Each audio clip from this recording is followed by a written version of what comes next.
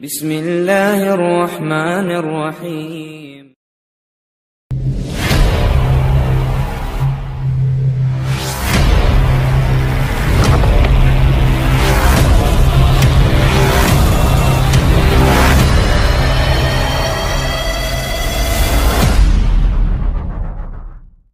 असलकुम दोस्तों मेरा नाम आसिफ खान और आप देख रहे हैं इंडियन मुस्लिम। दोस्तों, इस वीडियो के साथ ही हम भारत में मुस्लिम हुकूमत की सीरीज़ का आगाज़ करने जा रहे हैं। भारत में कब मुस्लिम हुकूमत आई? कौन कौन से मुस्लिम हुक्मरान गुजरे थे? कैसे मुसलमानों ने भारत पर 600-700 सालों तक हुकूमत की? और कैसे वो हुकूमत खत्म हो गई? पूरा इतिहास आपके सामने रखा जाएगा।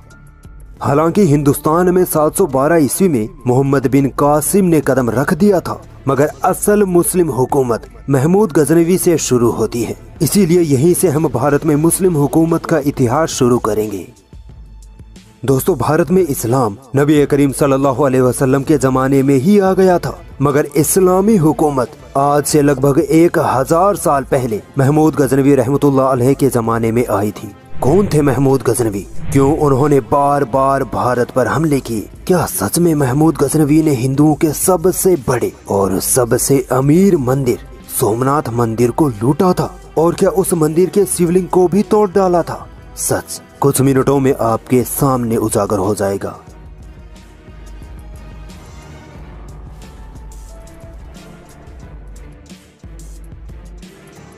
महमूद गजनवी का जन्म 2 नवंबर 971 ईस्वी में अफ़गानिस्तान के गजनी शहर में हुआ था। इनके पिता सुबुक्तगिन एक तुर्क गुलाम कमांडर थे। सुबुक्तगिन ने अपनी सलाहियतों से 977 ईस्वी में गजनी शहर पर अपनी हुकूमत कायम कर ली और एक अलग सल्तनत, गजनवी सल्तनत का ऐलान कर दिया। महमूद गजनवी बचपन से ही बहुत होशियार, दिलेर और बहादुर किस्म के थे। वो हर जंग में अपने पिता सुबुक्तगिन के साथ रहते थे। उनकी बहादुरी के किस्से पूरे गजनी शहर में मशहूर थे। महमूद गजनवी दीनी तालीम में भी महारत रखते थे। एक सच्चे पक्के मुसलमान की तरह ही उन्होंने अपनी ज़िंदगी बसर की।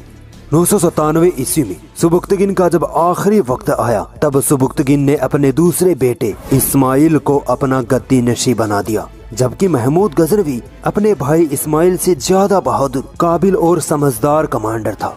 गजनवी सल्तनत पर इस्माइल ने कुछ महीनों तक हुकूमत की, मगर उसकी नाअहली देखकर महमूद गजनवी ने जंग का ऐलान कर दिया और इस्माइल से गजनवी सल्तनत छीनकर अपने हाथों में ले ली। दोस्तों, महमूद गजनवी वो पहला हुक्मरान था जिसने सबसे पहले अपने आप को सुल्तान कहा था। इसके बाद ही मुस्लिम हुक्मरानों को सुल्तान कहा जाने लगा। महमूद गजनवी मालो दौलत ऐशो इसरत से परे एक आम मुसलमान की तरह ही दीन इस्लाम का पाबंद था।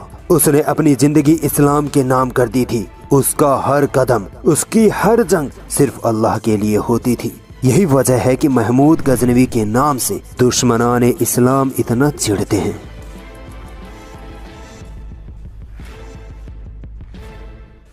भारत के बहुसंख्यक लोग महमूद गजनवी को लुटेरा, हत्यारा और हिंदुओं का दुश्मन कहते नहीं थकते, जबकि असल इतिहास क्या है, इन्होंने कभी नहीं पढ़ा। महमूद गजनवी इतना शानदार हुक्मरान था कि मेरे पास उसकी तारीफ़ में लफ्ज नहीं है।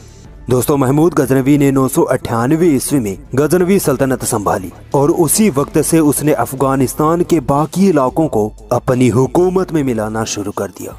उस समय पाकिस्तान के पेशावर में एक हिंदू राजा राजा जयपाल की हुकूमत थी। राजा जयपाल एक शरारती किस्म का राजा था। उसको जब पता लगा कि अफ़गानिस्तान में एक नई और कमज़ोर हुकूमत कायम हुई है तो राजा जयपाल सुल्तान महमूद गजनवी की सरहदों पर हमले करने लगा।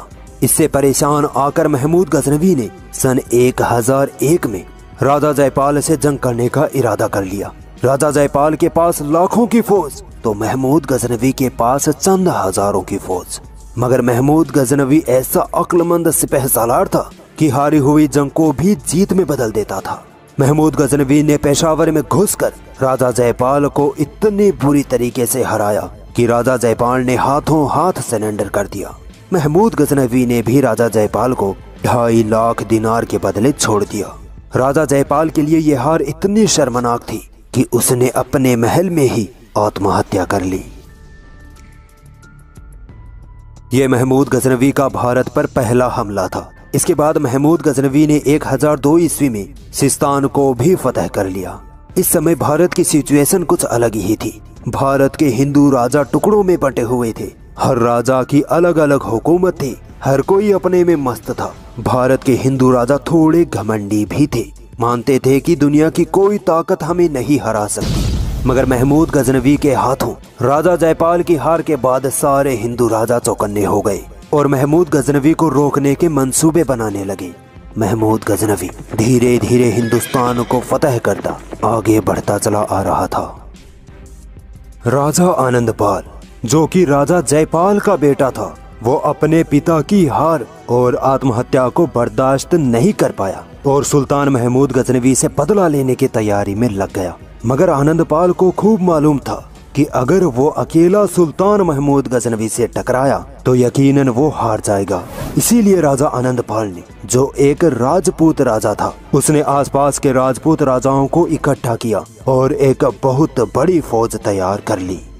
सन एक हज़ार आठ ईस्वी में राजा आनंदपाल अपनी लाखों की फौज लेकर रवाना हुआ। तो दूसरी तरफ़ सुल्तान महमूद गजनवी भी अपने हज़ारों फौजियों को साथ लेकर आज के पाकिस्तान के मीरपुर में आ ठहरा। जंग शुरू हुई। सुल्तान महमूद गजनवी की फौज आनंदपाल की फौज पर भारी पड़ने लगी। अचानक जंग के शोर शराबे और आग के गोलों को देखकर आनंदपाल का हाथी बिदक गया। और उल्टे पाँव भागने लगा। ये देखकर आनंदपाल की सेना को लगा कि हमारा राजा डर गया है और जंग छोड़कर भाग रहा है। इसी वक्त आनंदपाल की सेना भी मैदान छोड़कर अपनी जान बचाकर भागने लगी और देखते ही देखते सुल्तान महमूद गजनवी ने जंग जीत ली। आपको हैरानी होगी कि इस जंग में महमूद गजनवी की फौज में बहुत सारे हिंदू फौजी और कमांडर भी थे, जिन्होंने आनंदपाल के खिलाफ महमूद गजनवी का साथ दिया था। यही वो जंग थी जिसने सुल्तान महमूद गजनवी के लिए भारत के दरवाजे खोल दिए और फिर हिंदुस्तान में इस्लामी हुकूमत कायम होने से कोई रोकने वाला नहीं था। इस जंग के बाद आनंदपाल ने भी सुल्तान महमूद गजनवी के आगे घुटने टेक दिए और जुर्माना देकर अमन मुहिदा कर लिया। इसके बाद तो महमूद गजनवी को रोकने वाला कोई नहीं था। महमूद गजनवी धीरे धीरे हिंदुस्तान को फतह करता चला गया। और हैरत की बात तो ये थी कि महमूद गजनवी भारत के जिन हिस्सों को फतह करता, वहाँ किसी मुसलमान को नहीं, बल्कि किसी हिंदू या बौद्ध धर्म को मानने वाले को ही गवर्नर बना देता था। ये इस बात का सबूत है कि महमूद गजनवी को किसी से धर्म के आधार पर नफरत नहीं थी। मगर अब ये सवाल पैदा होता है कि अगर महमूद गजनवी को हिंदुओं से नफरत नहीं थी तो उसने सोमनाथ मंदिर को क्यों तोड़ा? सोमनाथ मंदिर हिंदुओं का बहुत बड़ा और पवित्र मंदिर माना जाता है, जो आज गुजरात में स्थित है। उस समय सोमनाथ मंदिर राजनीतिक साजिशों का अड्डा बन चुका था। सोमनाथ मंदिर जाली पंडितों के कब्जे में था और वो पंडित धर्म के नाम पर गरीब हिंदू आवाम से पैसा लूटते थे। जब भारत में सुल्तान महमूद गजनवी की हुकूमत आई तो उसी सोमनाथ मंदिर में हिंदू राजाओं की बगावतें जन्म लेने लगी। इन बगावतों को उखाड़ फेंकने के लिए ही महमूद गजनवी ने सन 1025 में सोमनाथ मंदिर पर हमला कर दिया। सोमनाथ मंदिर के पंडितों ने हिंदू आवाम को मूर्ख बनाने के लिए और पैसा लूटने के लिए मंदिर की छत पर बहुत पावरफुल मैग्नेट यानी चुंबक लगा रखा था, जिससे कि मंदिर की मूर्ति, यानी वो शिवलिंग, हवा में झूलता रहता था, और हिंदू आवाम इसे भगवान का चमत्कार समझती थी। सुल्तान महमूद गजनवी ने इस पाखंड को उजागर कर उस शिवलिंग को तोड़ डाला। मंदिर के पंडितों ने उस शिवलिंग में खूब सोना चांदी, हीरे, जवाहरात का खजाना छुपाया हुआ था, जिसे महमूद गजनवी ने अपने कब्जे में लिया और वापस गजनी चला आया। सन 1842 ईस्वी में एक अजीब वाक्य पेश आया। भारत में अंग्रेज़ों ने हिंदू मुसलमानों को लड़वाने के लिए और हिंदुओं को खुश करने के लिए एक झूठा इतिहास गढ़ा। अंग्रेज़ों ने कहा कि महमूद गजनवी ने सोमनाथ मंदिर को तोड़कर उसके दरवाजे जो बहुत कीमती थे, उन्हें गजनवी ले जाकर अपनी मजार पर लगवाए थे। अब हम वो दरवाजे वापस लाकर फिर से सोमनाथ मंदिर में लगाएँगे। अंग्रेज़ों ने गजनी जाकर ज़बरदस्ती महमूद गजनवी की मजार पर लगे दरवाजों को उखाड़ा और भारत ले आए। जब इन दरवाजों की जाँच हुई तो पता चला कि ये तो वो दरवाजे हैं ही नहीं जो सोमनाथ मंदिर में लगे थे। सोमनाथ मंदिर के दरवाजे तो चंदन की लकड़ी से बने थे, जबकि अंग्रेज़ों द्वारा लाए गए गजनी की मजार वाले दरवाजे देवदार की लकड़ी के थे। और ये दरवाजे गुजराती या भारतीय डिज़ाइन के भी नहीं थे। इस वाक़े से अंग्रेज़ों की हिंदू मुसलमानों को लड़वाने की साजिश नाकाम हो गई। गजनी की मजार से लाए गए वो दरवाजे आज भी आगरा के किले में महफूज रखे हुए हैं। अंग्रेज़ों की ऐसी साजिश से यह अंदाज़ा लगाया जा सकता है कि अंग्रेज़ों ने महमूद गजनवी का झूठा इतिहास गढ़ा है। हो सकता है कि महमूद गजनवी ने कभी सोमनाथ मंदिर पर हमला किया ही ना हो या फिर हमला किया भी था। तो हो सकता है मंदिर को नुकसान नहीं पहुँचाया हो। महमूद गजनवी ने सोमनाथ मंदिर पर हमला सिर्फ़ इसलिए किया होगा, क्योंकि वह महमूद गजनवी की हुकूमत के खिलाफ बगावतें पनप रही थी। मगर अंग्रेज़ों ने महमूद गजनवी का झूठा इतिहास लिखकर उसे बदनाम किया है। मुस्लिम हुक्मरानों को बदनाम करने में सबसे बड़ा हाथ सेक्युलर और लिबरल लोगों का है। इन्हीं लोगों ने अपने अपने हिसाब से मुस्लिम हुक्मरानों को बदनाम किया। इन सेकुलर और लिबरल लोगों को इस्लाम से इतनी नफरत है कि ये लोग चाहते हैं कि मुसलमान अपने मुजाहिदों को, अपने बुज़ुर्गों को अपना हीरो मानना छोड़ दे। ये चाहते हैं कि मुसलमान अपने दीन इस्लाम पर चलना छोड़ दे और हमारे गिरोह में शामिल हो जाए। सेक्युलर और लिबरल गैंग ये चाहती है कि मुसलमान अपने नबी की नहीं, बल्कि हमारी बातें माने। हम जिसे सही कहें, मुसलमान भी उसे सही कहें। हम जिसे गलत कह दें तो मुसलमान भी आँख बंद करके उसे गलत कहें। यही वजह है कि भारत के इतिहास के हर मुस्लिम हुक्मरानों को ये लोग गलत कहते हैं, जबकि इन लोगों ने कभी भी किसी हिंदू राजा पर उंगली तक नहीं उठाई। वजह सिर्फ़ एक है, ला इलाहा इल्लल्लाह मुहम्मद रसूलुल्लाह।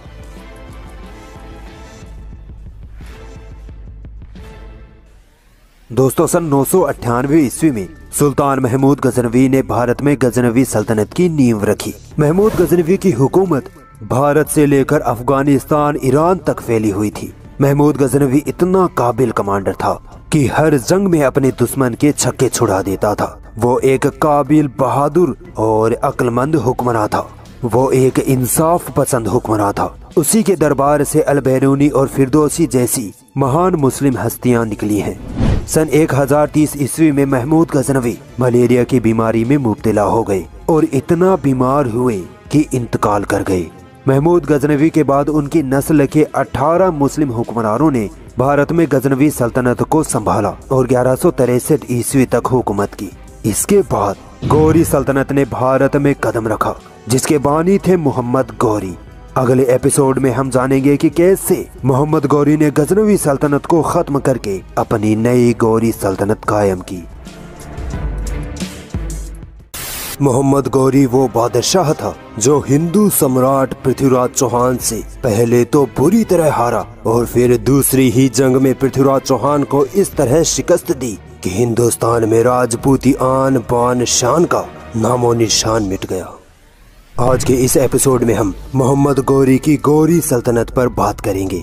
पहले एपिसोड में हमने महमूद गजनवी के बारे में बात की थी। अफ़गानिस्तान के गजनी शहर से उठकर महमूद गजनवी ने अपनी सल्तनत को उत्तरी भारत के हिस्सों तक फैला दिया था। एक हज़ार तीस ईस्वी में जब महमूद गजनवी की मौत हुई तो गजनवी सल्तनत धीरे धीरे बिखरने लगी और गजनी सल्तनत के हुक्मरानों ने अपनी अपनी अलग सल्तनत का ऐलान कर दिया था। इस वक्त, यानी 1100-1200 ईस्वी में, इस्लामी दुनिया में खिलाफत अब्बासिया की हुकूमत थी और इधर भारत में कई अलग अलग हिंदू रियासतें थी, जिनमें राजपूतों की रियासतें सबसे ज़्यादा ताकतवर तस्वर की जाती थी। भारत में मुस्लिम हुकूमत की इस सीरीज़ में महमूद गजनवी से लेकर बहादुर शाह ज़फ़र तक का इतिहास कवर करेंगे। भारत में गजनवी सल्तनत और गौरी सल्तनत के बाद ममलूक सल्तनत आई थी। फिर खिलजी आए, फिर तुगलक, सैयद, लोधी और आखिर में बाबर की मुगलिया सल्तनत आई, जिसने भारत का नक्शा ही बदल के रख दिया था। हम एक एक कर सारी सल्तनतों के बारे में बात करेंगे। ये सीरीज़ देखकर आपको भारत का असली इतिहास समझ में आने वाला है।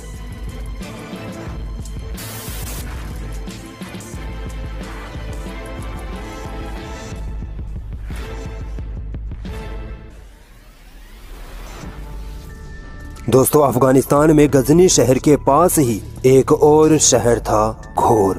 घोर की हुकूमत गजनवी सल्तनत के अंडर में थी। अफ़गानिस्तान में इस्लाम आने से पहले यहाँ के लोग बौद्ध धर्म को मानते थे और यही बुद्धिस्ट लोग बाद में मुसलमान बने और घोर शहर में मुस्लिम हुकूमत कायम की। जब गजनवी सल्तनत खत्म होने की कगार पे थी तो घोर की हुकूमत ने भी अपने आप को एक आज़ाद रियासत होने का ऐलान कर दिया। इस वक्त घोर का बादशाह था बहाउद्दीन साम। बहाउद्दीन साम के दो बेटे थे, गयासुद्दीन और मोइजुद्दीन। मोइजुद्दीन, जिसका असल नाम था सिहाबुद्दीन मोहम्मद, जिसे आज पूरी दुनिया मोहम्मद गौरी के नाम से याद करती है। यही वो जाबाज शख्स था, जिसने इस्लामी हुकूमत को अफ़गानिस्तान के घोर से लेकर पाकिस्तान, ईरान, इराक और उत्तरी भारत तक फैला दिया था। इसी मोहम्मद गौरी ने भारत की सबसे ताकतवर और घमंडी राजपूती हुकूमत को उखाड़ फेंका था। मोहम्मद गौरी का जन्म ग्यारह ईस्वी में अफ़गानिस्तान के घोर शहर में हुआ था। कहा जाता है कि मोहम्मद गौरी बचपन में ही इतना जहीन था कि सल्तनत के बड़े बड़े दानिशमंद भी उससे सलाह मशवरा किया करते थे। मोहम्मद गौरी बचपन से ही बहादुर और ज़बरदस्त कमांडर था। ग्यारह सौ तिरसठ ईस्वी में गयासुद्दीन गजनी सल्तनत की गद्दी पर बैठा और सुल्तान बन गया। मगर गयासुद्दीन ने अपने छोटे भाई मोइजुद्दीन, यानी मोहम्मद गोरी का साथ न छोड़ा और उसे भी अपने साथ सुल्तान बना दिया। इन दोनों भाइयों ने मिलकर फिर ऐसी हुकूमत कायम की कि फिर दुनिया इनके नाम से ही थर थर कांपने लगी थी। इस सल्तनत पर कई लोगों ने कब्जा करने की कोशिशें की, मगर दोनों भाइयों ने मिलकर हर बगावत को कुचल दिया। सिर्फ़ दस साल बाद ही, यानी ग्यारह सौ ईस्वी में, दोनों भाइयों ने गजनी शहर पर हमला करके उसे फतेह कर लिया और गयासुद्दीन ने मोहम्मद गौरी को गजनी का सुल्तान बना दिया। यहाँ से शुरू होता है दुनिया के महान मुस्लिम बादशाह मोहम्मद गौरी का सफ़र।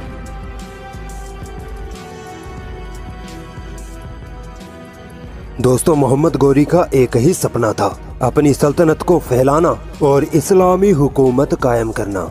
इसीलिए मोहम्मद गौरी उठा और अपने भाई गयासुद्दीन के साथ मुल्तान को फतेह करने निकल पड़ा। मुल्तान में करमाटियन, जो एक शिया हुकूमत थी। ये हुकूमत खिलाफत अब्बासिया को नहीं मानती थी। इसीलिए 1175 ईस्वी में मोहम्मद गौरी ने मुल्तान को फतेह कर लिया और कुछ समय बाद ही उच्च जो पाकिस्तान के पंजाब इलाके में है, वहाँ भी अपनी फतेह का झंडा गाड़ दिया। धीरे धीरे मोहम्मद गोरी ने अधिकतर पाकिस्तान के इलाकों को फतेह कर लिया था, मगर अभी लाहौर बचा हुआ था। लाहौर में गजनवी सल्तनत आखिरी साँसें ले रही थी, मगर सन ग्यारह सौ छियासी ईस्वी में मोहम्मद गोरी ने लाहौर पर इतना ज़बरदस्त हमला किया कि गजनवी सल्तनत की आखिरी साँसें भी खत्म हो गई। लाहौर के साथ ही गजनवी सल्तनत खत्म हो गई और अब बस गौरी सल्तनत ही चारों तरफ़ हुकूमत में थी। दोस्तों, मोहम्मद गोरी का दिल हमेशा हिंदुस्तान को फतेह करने पर मचलता रहता था। सन 1178 ईस्वी में सुल्तान मोहम्मद गोरी ने फैसला किया कि अब हिंदुस्तान को फतेह करने का वक्त आ गया है। ग्यारह ईस्वी में मोहम्मद गौरी अपनी छोटी सी सेना लेकर पाकिस्तान की तरफ़ से भारत के गुजरात में अनहिलवाड़ा रियासत पर हमला कर देता है। मगर वहाँ का हिंदू राजा, मुला राजा, गौरी को हराकर वापस भेज देता है। ये हार मोहम्मद गौरी की ज़िंदगी की पहली हार थी और हिंदुस्तान पर पहले हमले में ही उसे शिकस्त झेलनी पड़ी। गौरी सल्तनत अभी नई नई सल्तनत बनी थी। इसीलिए मोहम्मद गौरी के रिश्तेदार इस सल्तनत पर कब्जा करने के लिए गिद्धों की तरह ताक में बैठे थे। इसीलिए सुल्तान मोहम्मद गोरी वापस अफ़गानिस्तान जाकर अपनी सल्तनत को मज़बूत करने और अपनी फौज को बढ़ाने में लग गया। वक्त आया ग्यारह सौ इक्यानवे ईस्वी का, जब मोहम्मद गोरी ने हिंदुस्तान में मुस्लिम हुकूमत कायम करने की ठान ली थी और अपनी फौज को लेकर हिंदुस्तान की ओर निकल पड़ा। सुल्तान मोहम्मद गोरी भारत के खैबर दरे से पंजाब तक पहुँच गया और भटिंडा के किले को फतेह कर लिया।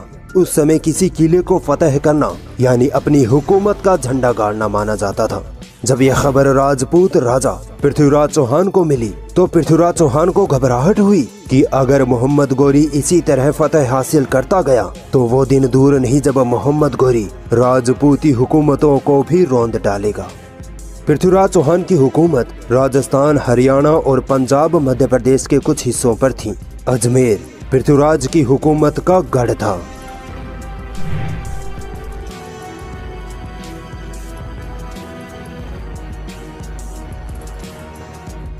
पृथ्वीराज चौहान उठा और अपनी लाखों की फौज, कई हज़ार हाथी और घुड़सवारों को साथ लेकर निकल पड़ा। इधर मोहम्मद गौरी को भी खबर मिल चुकी थी कि पृथ्वीराज चौहान अपनी भारी भरकम सेना लेकर आ रहा है। सुल्तान मोहम्मद गौरी अपनी सेना लेकर हरियाणा के थाने सर से चौदह मील दूर तराइन के इलाके में आ ठहरा। पृथ्वीराज चौहान भी तराइन में आ पहुँचा। मोहम्मद गौरी की सेना, एक तो पृथ्वीराज चौहान की सेना से बहुत कम थी दूसरा ये कि पंजाब में जंग के बाद सेना थक हार गई थी और हथियारों की भी कमी आ गई थी, मगर फिर भी मोहम्मद गौरी पृथ्वीराज से जंग करने पर आमादा हो गया।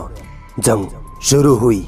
मोहम्मद गौरी की सेना ने शुरुआत में ही पृथ्वीराज चौहान की सेना पर तीर चलाने शुरू कर दिए, मगर इस हमले का पृथ्वीराज चौहान की सेना पर ज़्यादा असर न हुआ और पृथ्वीराज ने मोहम्मद गौरी की सेना पर तीन तरफ़ से हमला कर दिया। मोहम्मद गौरी की फौज कम होने के बाद भी बहादुरी से लड़ती रही। इसी बीच मोहम्मद गौरी का सामना पृथ्वीराज चौहान के भाई गोविंद ताई से हो गया। आमने सामने की इस लड़ाई में गोविंद ताई ने मोहम्मद गौरी को घायल कर दिया। मगर मोहम्मद गौरी फिर भी लड़ता रहा और गोविंद ताई को भी घायल करके छोड़ा। मोहम्मद गौरी का इतना खून बह गया था कि वो वहीं बेहोश होकर गिर पड़ा। उसकी सेना को लगा कि मोहम्मद गौरी मर चुका है। तब सेना का हौसला टूट गया और मोहम्मद गौरी की सेना मैदान छोड़ने लगी। मगर मोहम्मद गौरी के कुछ सैनिकों ने किसी तरह मोहम्मद गौरी को उठाया और अफ़गानिस्तान ले जाकर जान बचाई। इस तरह ये जंग पृथ्वीराज चौहान जीत जाता है। मगर अभी जंग खत्म कहाँ हुई थी? अभी मोहम्मद गौरी वापस आने वाला था।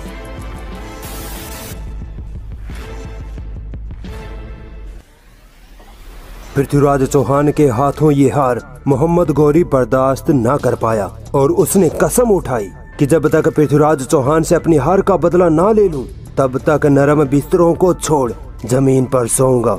शाही खाना और कीमती कपड़े नहीं पहनूँगा।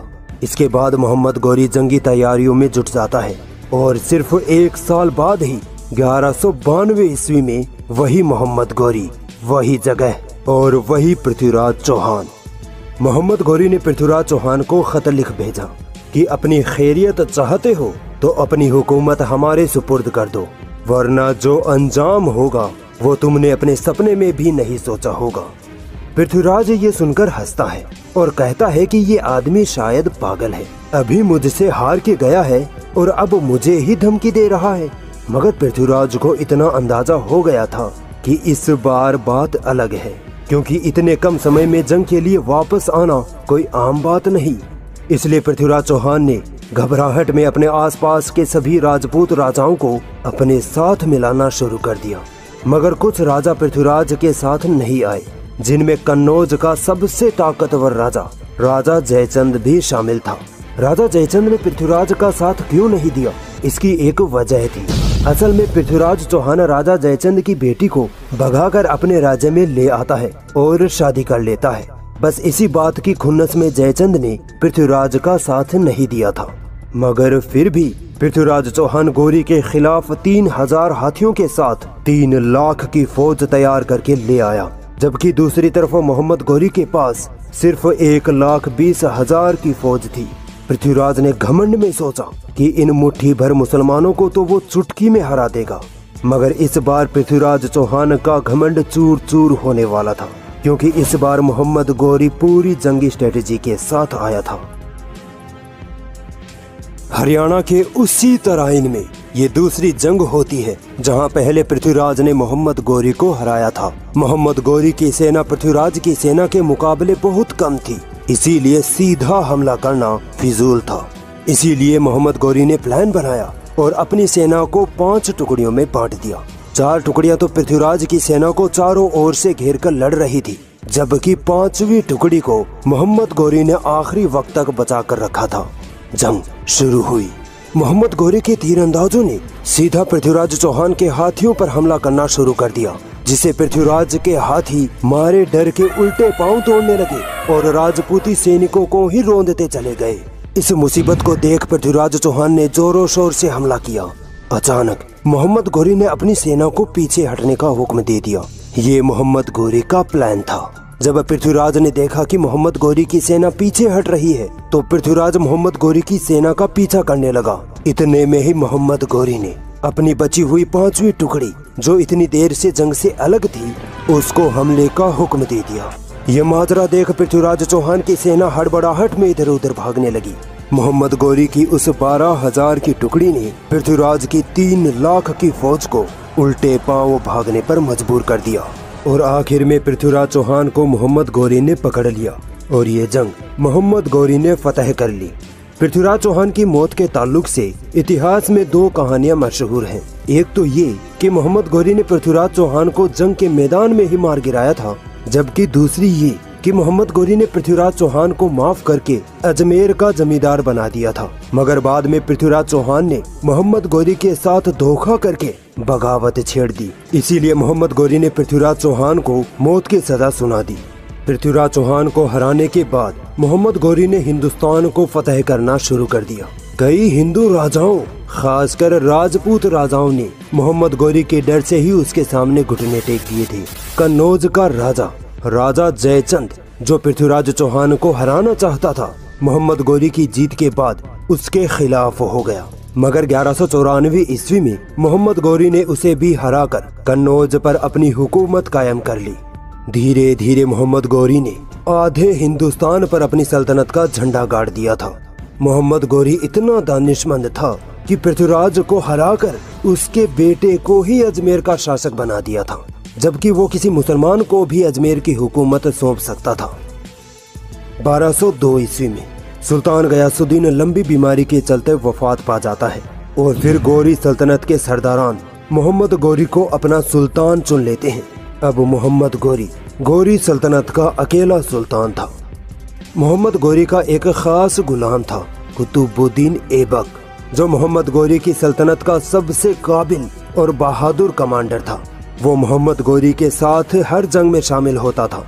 मोहम्मद गोरी ने हिंदुस्तान की हुकूमत इसी गुलाम कुतुबुद्दीन ऐबक को सौंप दी थी और खुद 1206 ईस्वी में वापस अफ़गानिस्तान जाने लगा। सफ़र के दौरान मोहम्मद गोरी का काफिला पाकिस्तान के पंजाब के इलाके में आराम के लिए रुका। मोहम्मद गोरी असर या मगरिब की नमाज़ के लिए खड़े हुए कि अचानक किसी ने तलवार से इतना तेज वार किया कि मोहम्मद गोरी वहीं शहीद हो गए। कहा जाता है कि यह हमला खोखर जाति के जाटों या इस्माइली शियाओं द्वारा किया गया था, मगर इस बात के अभी तक पुख्ता सबूत नहीं है। मोहम्मद गोरी की हुकूमत 1202 से 1206 ईस्वी तक ही चली। दोस्तों, मोहम्मद गोरी की कोई औलाद नहीं थी। इसीलिए गोरी सल्तनत के सरदारों ने मोहम्मद गोरी की मौत के वक्त उनसे पूछा कि आपके बाद हम किसे सुल्तान बनाएँ? तो मोहम्मद गोरी ने कहा कि दिगर सुल्तानों के तो एक या दो बेटे होते हैं, मगर मेरे हज़ारों बेटे हैं। मेरे गुलाम ही मेरी औलादे हैं। मोहम्मद गोरी की इस बात से अंदाज़ा लगाया जा सकता है कि मुस्लिम हुकूमतों में गुलामों को भी अपने बराबर बड़े बड़े ओहदे दिए जाते थे। मगर भारत में हिंदुओं द्वारा दलितों के साथ जो होता था, वो इंसानियत को शर्मसार कर देता था। मोहम्मद गौरी के इन जुमलों के बाद गौरी सल्तनत उनके गुलामों में तकसीम हो गई और हिंदुस्तान की हुकूमत आई कुतुबुद्दीन ऐबक के हिस्से में। अगले एपिसोड में हम मोहम्मद गौरी के इसी गुलाम कमांडर, कुतुबुद्दीन ऐबक के बारे में बात करेंगे, जिसने हिंदुस्तान में ममलूक या गुलाम सल्तनत की नींव रखी थी। 1206 में जब मोहम्मद गोरी की हत्या कर दी जाती है तो गोरी सल्तनत मोहम्मद गोरी के तीन अहम गुलामों, ताजुद्दीन यिल्दिज नसीरुद्दीन कबाचा और कुतुबुद्दीन ऐबक में बंट जाती है। ताजुद्दीन यिल्दिज के हिस्से में गजनी का इलाका आता है कबाचा को पाकिस्तान का मुल्तान इलाका मिलता है, जबकि कुतुबुद्दीन ऐबक को उत्तरी भारत के कई इलाके मिल जाते हैं। इन तीनों के अलावा मोहम्मद गोरी का एक और सिपह सलार था, बख्तियार खिलजी। ये गुलाम नहीं था। बख्तियार खिलजी ने बंगाल और बिहार को फतह किया और वहीं अपनी अलग हुकूमत कायम कर ली। हम हिंदुस्तान में मुस्लिम हुकूमत को देख रहे हैं, इसीलिए हम ताजुद्दीन यिल्दिज और नसीरुद्दीन का बादशाह की बात ना करके सिर्फ़ कुतुबुद्दीन ऐबक की बात करेंगे।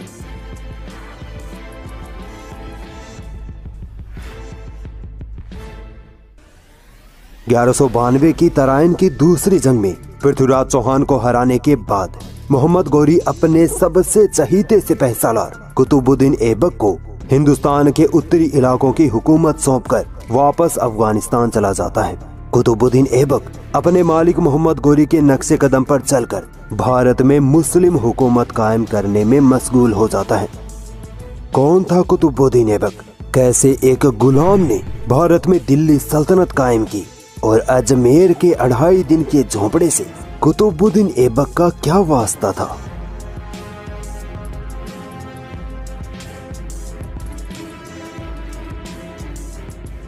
दोस्तों कुतुबुद्दीन ऐबक का जन्म 1150 ईस्वी में तुर्किस्तान इलाके में हुआ था। ये तुर्क कबीले से था। बचपन में ही कुछ ऐसा होता है कि कुतुबुद्दीन ऐबक अपने परिवार से अलग हो जाता है और गुलाम बनाकर बेच दिया जाता है। ईरान के बाज़ार में एक काजी कुतुबुद्दीन ऐबक को खरीद लेते हैं और उसको तीरंदाजी और घुड़सवारी सिखाते हैं। कुछ ही वक्त बाद कुतुबुद्दीन ऐबक इतना ज़बरदस्त तीरंदाज, घुड़सवार और बहादुर जाबाज बनकर उभरता है कि काजी के बेटे उसको गजनी लाकर मोहम्मद गोरी को बेच देते हैं। मोहम्मद गोरी कुतुबुद्दीन ऐबक की सलाहियतों को देखकर उसे अपना करीब तरीन गुलाम बना लेता है। आप कुतुबुद्दीन ऐबक की कहानी सुनते जाइए कि कैसे एक गुलाम कहाँ से कहाँ तक पहुँचता चला जाता है। मोहम्मद गोरी ने कुतुबुद्दीन ऐबक की ईमानदारी और वफादारी को देखकर उसे शाही अस्तबल का अधिकारी बना दिया, जिसे अमीर आखुर के नाम से जाना जाता था।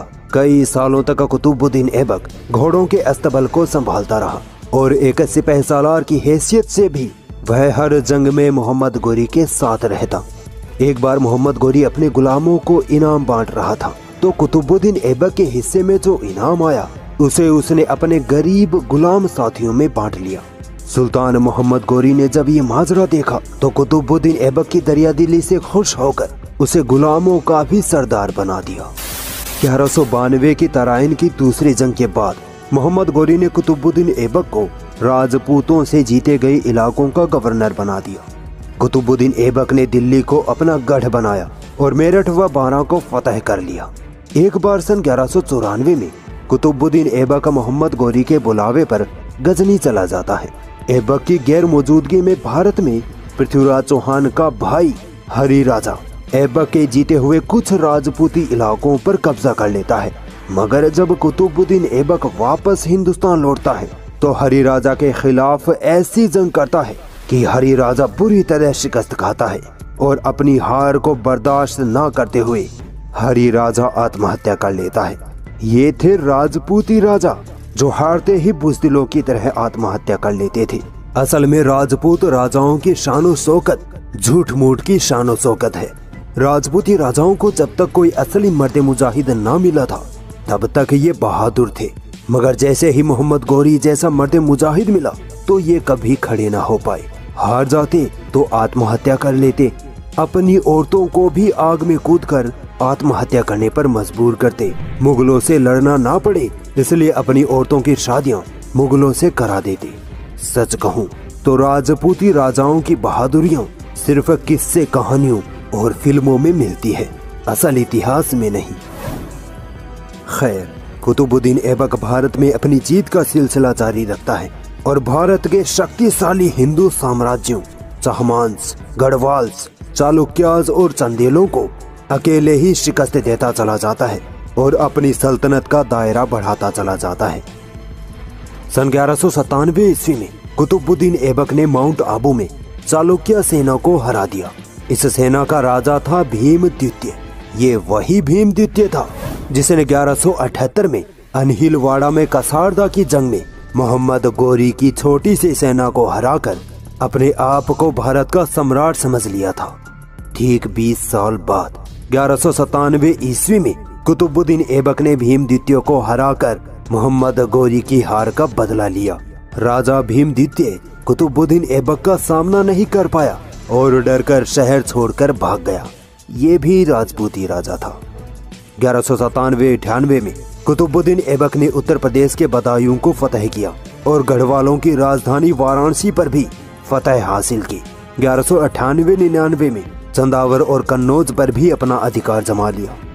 1206 में जब मोहम्मद गोरी की मौत हुई, तब तक कुतुबुद्दीन ऐबक भारत में मोहम्मद गोरी के सिपह सालार यानी सेनापति की हैसियत से हुक्मरानी कर रहा था। मगर मोहम्मद गोरी की मौत के बाद भी कुतुबुद्दीन ऐबक ने अपने आप को सुल्तान ना कहकर मोहम्मद गोरी का गुलाम ही कहा और कहा कि मैं सुल्तान मोहम्मद गोरी का सिपह सालार हूँ, ना कि कोई सुल्तान। जरा इस वफादारी का अंदाज़ा लगाइए। कुतुबुद्दीन ऐबक ने अपनी अलग रियासत कायम कर ली थी, मगर फिर भी मोहम्मद गोरी के मरने के बाद उसने मोहम्मद गोरी की जगह लेने की कोशिश नहीं की। 1206 में कुतुबुद्दीन ऐबक को मलिक, यानी राजा कहा जाने लगा। भले ही वो हुक्मरान था, मगर कागज़ी तौर पर वह एक गुलाम था, और गुलाम होते हुए वह वो सारे काम नहीं कर पाता था, जो एक सुल्तान कर सकता था। इसलिए अब उसे इस गुलामी से आज़ाद होने की ज़रूरत महसूस हुई। चूँकि वह मोहम्मद गोरी का गुलाम था और मोहम्मद गोरी मर चुका था, इसलिए अब मोहम्मद गोरी का कोई रिश्तेदार ही कुतुबुद्दीन ऐबक को आज़ाद कर सकता था। अतः 1208-9 में मोहम्मद गोरी के भतीजे गयासुद्दीन मोहम्मद ने कुतुबुद्दीन ऐबक को गुलामी की जंजीरों से आज़ाद कर दिया। और अब कुतुबुद्दीन ऐबक एक आज़ाद हुक्मरान बना। और अपने आप को सुल्तान कहा। कहा जाता है कि कुतुबुद्दीन ऐबक ने कभी भी ना तो अपने नाम का खुतबा पढ़वाया और ना ही अपने नाम के सिक्के चलवाए। कुतुबुद्दीन ऐबक एक गुलाम था, इसीलिए भारत में उसकी सल्तनत को गुलाम सल्तनत, गुलाम वंश या ममलूक सल्तनत कहा जाता है। कुतुबुद्दीन ऐबक को लाख बख्श और कुरान खां भी कहा जाता था। लाख बख्श इसलिए क्योंकि वो इतना दरिया दिल इतना दरिया दिल इंसान था कि गरीबों में एक साथ लाखों रुपए खैरात कर देता था। और कुरान का इतना शानदार कारी था कि उसकी आवाज़ में कुरान की आयतें सुनने वाले लोग रो पड़ते थे। इसीलिए उसे कुरान खां भी कहा गया। कई लोग सोचते हैं कि कुतुब मीनार, कुतुबुद्दीन ऐबक ने अपने नाम पर बनवाई थी, जबकि ऐसा नहीं है। कुतुबुद्दीन ऐबक ने कुतुब मीनार, ख्वाजा कुतुबुद्दीन बख्तियार काकी के नाम पर बनवाई थी और इसे ग्यारह की तराइन की जंग की फतह की निशानी के तौर पर बनवाया गया था। कुतुबुद्दीन ऐबक के दौर में कुतुब मीनार आधी ही बन पाई थी। बाद में ऐबक के गुलाम इल्तुतमिश ने इसे थोड़ा और बनाया और आखिर में फिरोज शाह तुगलक ने इसे पूरा बनवाया। कुतुबुद्दीन ऐबक ने ग्यारह में ही अजमेर में अढ़ाई दिन का झोपड़ा भी बनवाया था। ये एक मस्जिद थी। कहा जाता है कि पृथ्वीराज चौहान को हराने के बाद, जब मोहम्मद गौरी अजमेर से गुजर रहा था, तब उसने कुतुबुद्दीन ऐबक को एक मस्जिद बनवाने का हुक्म दिया। मगर ये मस्जिद पूरी ना बन पाई और इसका काम सिर्फ़ साठ घंटे, यानी तकरीबन ढाई दिन ही चल पाया। इसीलिए इसे ढाई दिन का झोपड़ा कहा जाता है। कुतुबुद्दीन ऐबक की दिल्ली सल्तनत 1206 से 1210 तक ही चली। कुतुबुद्दीन ऐबक दिल्ली सल्तनत का पहला सुल्तान माना जाता है और एक मज़बूत मुस्लिम हुकूमत कुतुबुद्दीन ऐबक के दौर में ही खड़ी हो पाई थी। 1210 में चौगान, यानी घोड़े पर बैठकर पोलो खेलने जैसा खेल खेलते वक्त कुतुबुद्दीन ऐबक घोड़े से गिर जाता है और उसकी पसलियाँ टूट जाती है, जिससे कुतुबुद्दीन ऐबक की वही मौत हो जाती है। ऐबक अपना कोई जानशी मुकर्र नहीं कर पाता है, इसीलिए गुलाम सल्तनत के सरदार मिलकर आराम शाह को अपना सुल्तान चुन लेते हैं, मगर आराम शाह ज़्यादा वक्त तक सल्तनत को संभाल नहीं पाता है और सल्तनत के सरदारान उसे हटाकर कुतुबुद्दीन ऐबक के एक गुलाम कमांडर इल्तुतमिश को अपना सुल्तान चुन लेते हैं। अगले एपिसोड में हम आराम शाह और फिर इल्तुतमिश की हुक्मरानी पर बात करेंगे। कुतुबुद्दीन ऐबक के मरते ही उसके कई गुलाम, सरदार और उसका बेटा आराम शाह सुल्तान बनने की रेस में कूद पड़ते हैं। आराम शाह को कुछ इतिहासकार कुतुबुद्दीन ऐबक का बेटा नहीं मानते, मगर कुछ इतिहासकार मानते हैं। गुलाम सल्तनत में दो जगह सबसे अहम थी, एक दिल्ली तो दूसरी लाहौर। जब कुतुबुद्दीन ऐबक की मौत होती है, तभी गुलाम सल्तनत टूटने लगती है और हुक्मरान अपनी आज़ादी का ऐलान करने लग जाते हैं। लाहौर के सरदार इस मुसीबत को देख जल्दी जल्दी आराम शाह को सुल्तान बना देते हैं। मगर ये फैसला दिल्ली के सरदारों को पसंद नहीं आता, क्योंकि आराम शाह अपने नाम के मुताबिक आराम फरोश, यानी सुल्तान बनने के लायक नहीं था। इसीलिए दिल्ली के सरदारों ने कुतुबुद्दीन ऐबक के गुलाम इल्तुतमिश को दिल्ली बुलाया और सुल्तान बना दिया। अब ये और बड़ी मुसीबत पैदा हो गई। सल्तनत एक और सुल्तान दो। अब एक मियान में दो तलवारें तो नहीं रह सकती। इसीलिए आराम शाह और इल्तुतमिश के बीच जंग होती है। और इस जंग में इल्तुतमिश जीतता है और आराम शाह मारा जाता है। अब गुलाम सल्तनत इल्तुतमिश के हाथों में थी, मगर जितनी मुसीबतें, जितनी बगावतें इल्तुतमिश के हिस्से में आई थी, उतनी भारत के किसी सुल्तान के हिस्से में नहीं आई थी। एक तरफ़ ताजुद्दीन यल्दिज और नसीरुद्दीन कबाचा इल्तुतमिश की सल्तनत को हथियाने की तैयारी में थे तो दूसरी तरफ़ जलालुद्दीन मंगबर्नी के हमले का डर था। उधर मंगोल भारत पर हमले की तैयारियों में जुटे थे। तो बंगाल, बिहार की बगावत इलतुतमिश की परेशानियाँ बढ़ा रही थी और भारत के हिंदू राजाओं के हमले तो अलग से हो रहे थे। कैसे शमसुद्दीन इलतुतमिश इन सारी समस्याओं से अकेला ही निपटता है और कैसे भारत पर 25 सालों तक उसकी हुकूमत कायम रहती है?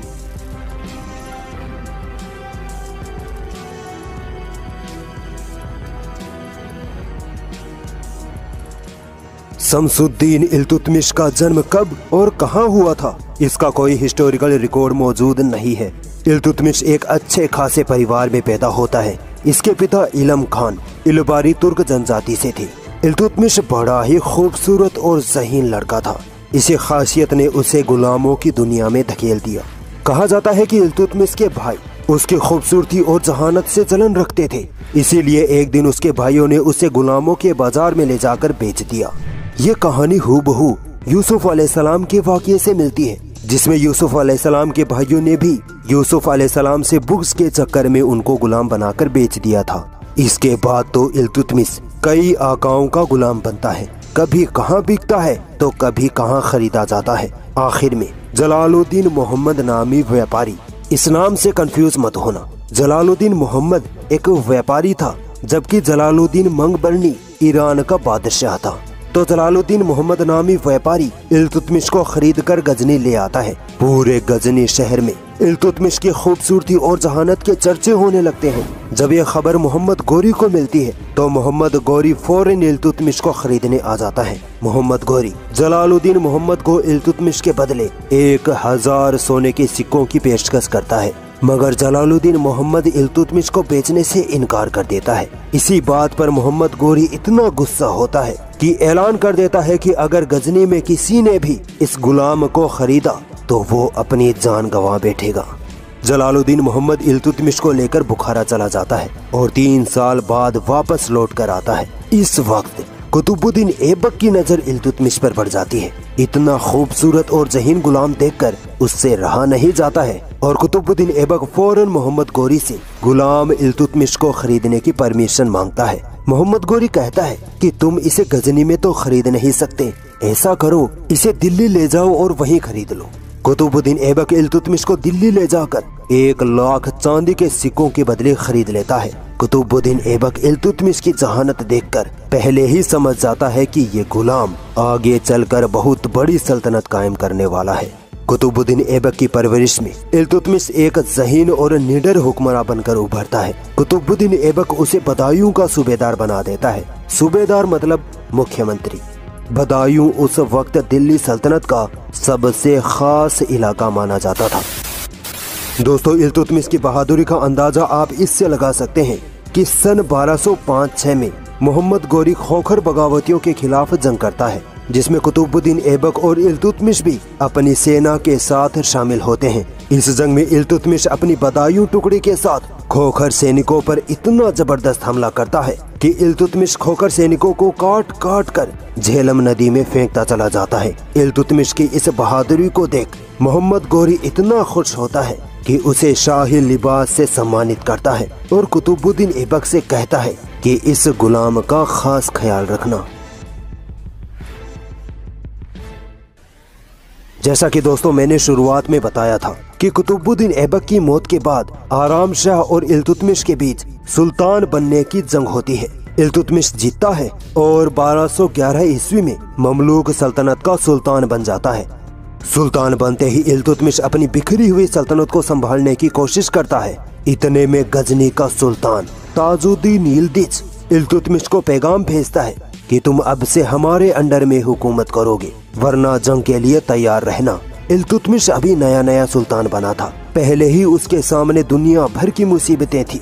इसीलिए इल्तुतमिश ने जंग रोकने के लिए और दिखावे के लिए ताजुद्दीन यिल्दिज की पेशकश मान ली। चलिए मैं आपके सामने थोड़ा नक्शा क्लियर कर देता हूँ, ताकि आगे की वीडियो समझने में आसानी हो। मोहम्मद गौरी की मौत के बाद उसकी सल्तनत उसके तीन गुलामों में बंट जाती है। गजनी का इलाका ताजुद्दीन यिल्दिज के हिस्से में आता है। मुल्तान व सिंध पर नसीरुद्दीन कबाचा हुकूमत करता है और उत्तरी भारत पर कुतुबुद्दीन ऐबक अपनी सल्तनत बना लेता है। कुतुबुद्दीन ऐबक की मौत के बाद उसकी सल्तनत इल्तुतमिश के हाथों में आ जाती है।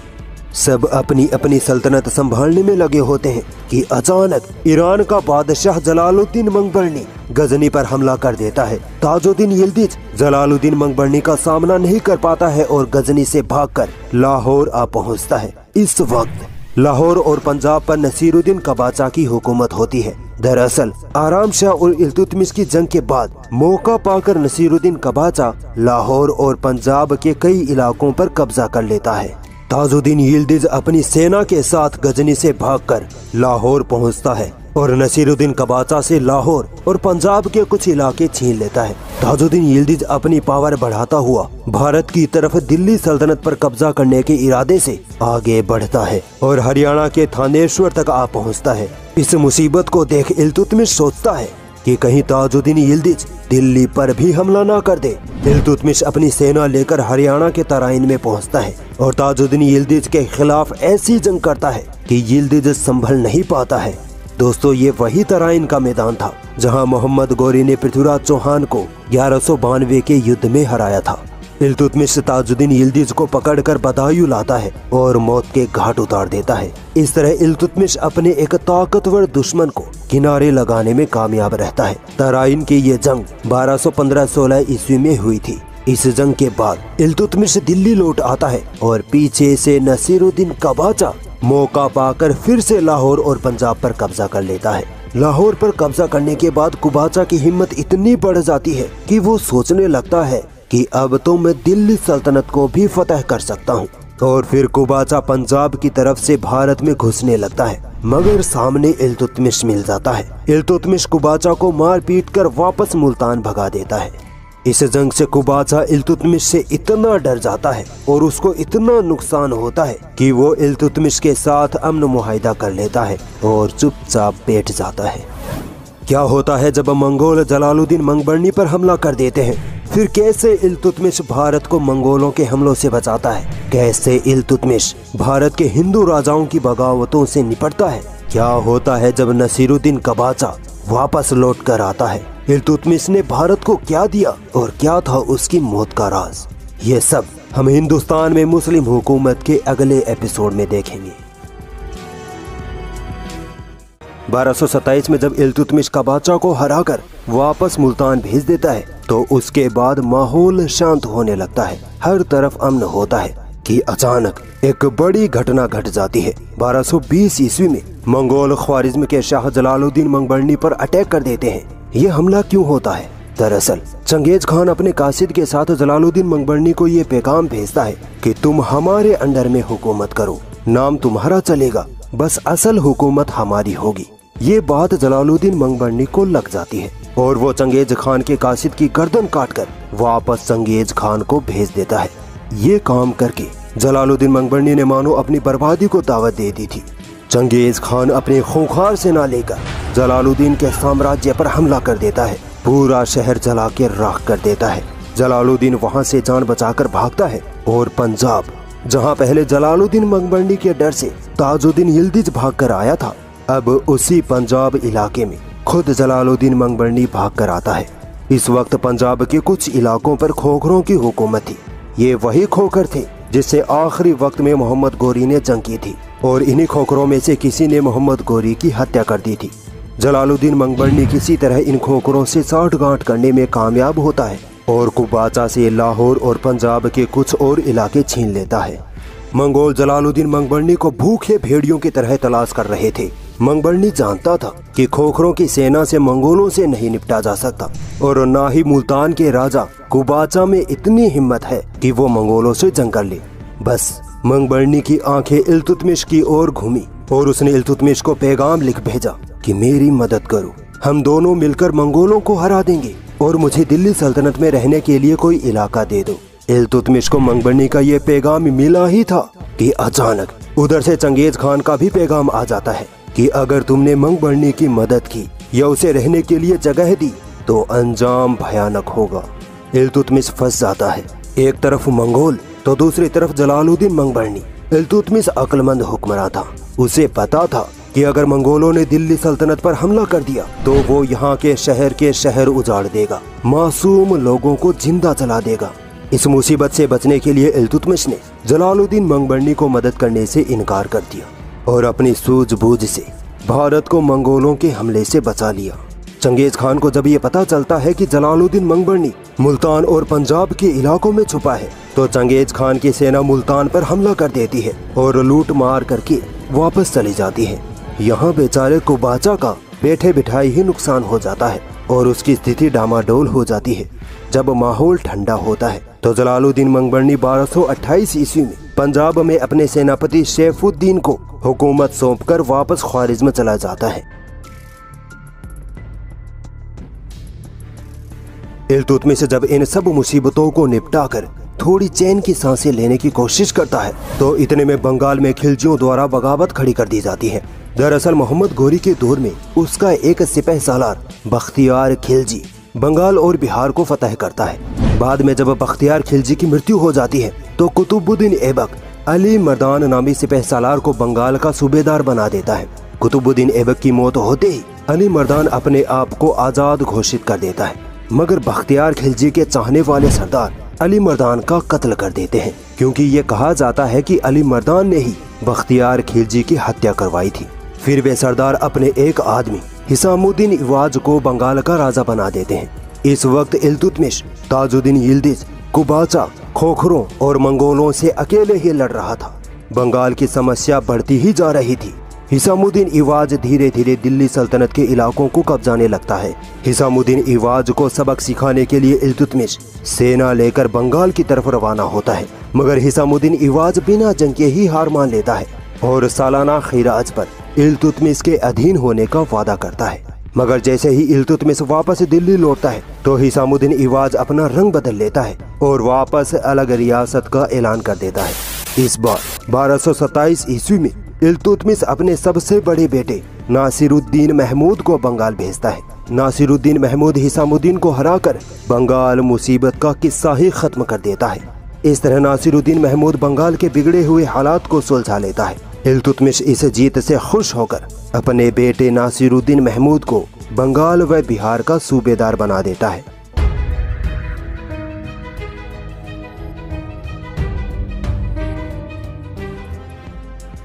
दोस्तों, अब तक आप ये ज़रूर सोच रहे होंगे कि भारत में हुकूमत करने पर भी इल्तुतमिश की हिंदू राजाओं से भिड़ंत क्यों नहीं हुई?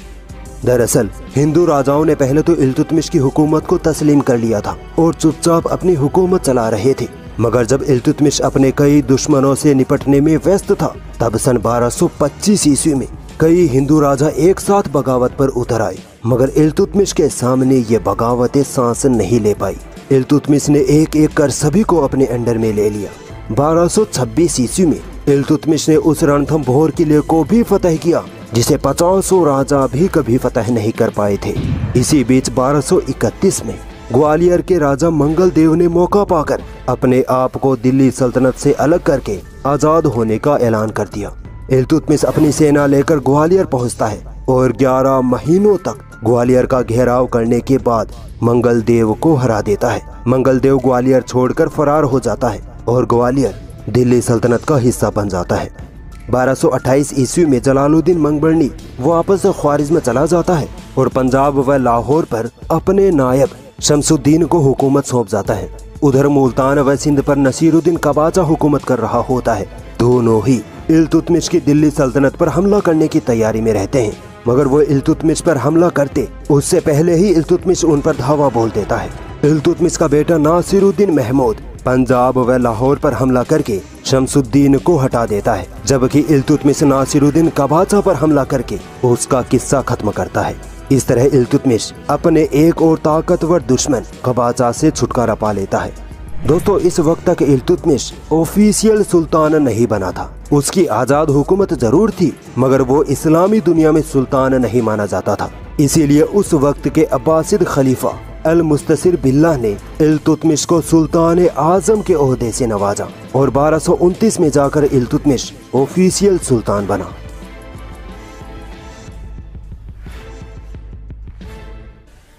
बारह में अचानक बीमारी की वजह से इलतुतमिश के सबसे बड़े बेटे नासिरुद्दीन महमूद की मौत हो जाती है। अपने बेटे की याद में इलतुतमिश एक मकबरा बनवाता है और इसी मकबरे के साथ ही भारत में सबसे पहला मकबरा बनवाने और मकबरा बनवाने के रिवाज की शुरुआत का श्रेय इल्तुतमिश को दिया जाता है।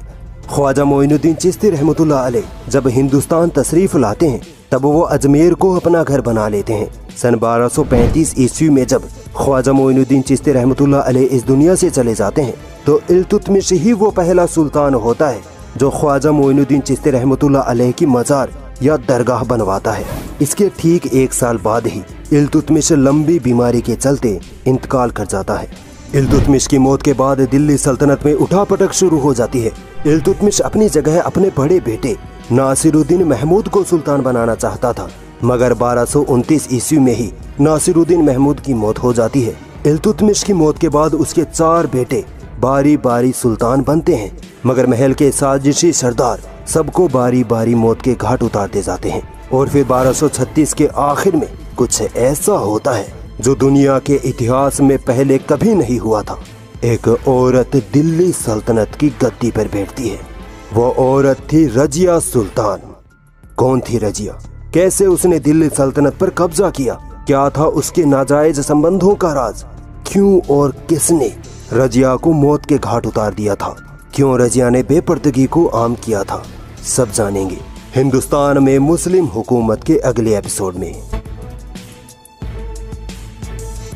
1236 ईस्वी में जब इल्तुतमिश की मौत हो जाती है तो उसके बाद दिल्ली सल्तनत एक ऐतिहासिक मोड़ पर आ खड़ी होती है। दिल्ली सल्तनत पर एक औरत दुनिया व उद्दीन, जिसे हम रजिया सुल्तान के नाम से जानते हैं, वो हुकूमत करती है। क्या थी रजिया सुल्तान की कहानी? क्या सच में उसने अपने काले गुलाम, याकूत से नाजायज संबंध बनाए थे? और फिर क्यों रजिया ने अपने ही दुश्मन, अल्तुनिया से शादी कर ली थी? सब जानेंगे। बस गौर से आखिर तक ये वीडियो देखते रहिए। दोस्तों, आप वीडियो लाइक नहीं करते, लाइक किया कीजिए। आप ही के लिए इतनी मेहनत करके ये वीडियोस बनाई जाती हैं।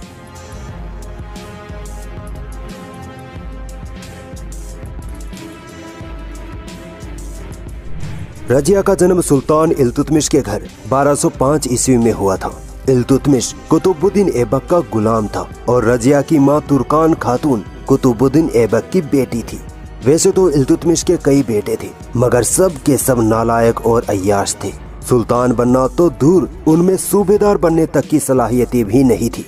इसीलिए इल्तुतमिश अपने सबसे बड़े बेटे नसीरुद्दीन महमूद को अपना जानशी बनाना चाहता था, मगर बारह ईस्वी में ही नसीरुद्दीन महमूद की मौत हो गई। अब इलतुतमिश पल पल इस सोच में परेशान रहता कि मेरे बाद मेरी इतनी बड़ी सल्तनत को कौन संभालेगा? इल्तुतमिश ने अपनी बेटी रजिया सुल्तान को बचपन से ही घुड़सवारी, तीरंदाजी और तलवारबाजी ज़बरदस्त तरीके से सिखा दी थी। यहाँ तक कि रजिया अपने पिता इल्तुतमिश के साथ रह रहकर हुक्मरानी कैसे की जाती है, वो भी सीख चुकी थी। रजिया भले ही एक औरत थी, मगर वो उस समय के बड़े बड़े मर्द हुक्मरानों के बराबर थी और उसकी इसी खूबी ने उसे दिल्ली सल्तनत की सुल्तान बना दिया। मगर अपने काले गुलाम से मोहब्बत की कीमत उसे अपनी जान देकर चुकानी पड़ी। बारह सौ इकतीस बत्तीस में इल्तुतमिश ग्वालियर की बगावत खत्म करने निकल जाता है और अपने पीछे रजिया को सल्तनत संभाल जाता है। एक साल तक रजिया सल्तनत को इतनी कुशलता और महारत से संभालती है कि लोग रजिया को अगली सुल्तान समझने लगते हैं और इल्तुतमिश भी रजिया की काबिलियत को देखकर उसे अपनी जानशी बनाने पर राज़ी हो जाता है। मगर दिल्ली सल्तनत के उनचालीस तुर्क सरदारों की मंडली ने, जिसे इल्तुतमिश ने खास अपने लिए बनाया था, इल्तुतमिश के इस फैसले का विरोध किया। और इल्तुतमिश से कहते हैं कि अभी तो आपके कई बेटे ज़िंदा हैं, आप उन्हीं में से किसी को सुल्तान बनाइए। रजिया अभी सुल्तान बनने के लायक नहीं है। इल्तुतमिश कहता है, मेरी बेटी रजिया मेरे सारे बेटों से ज़्यादा सुल्तान बनने की काबिलियत रखती है। यहीं से इन तुर्क सरदारों और रजिया के बीच छत्तीस का आंकड़ा शुरू हो जाता है। जब 1236 ईस्वी में इल्तुतमिश की मौत होती है, तब तुर्क सरदार रजिया की जगह इल्तुतमिश के एक बेटे रुकनुद्दीन फिरोज शाह को सुल्तान बना देते हैं। फिरोज शाह नालायक और अयाश सुल्तान था। वो हुक्मरानी करने के लायक नहीं था, इसीलिए उसकी माँ शाह तुर्कान फिरोज शाह के पीछे से हुक्मरानी करती थी। इन दोनों माँ बेटे की हुक्मरानी ने जनता पर अत्याचार करने में कोई कसर नहीं छोड़ी थी। और दोनों ने उन सभी सरदारों को मौत के घाट उतार दिया था, जिन्होंने रजिया को सुल्तान बनाना चाहा था। यही वो वक्त था जब रजिया ने दिल्ली सल्तनत की सुल्तान बनने की कसम खाई और अकेले ही सुल्तान और तुर्क सरदारों से भिड़ गई। एक औरत होने के बावजूद रजिया को किसी भी तरह से कम नहीं हाँका जा सकता। रजिया में वो सभी गुण थे जो एक मर्द सुल्तान में होते हैं। मगर कुछ बुरे और गलत काम भी रजिया के हाथों से हुए थे, जिन्हें नजरअंदाज नहीं किया जा सकता। सुल्तान बनने के कुछ ही महीनों बाद सुल्तान फिरोज शाह कोहराम की एक बगावत खत्म करने निकल गया और पीछे उसकी माँ शाह तुर्कान दिल्ली में रजिया को मारने की साजिश रचने लगी। रजिया इसी मौके की तलाश में थी और फिर रजिया ने अपना काम शुरू किया। जुमे की नमाज़ के वक्त रजिया अचानक मैदान में आकर सुल्तान फिरोज शाह और उसकी माँ शाह तुर्कान की काली करतूतों की पोल खोलने लगी और अपने सुल्तान होने का दावा करने लगी। ये हालत देखकर सब हैरान हो गए। शाह तुर्कान को कुछ समझ आता उससे पहले ही रजिया का काम बन चुका था। जनता अब सुल्तान फिरोज शाह और उसकी माँ के खिलाफ आवाज़ उठाने लगे। जनता ने शाह तुर्कान को मारने के लिए उसके महल पर हमला कर दिया। इसी बात से आप अंदाज़ा लगा सकते हैं कि रजिया में लोगों को अपनी तरफ़ मायल करने की कितनी ज़बरदस्त काबिलियत थी। रजिया ने सेना और कुछ सरदारों की मदद से गद्दी हासिल कर ली और इस तरह रजिया भारत के इतिहास की पहली मुस्लिम महिला सुल्तान बनी। वो तुर्क सरदार जो रजिया के खिलाफ थे, उनमें से कई रजिया के साथ मिल गए और कुछ को रजिया ने मरवा दिया। फिरोज शाह जब वापस दिल्ली लौटा तो उसे अच्छा खासा सरप्राइज़ मिला। रजिया ने फिरोज शाह को पकड़कर जिंदान में डाल दिया और कुछ वक्त बाद दोनों माँ बेटे को मौत की नींद सुला दिया। दोस्तों, आपको इस बात पर ज़रूर गौर फरमाना चाहिए कि सुल्तान बनने से पहले रजिया एक ठीक ठाक दीनी औरत थी, पर्दा भी करती थी। सुल्तान बनने के बाद भी रजिया जब दरबार में जाती तो भी पर्दा करती।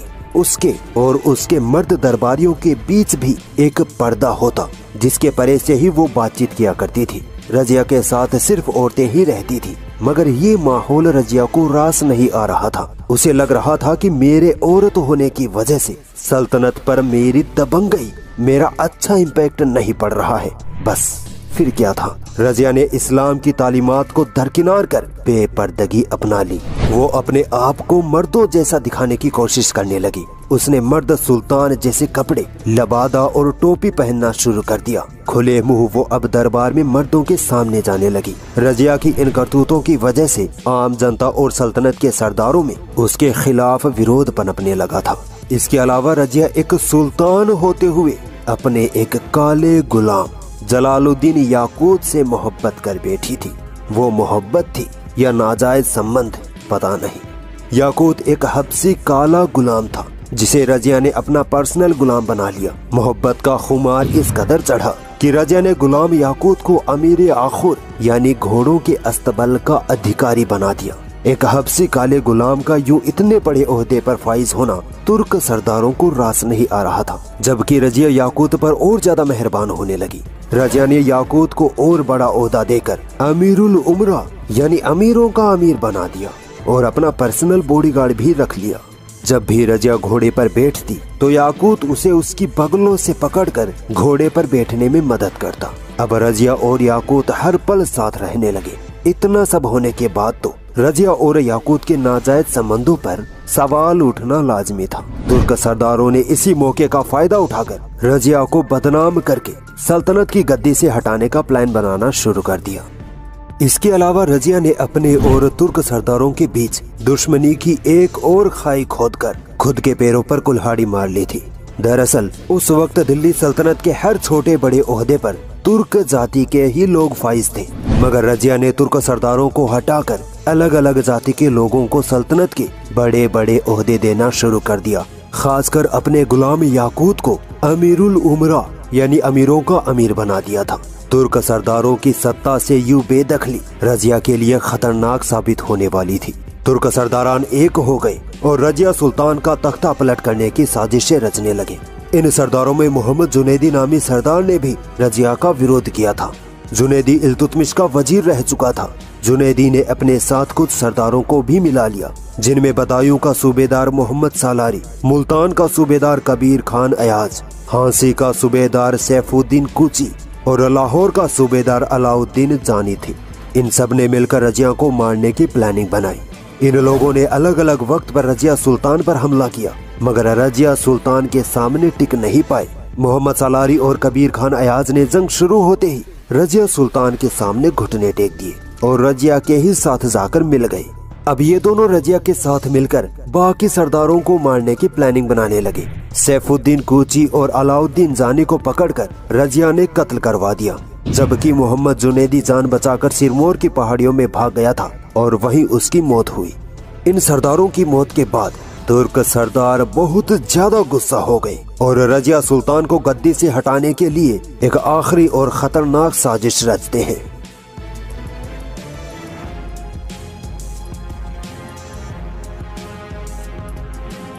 तुर्क सरदार भटिंडा के गवर्नर अल्तुनिया को बगावत करने पर आमादा कर लेते हैं। अल्तुनिया 1240 ईस्वी में रजिया के खिलाफ बगावत छेड़कर जंग का ऐलान कर देता है। रजिया सुल्तान को इस बात की जरा भी खबर नहीं होती है।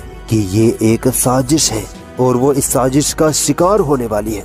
रजिया सुल्तान अल्तुनिया से जंग करने निकल पड़ती है। इस जंग में उसका प्रेमी गुलाम याकूत भी उसके साथ होता है। जंग में याकूत मारा जाता है। रजिया याकूत की मौत बर्दाश्त नहीं कर पाती और अपने होशो हवास खो बैठती है। रजिया जंग करने की हालत में नहीं रहती और इसी का फ़ायदा उठाकर अल्तुनिया रजिया को पकड़कर अपने महल ले आता है और जिंदान में डाल देता है। जब ये खबर दिल्ली पहुँचती है कि रजिया को अल्तुनिया ने गिरफ़्तार कर लिया है तो दिल्ली सल्तनत के तुर्क सरदार इल्तुतमिश के बेटे बहराम शाह को सुल्तान बना देते तुर्क सरदारों की साजिश कामयाब होती है। दिल्ली के तुर्क सरदारों ने अल्तुनिया से कहा था कि अगर तुम रजिया को गद्दी से हटाने में हमारी मदद करो तो हम तुम्हें भी दिल्ली सल्तनत में से हिस्सा देंगे। मगर बाद में तुर्क सरदारों ने ऐसा नहीं किया और आपस में ही दिल्ली सल्तनत के बड़े बड़े ओहदे बांट लिए। राजनीति में ऐसा ही होता है। इधर से जब ये खबर रजिया सुल्तान तक पहुँची कि तुर्क सरदारों ने बहराम शाह को सुल्तान बना लिया है तो रजिया और अल्तुनिया एक हो गए। रजिया ने अपनी खूबसूरती से अल्तुनिया को माइल किया, या फिर दोनों ने सत्ता के लालच में एक दूसरे से शादी की, क्या हुआ? पुख्ता अंदाज़ा नहीं है। मगर दोनों दुश्मनों ने शादी कर ली और सुल्तान बहराम शाह के खिलाफ जंग का ऐलान कर दिया। अल्तुनिया और रजिया की सेना में खोखर, जाट और राजपूत शामिल थे। सितंबर, अक्टूबर 1240 में जंग होती है और बहराम शाह अल्तुनिया और रजिया को हरा देता है। दोनों जान बचाकर जंग से भाग जाते हैं। इतिहासकार बताते हैं कि बीच जंगल में हिंदू डाकुओं के एक गिरोह द्वारा दोनों की हत्या कर दी जाती है। इसके अलावा रजिया सुल्तान की मौत पर एक और कहानी मशहूर है। वो ये कि जंग से भागकर रजिया सुल्तान जंगल में थक हार कर एक पेड़ के सहारे सो जाती है। एक गडरिया जब वहाँ से गुजरता है तो रजिया सुल्तान को देखकर उसके पास आ जाता है। चूँकि रजिया मर्दों का लिबास पहना करती थी, इसीलिए पहले तो उस गडरियो को लगा कि ये कोई मर्द है। मगर अचानक रजिया के कीमती जेवरात उस गडरिये को नज़र आ जाते हैं, और इन जेवरातों के लालच में वो गडरिया रजिया सुल्तान की हत्या करके वहीं दफना देता है। मगर जब वो गडरिया उन जेवरातों को बेचने बाज़ार जाता है तो जोहरी को उन जेवरातों में से एक बेश कीमती हीरे की अंगूठी मिलती है। वो जोहरी समझ जाता है कि ये चोरी का सामान है और फिर वो सिपाहियों को खबर कर देता है। सिपाही उस गडरिये को पकड़कर उसी जगह ले आते हैं, जहाँ उसने रजिया सुल्तान को दफनाया था। और इस तरह रजिया सुल्तान एक गुमनामी की मौत मरते मरते बचती है। रजिया सुल्तान की कब्र आज भी पुरानी दिल्ली में। तुर्कमान गेट के पास मोहल्ला बुलबुली खाने की तंग गलियों में जर्जर हालत में मौजूद है। दोस्तों, रजिया सुल्तान ने अच्छे और बुरे दोनों काम किए। सत्ता के लिए उसने जो गलत कदम उठाए, उन्हें सही नहीं ठहराया जा सकता। मगर हाँ इसमें कोई दोराय नहीं कि रजिया बहादुर और अक्लमंद सुल्तान बनकर उभरी थी। रजिया को इल्म से मोहब्बत थी। उसने कई स्कूल, मदरसे, मस्जिद, हॉस्पिटल वगैरह बनवाए और दिल्ली को खूबसूरत बनाने में उसने कोई कसर नहीं छोड़ी। रजिया के बाद बहराम शाह दो साल तक सुल्तान बना रहा और बारह सौ बयालीस ईस्वी में उसी की सेना ने उसकी हत्या कर दी। तुर्क सरदारों ने फिर अलाउद्दीन मसूद को सुल्तान बना दिया। ये अलाउद्दीन मसूद उसी फिरोज शाह का बेटा था, जिसे रजिया ने मारकर सत्ता हासिल की थी। 1242 से 1246 तक ये नाकारा सुल्तान अलाउद्दीन मसूद दिल्ली सल्तनत पर चिपका रहता है। मगर असल हुकूमत उन तुर्क सरदारों की ही चल रही होती है। इसके बाद 1246 में आया इल्तुतमिश का पोता नसीरुद्दीन महमूद, जिसने 20 सालों तक भारत पर हुकूमत की और आते ही तुर्क सरदारों की मंडली को सीधा कर दिया। अगले एपिसोड में हम इसी नसीरुद्दीन महमूद की बायोग्राफी कवर करेंगे। एक वक्त था गुलाम प्रथा का, जहाँ इंसान कोड़ियों से लेकर अशरफियों के दाम खरीदे और बेचे जाते थे। इंसानों की बोलियाँ लगती थी। गरीब, अमीरों के तलवे चाटा करते थे। गुलामों के बाज़ार सजा करते थे। एक दिन इन्हीं गुलामों के बाजारों में से एक ऐसा गुलाम निकला, जो आगे चलकर भारत का सुल्तान बन गया। ये गुलाम था गयासुद्दीन बलबन। बलबन की कहानी इतनी रोचक है कि पूरी वीडियो देखे बिना आप अपनी जगह से नहीं हिल पाओगे। दोस्तों हिंदुस्तान में मुस्लिम हुकूमत के पिछले एपिसोड यानी एपिसोड सिक्स में हमने रजिया सुल्तान का इतिहास देखा था। रजिया सुल्तान 1236 से 1240 तक हुक्मरानी करती हैं, मगर 1240 में तुर्क सरदार उसे हटाकर बहराम शाह को दिल्ली सल्तनत का सुल्तान बना देते हैं। बहराम शाह तुर्क सरदारों के खिलाफ होने की कोशिश करता है मगर तुर्क सरदार उसे मरवा कर अलाउद्दीन मसूद शाह को तख्त पर बैठा देते हैं। सत्ता का नशा कितना नशीला होता है। इसका अंदाज़ा आप इस बात से लगा सकते हैं कि बलबन, इल्तुतमिश के पोते नासिरुद्दीन महमूद और उसकी माँ के साथ मिलकर सुल्तान अलाउद्दीन मसूद शाह को कत्ल कर देते हैं और तख्त पर सिर्फ़ सत्रह साल के नासिरुद्दीन महमूद को सुल्तान बनाकर बैठा दिया जाता है। नासिरुद्दीन महमूद सुल्तान तो बन जाता है, मगर उसका मन ही नहीं होता है हुकूमत करने का, बल्कि उसकी जगह कोई और शख्स ही सल्तनत को अपने इशारों से चला रहा होता है। कौन था वो शख्स? ध्यान से वीडियो देखते रहिए।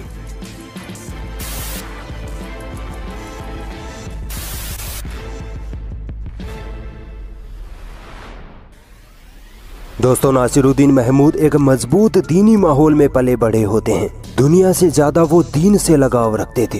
एक सुल्तान होते हुए वो अपनी इबादतों में इस कदर मशगूल रहते कि उनके पास हुक्मरानी करने तक का वक्त नहीं होता था। रातों को उठकर नमाजें पढ़ना, हर वक्त कुरान पाक की तिलावत करना उनकी दिनचर्या थी। एक सुल्तान अगर चाहे तो दुनिया की कीमती से कीमती चीज़ उसके सामने लाकर रखी जा सकती है। मगर आप हैरान होंगे कि नासिरुद्दीन महमूद एक ऐसी बुज़ुर्ग हस्ती थी, जो सुल्तान होकर भी कुरान की नकलें बनाकर और टोपियाँ सीकर अपना और अपने परिवार का गुजारा चलाते थे। यहाँ तक कि उनकी सिर्फ़ एक ही बीवी थी और वही बीवी घर का सारा काम करती और खाना बनाती थी। उनके यहाँ कोई नौकर चाकर नहीं था। सोचिए, एक सुल्तान होकर ऐसी ज़िंदगी जी रहे थे, नासिरुद्दीन महमूद। दोस्तों इल्तुतमिश से लेकर नासिरुद्दीन महमूद तक सल्तनत में तुर्क सरदारों की मंडली का बोलबाला था। जो भी उनके खिलाफ होता, ये मंडली उसे रातों रात रस्ते से हटा देती थी। चाहे वो सुल्तान ही क्यों ना हो। सुल्तान नासिरुद्दीन महमूद बहुत नर्म मिजाज के थे। वो नहीं चाहते थे कि सल्तनत में हुकूमत के लिए कोई फसाद हो। इसीलिए उन्होंने सल्तनत की बागडोर इन तुर्क सरदारों को सौंप रखी थी। और खुद अल्लाह की इबादत में लगे रहे। इन्हीं तुर्क सरदारों में गयासुद्दीन बलबन नामी एक और तुर्क सरदार था, जो इतना तेज और अक्लमंद था कि कुछ ही समय में वो सुल्तान नासिरुद्दीन महमूद के इतने करीब आ गया कि नासिरुद्दीन महमूद ने उसे अपना नायब मुकर्र कर लिया। दोस्तों, उस वक्त जो शख्स नायब के पद पर होता था, वो सुल्तान के बाद सल्तनत का सबसे ताकतवर शख्स माना जाता था। सुल्तान नासिरुद्दीन महमूद से बलबन की ये नजदीकी तब और बढ़ जाती है, जब बलबन अपनी बेटी का निकाह सुल्तान नासिरुद्दीन महमूद से करवा देता है। बस, यहीं से असली पिक्चर शुरू होती है। सुल्तान से बलबन की ये नजदीकियाँ तुर्क सरदारों को खटकने लगती हैं। सोए हुए तुर्क सरदार वापस जाग उठते हैं। उनको ये अंदाज़ा हो चुका था कि ज़रूर बलबन कोई बड़ा काम सरंजाम देने वाला है। बस फिर क्या था? तुर्क सरदारों ने बलबन के खिलाफ एक ऐसी साजिश रची कि सुल्तान नासिरुद्दीन महमूद खुद बलबन को सल्तनत से बाहर निकाल फेंकते हैं।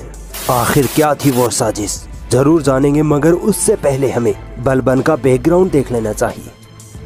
दोस्तों, गयासुद्दीन बलबन का जन्म 1210 से 1216 ईस्वी के बीच एक तुर्क कबीले में होता है, जहाँ बलबन के पिता उस कबीले के सरदार होते हैं। इस कबीले पर मंगोल हमला कर देते हैं और मंगोल बलबन को पकड़कर गुलामों के बाज़ार में ले जाकर बेच देते हैं, जहाँ ख्वाजा जमालुद्दीन बसरी नामे शख्स बलबन को खरीद कर दिल्ली ले आते हैं। बलबन की बुद्धि इतनी तेज थी कि देखने वाला हर कोई बलबन को खरीदना चाह रहा था, मगर उस वक्त के सुल्तान इल्तुतमिश बलबन को खरीद लेते हैं। सुल्तान इल्तुतमिश बलबन की होशियारी देखकर उसे अपना निजी नौकर बना लेता है। धीरे धीरे बलबन अपनी काबिलियत के दम पर सुल्तान को इस कदर प्रभावित करता है कि सुल्तान इल्तुतमिश बलबन को अपने चालीस खास तुर्क सरदारों के गिरोह में शामिल कर लेता है। आप अंदाज़ा लगाइए कि बलबन कैसे एक गुलाम से एक सल्तनत के सुल्तान के करीब पहुँच जाता है। गयासुद्दीन बलबन रजिया सुल्तान के दौर में अमीर शिकार के ओहदे पर पहुँचता है। फिर अलाउद्दीन मसूद शाह के दौरे हुकूमत में अमीर हाजिब, यानी सुल्तान का मैनेजर या सेक्रेटरी बनता है। फिर नासिरुद्दीन महमूद के जमाने में नायब के पद पर आ पहुँचता है। माने के बलबन सल्तनत में किंग मेकर की भूमिका निभा रहा था। ये सब वो अपनी काबिलियत के दम पर हासिल करता है, जबकि बाकी के तुर्क सरदार बस तुर्क सरदार ही बने रह जाते हैं। बलबन का यू बुलंदियों की सीढ़ियाँ चढ़ना ही बलबन और तुर्क सरदारों में नफरत की आग भड़का रहा था। अब उस खतरनाक साजिश की बात करते हैं, जिसकी वजह से नासिरुद्दीन महमूद ने बलबन को सल्तनत से बाहर कर दिया था। असल में जब तुर्क सरदारों को लगने लगा कि बलबन हमसे आगे बढ़ रहा है और अगर ये कहीं सुल्तान बन गया तो हमारी खैर नहीं। इसीलिए तुर्क सरदारों ने बलबन का पत्ता साफ़ करने की साजिश रची। तुर्क सरदारों में एक सरदार, इमामुद्दीन रेहान, जो हिंदू से मुसलमान बना था। सभी तुर्क सरदारों को अपने साथ लेकर सुल्तान नासिरुद्दीन महमूद को बलबन के खिलाफ भड़का देता है। वो सुल्तान से कहता है कि बलबन आपसे सल्तनत छीनने की साजिश रच रहा है और कभी भी आपकी हत्या कर सकता है। बस, सुल्तान नासिरुद्दीन महमूद उन सरदारों की बातों में आ जाते हैं और बलबन को सल्तनत के हर पद से हटाकर रेहान को नायब का पद दे देता है।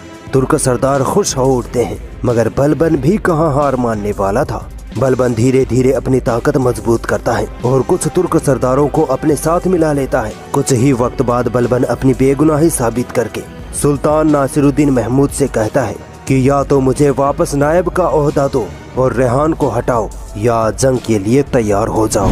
सुल्तान नासिरुद्दीन महमूद फिर से। कोई फसाद ना हो, इसलिए रेहान को हटाकर वापस बलबन को अपना नायब मुकर्र कर लेता है। अब बलबन इतना ताकतवर हो जाता है कि सल्तनत की बागडोर उसके हाथों में आ जाती है और तुर्क सरदार देखते रह जाते हैं।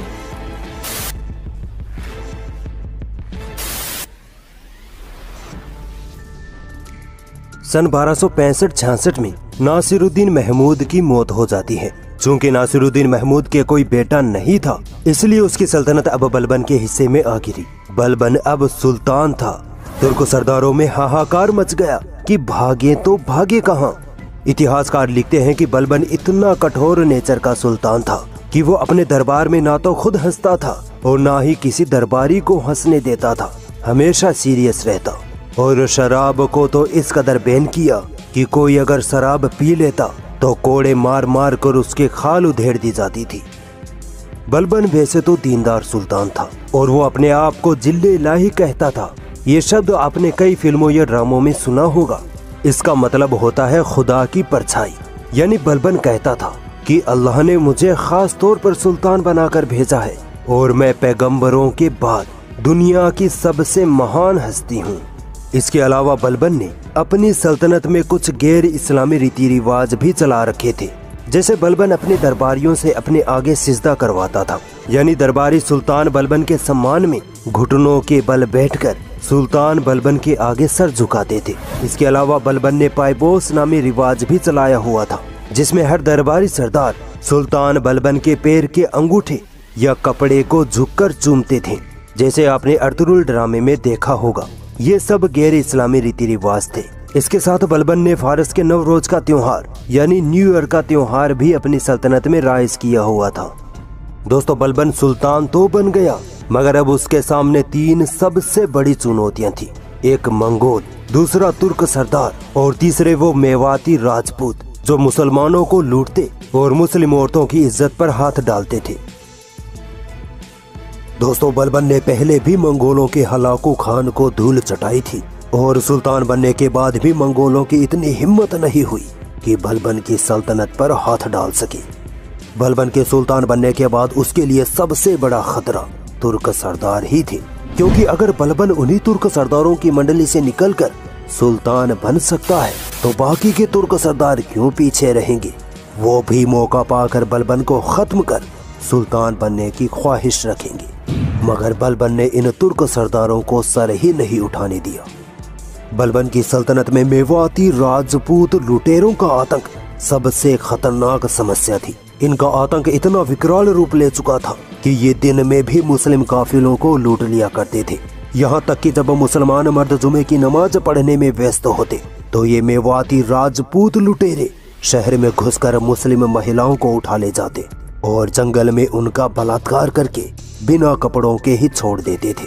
इस समस्या का समाधान सुल्तान बलबन ने खूब महारत से किया।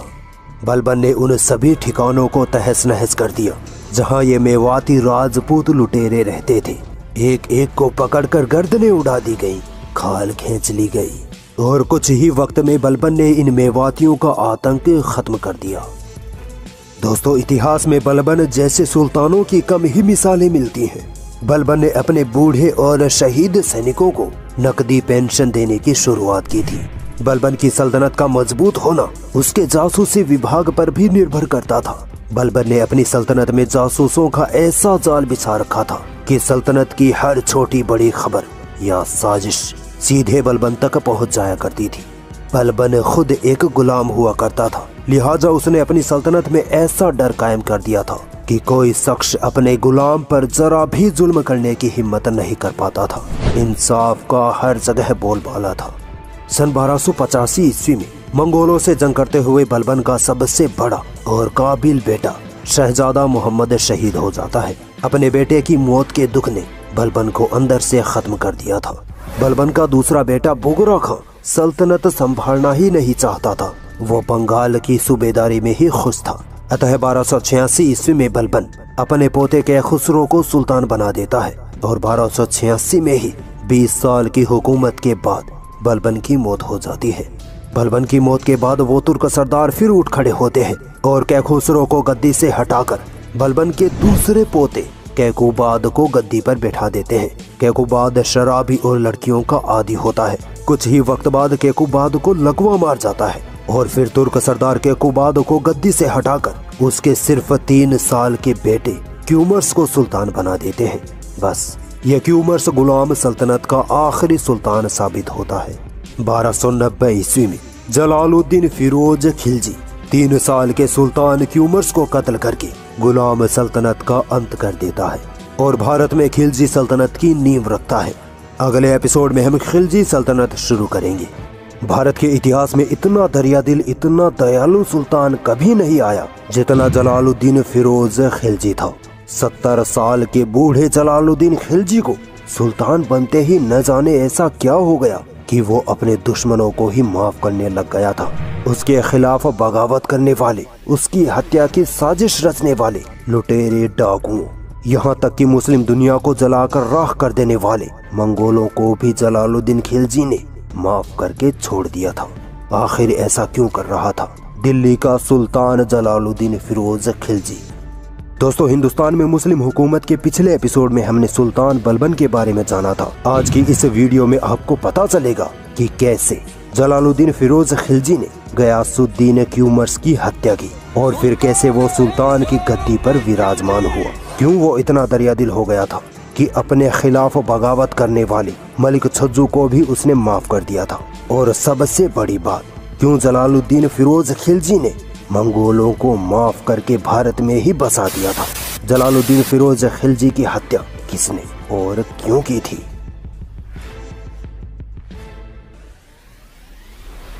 जलालुद्दीन फिरोज खिलजी का जन्म 1220 ईस्वी में अफ़गानिस्तान में हुआ था। इनका असल नाम मलिक फिरोज था। दोस्तों, यहाँ आपको एक नॉलेज की बात बताता हूँ। ध्यान से सुनिएगा। ये जो आप कई सुल्तानों के नाम, जैसे गयासुद्दीन, जलालुद्दीन, अलाउद्दीन, शमसुद्दीन ये जो नाम सुनते हैं, दरअसल ये व्यक्तिगत नाम नहीं होते हैं, बल्कि उपाधियाँ होती हैं। यानी जब कोई व्यक्ति सुल्तान बन जाता था, या कोई राजा बन जाता था, तब वो अपने नाम के आगे ये उपाधियाँ जोड़ता था, जैसे मलिक फिरोज, जिसके बारे में आज हम बात करने वाले हैं। जब वह सुल्तान बना तो उसने अपने नाम के आगे जलालुद्दीन की उपाधि जोड़ी, जिसका मतलब होता है ईमान की अजमत वाला।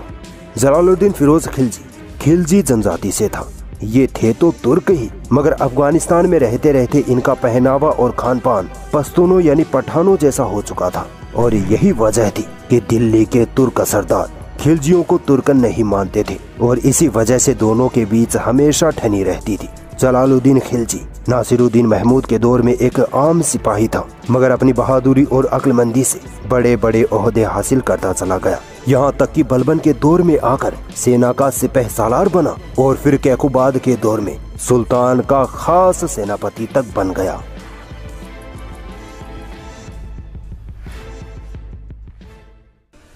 इस वक्त तक जलालुद्दीन ने सल्तनत पर अच्छी खासी पकड़ बना ली थी। तुर्क सरदार जलालुद्दीन फिरोज खिलजी को तुर्क नहीं मानते थे।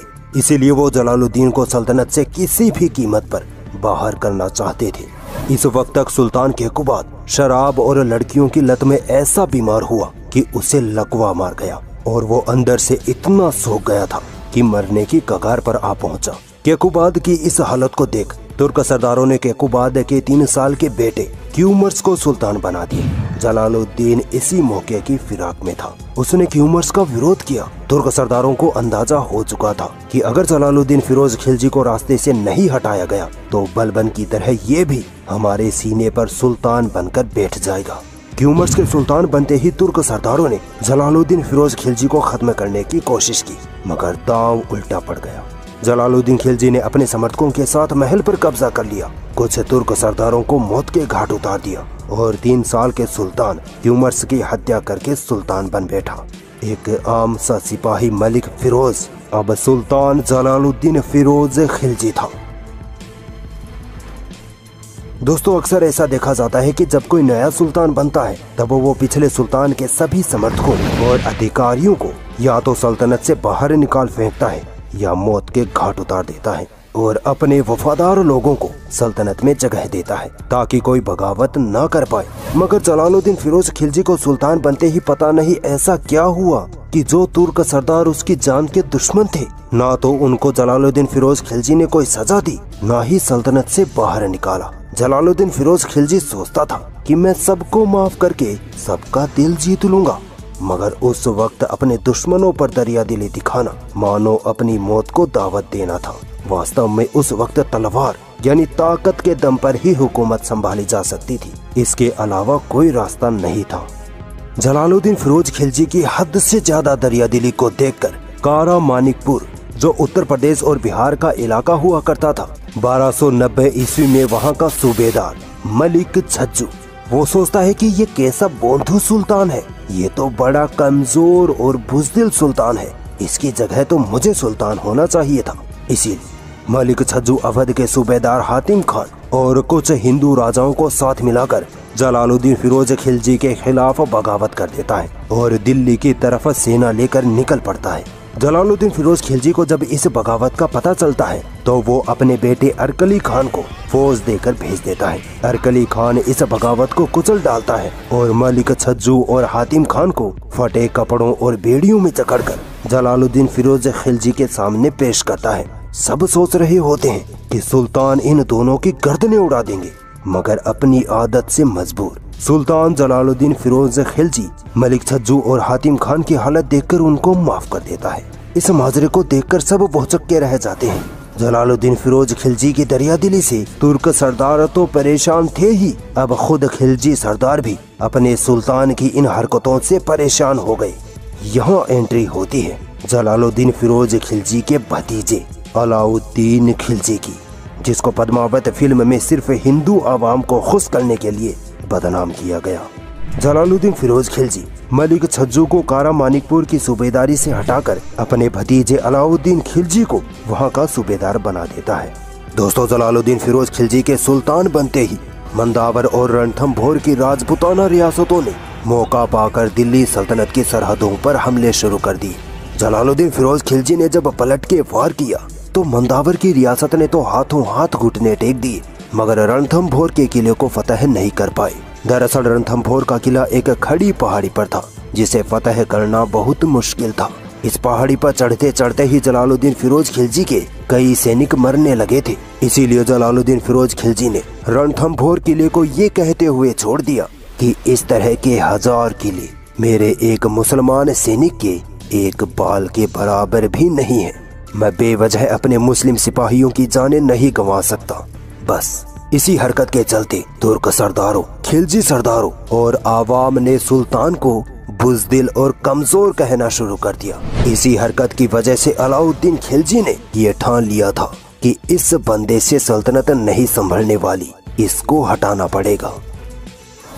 मलिक छज्जू की बगावत के कुछ समय बाद ही मंगोलों ने भी दिल्ली सल्तनत पर हमला कर दिया। मगर जलालुद्दीन फिरोज खिलजी ने अपने बेटे अरकली खान के साथ मंगोलों को वापस खदेड़ दिया। इस जंग के बाद चार हज़ार के करीब मंगोल भारत में ही फंस गए थे। आवाम इन खूंखार मंगोलों की जान की प्यासी थी, क्योंकि यही वो मंगोल थे जिन्होंने मुस्लिम दुनिया को तबाह बर्बाद किया था। मगर ये मंगोल जलालुद्दीन फिरोज खिलजी के पास आए और बोले कि हम मुसलमान बनना चाहते हैं और आपकी सल्तनत में ही रहना चाहते हैं। सुल्तान ने फिर अपनी एक्स्ट्रा दरिया दिली का मुजाहरा किया और इन खूंखार मंगोलों को भी माफ़ करके भारत में ही रहने की इजाज़त दे दी।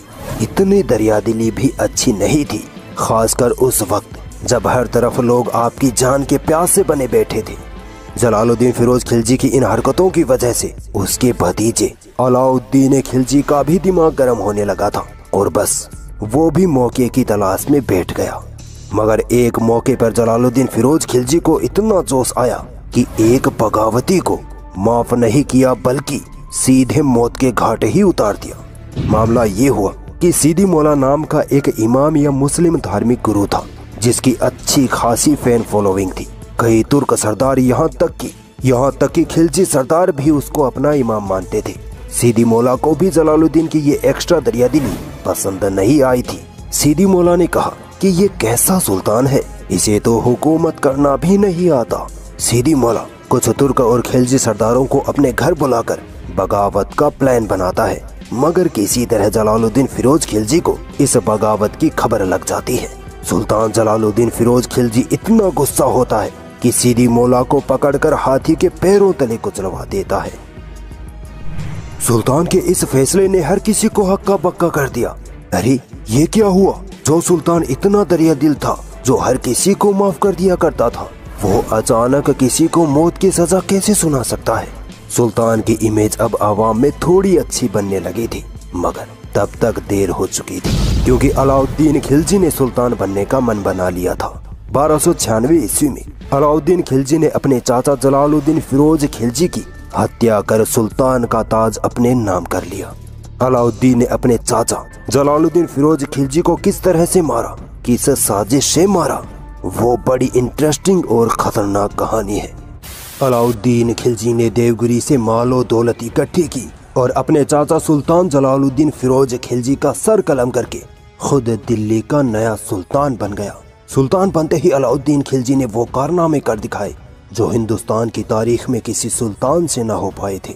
अगर अलाउद्दीन खिलजी ना होता तो आज भारत के चप्पे चप्पे पर मंगोलों का राज होता।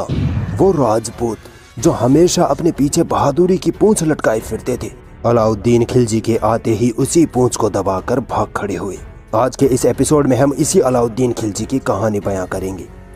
दोस्तों, पिछले एपिसोड में हमने सुल्तान जलालुद्दीन फिरोज खिलजी का इतिहास देखा था, जिसकी दरिया दिली की वजह से सल्तनत में बगावतों ने सर उठा लिया था। सबसे बड़ी बगावत कारा मानिकपुर के सूबेदार मलिक छज्जू की थी। मगर सुल्तान जलालुद्दीन फिरोज खिलजी के कहने पर अलाउद्दीन खिलजी ने अपनी बहादुरी के दम पर इस बगावत को कुचल डाला। खुश होकर सुल्तान जलालुद्दीन ने अपने भतीजे और दामाद अलाउद्दीन खिलजी को कारा मानिकपुर का सूबेदार बना दिया। अलाउद्दीन खिलजी का जन्म बारह ईस्वी में अफ़गानिस्तान में हुआ। अलाउद्दीन खिलजी का असली नाम अली गुरशास्प था। जो कि कारा मानिकपुर में मलिका छज्जू के वफादार सरदार अब भी मौजूद थे। तो उन सरदारों ने अलाउद्दीन खिलजी को सुल्तान के खिलाफ बगावत करके सल्तनत का नया सुल्तान बनने पर उभारा। उन सरदारों ने अलाउद्दीन खिलजी को मशवरा दिया कि मलिक छज्जू की बगावत इसलिए कामयाब नहीं हो सकी क्योंकि उसके पास ढेर सारी मालो दौलत और एक बड़ी फौज नहीं थी। अगर तुम्हें सुल्तान बनना है तो बगावत के लिए ढेर सारी मालो दौलत और एक बड़ी सेना तैयार करनी होगी। अलाउद्दीन खिलजी को ये मशवरा समझ आ गया था। फिर जब उसने सबसे मालदार रियासतों का पता लगाया तो उसके सामने सबसे अमीर रियासत, देवगिरी की रियासत निकल कर आई। अलाउद्दीन खिलजी ने कई सालों की तैयारी के बाद बारह ईस्वी में अपने सबसे बहादुर सिर्फ़ आठ हज़ार घुड़सवारों के दम पर देवगिरी पर इतना ज़बरदस्त हमला किया कि देवगिरी की सेना घुटनों पर आ टिकी देवगिरी की राजा ने अलाउद्दीन खिलजी को हर जाने के तौर पर ढेर सारी मालो दौलत, घोड़े, हाथी वगैरह देकर खुद को अलाउद्दीन से छुड़वाया। इस हमले की खबर जब सुल्तान जलालुद्दीन को हुई तो सुल्तान ने सोचा कि अलाउद्दीन तो मेरा वफादार भतीजा है। वो देवगिरी से हासिल हुए माले गनीमत को दिल्ली आकर मुझे सौंप देगा। मगर ऐसा हुआ नहीं।